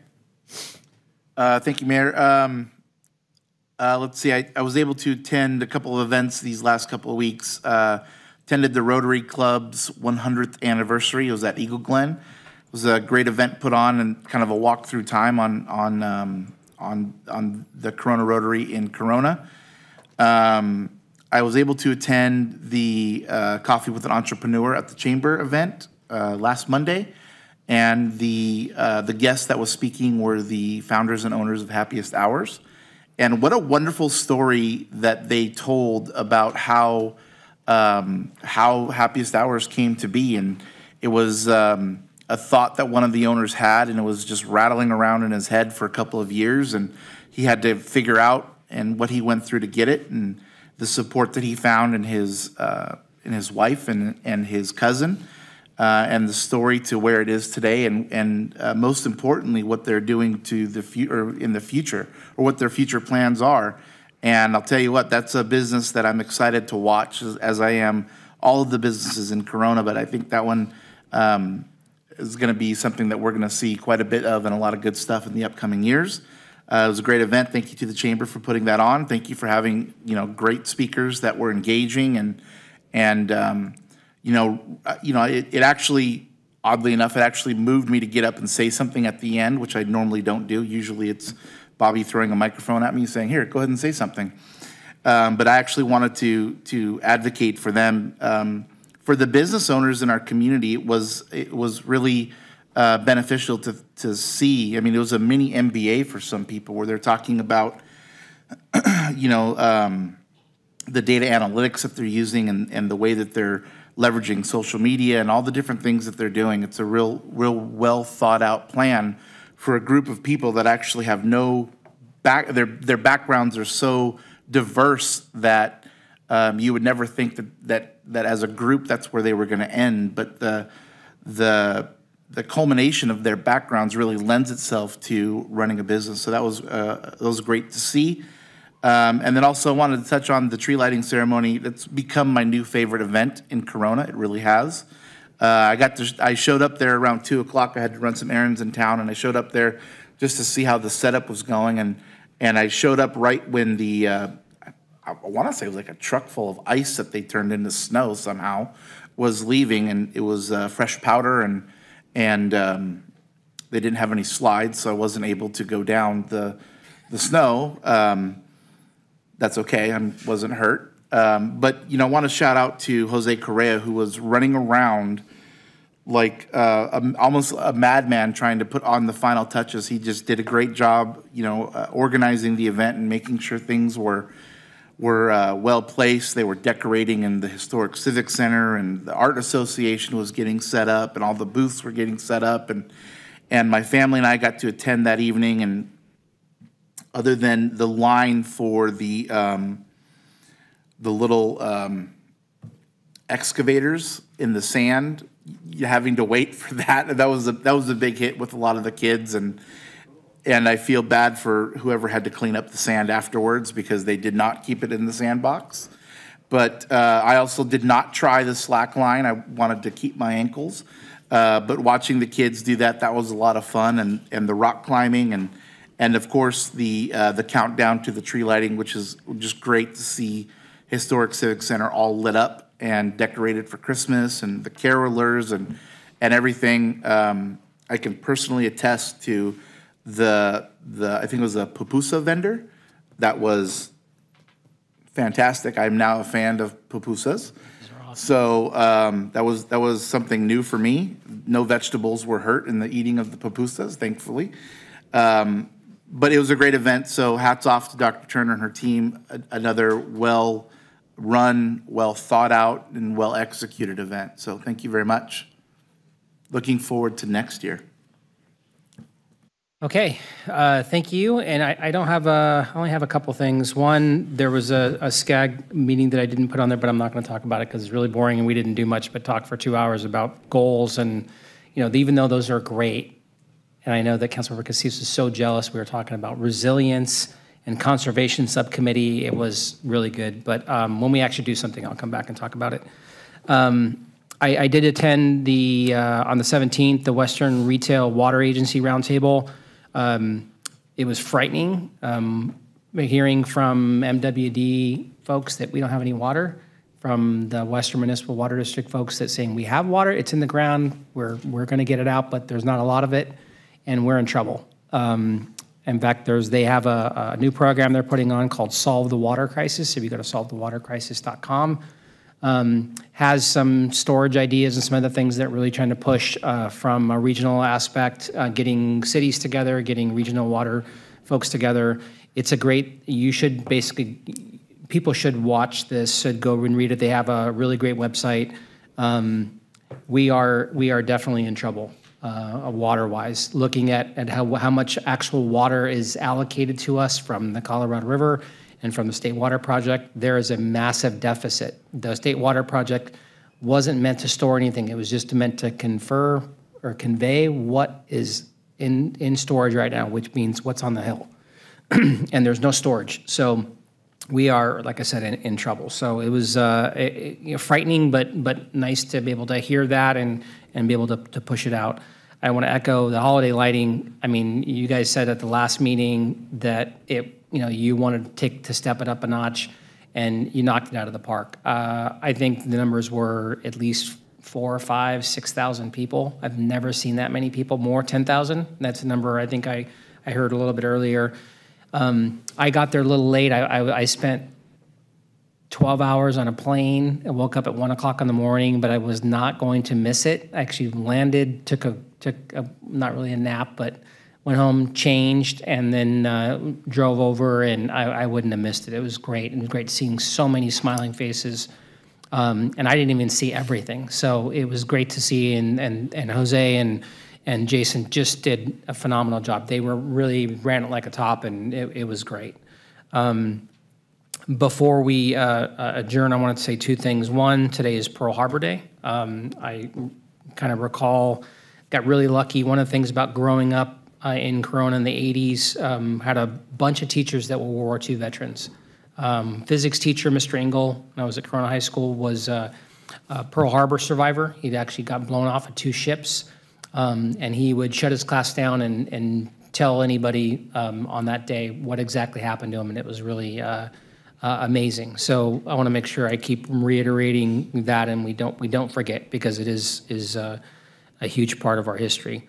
Um, big shout out to uh, Dominic Veretti and his uh, nonprofit Lila Project. They were featured on multiple NFL players' shoes. They have a, a program in the NFL called My Cleats, My Cause.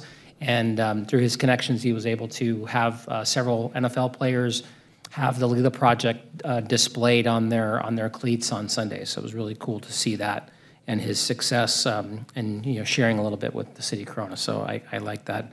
Um, thank you, Councilmember Steiner, for acknowledging today is my it is my last council meeting. I know I'll be doing this at least one more time as we uh, shift over, but I, I want to say a uh, I I mentioned the word patience a lot in the last, you know, on uh, item number 30. But I want to say thank you for your patience with me and, and my, um, my uh, long uh, report sometimes, um, but also with, you know, my many questions and you know where it comes from a, a good place. And thank you to staff for, for listening to me uh, dive into things at ad nauseum detail. So, um, but no, it's, it's uh, all for good. So, um, and I got married. Yeah, that's right. I have, I have a wife. I'm, I'm getting used to saying that. Um, pretty pretty happy. Had a great time, and thank you all for for uh, for filling in on uh, various things. Uh, Councilman Richards did a great job at both of the tree lighting ceremonies, and I heard heard lots of good things back. In fact, I think I, they're not going to ask you back next year, so uh, we're good there.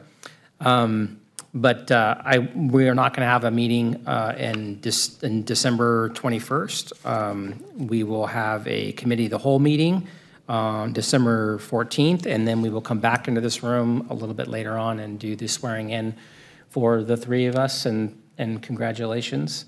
Um, and uh, we'll uh, elect our, our new lead. So again, thank you for allowing me to sit in this chair. It is a quite an honor um, uh, to represent the city, and, and uh, hopefully I've done a, a good job. So thank you all very much. And with that, I think uh, Councilmember Casillas had uh, someone that she wanted to uh, adjourn the meeting for. Thank you.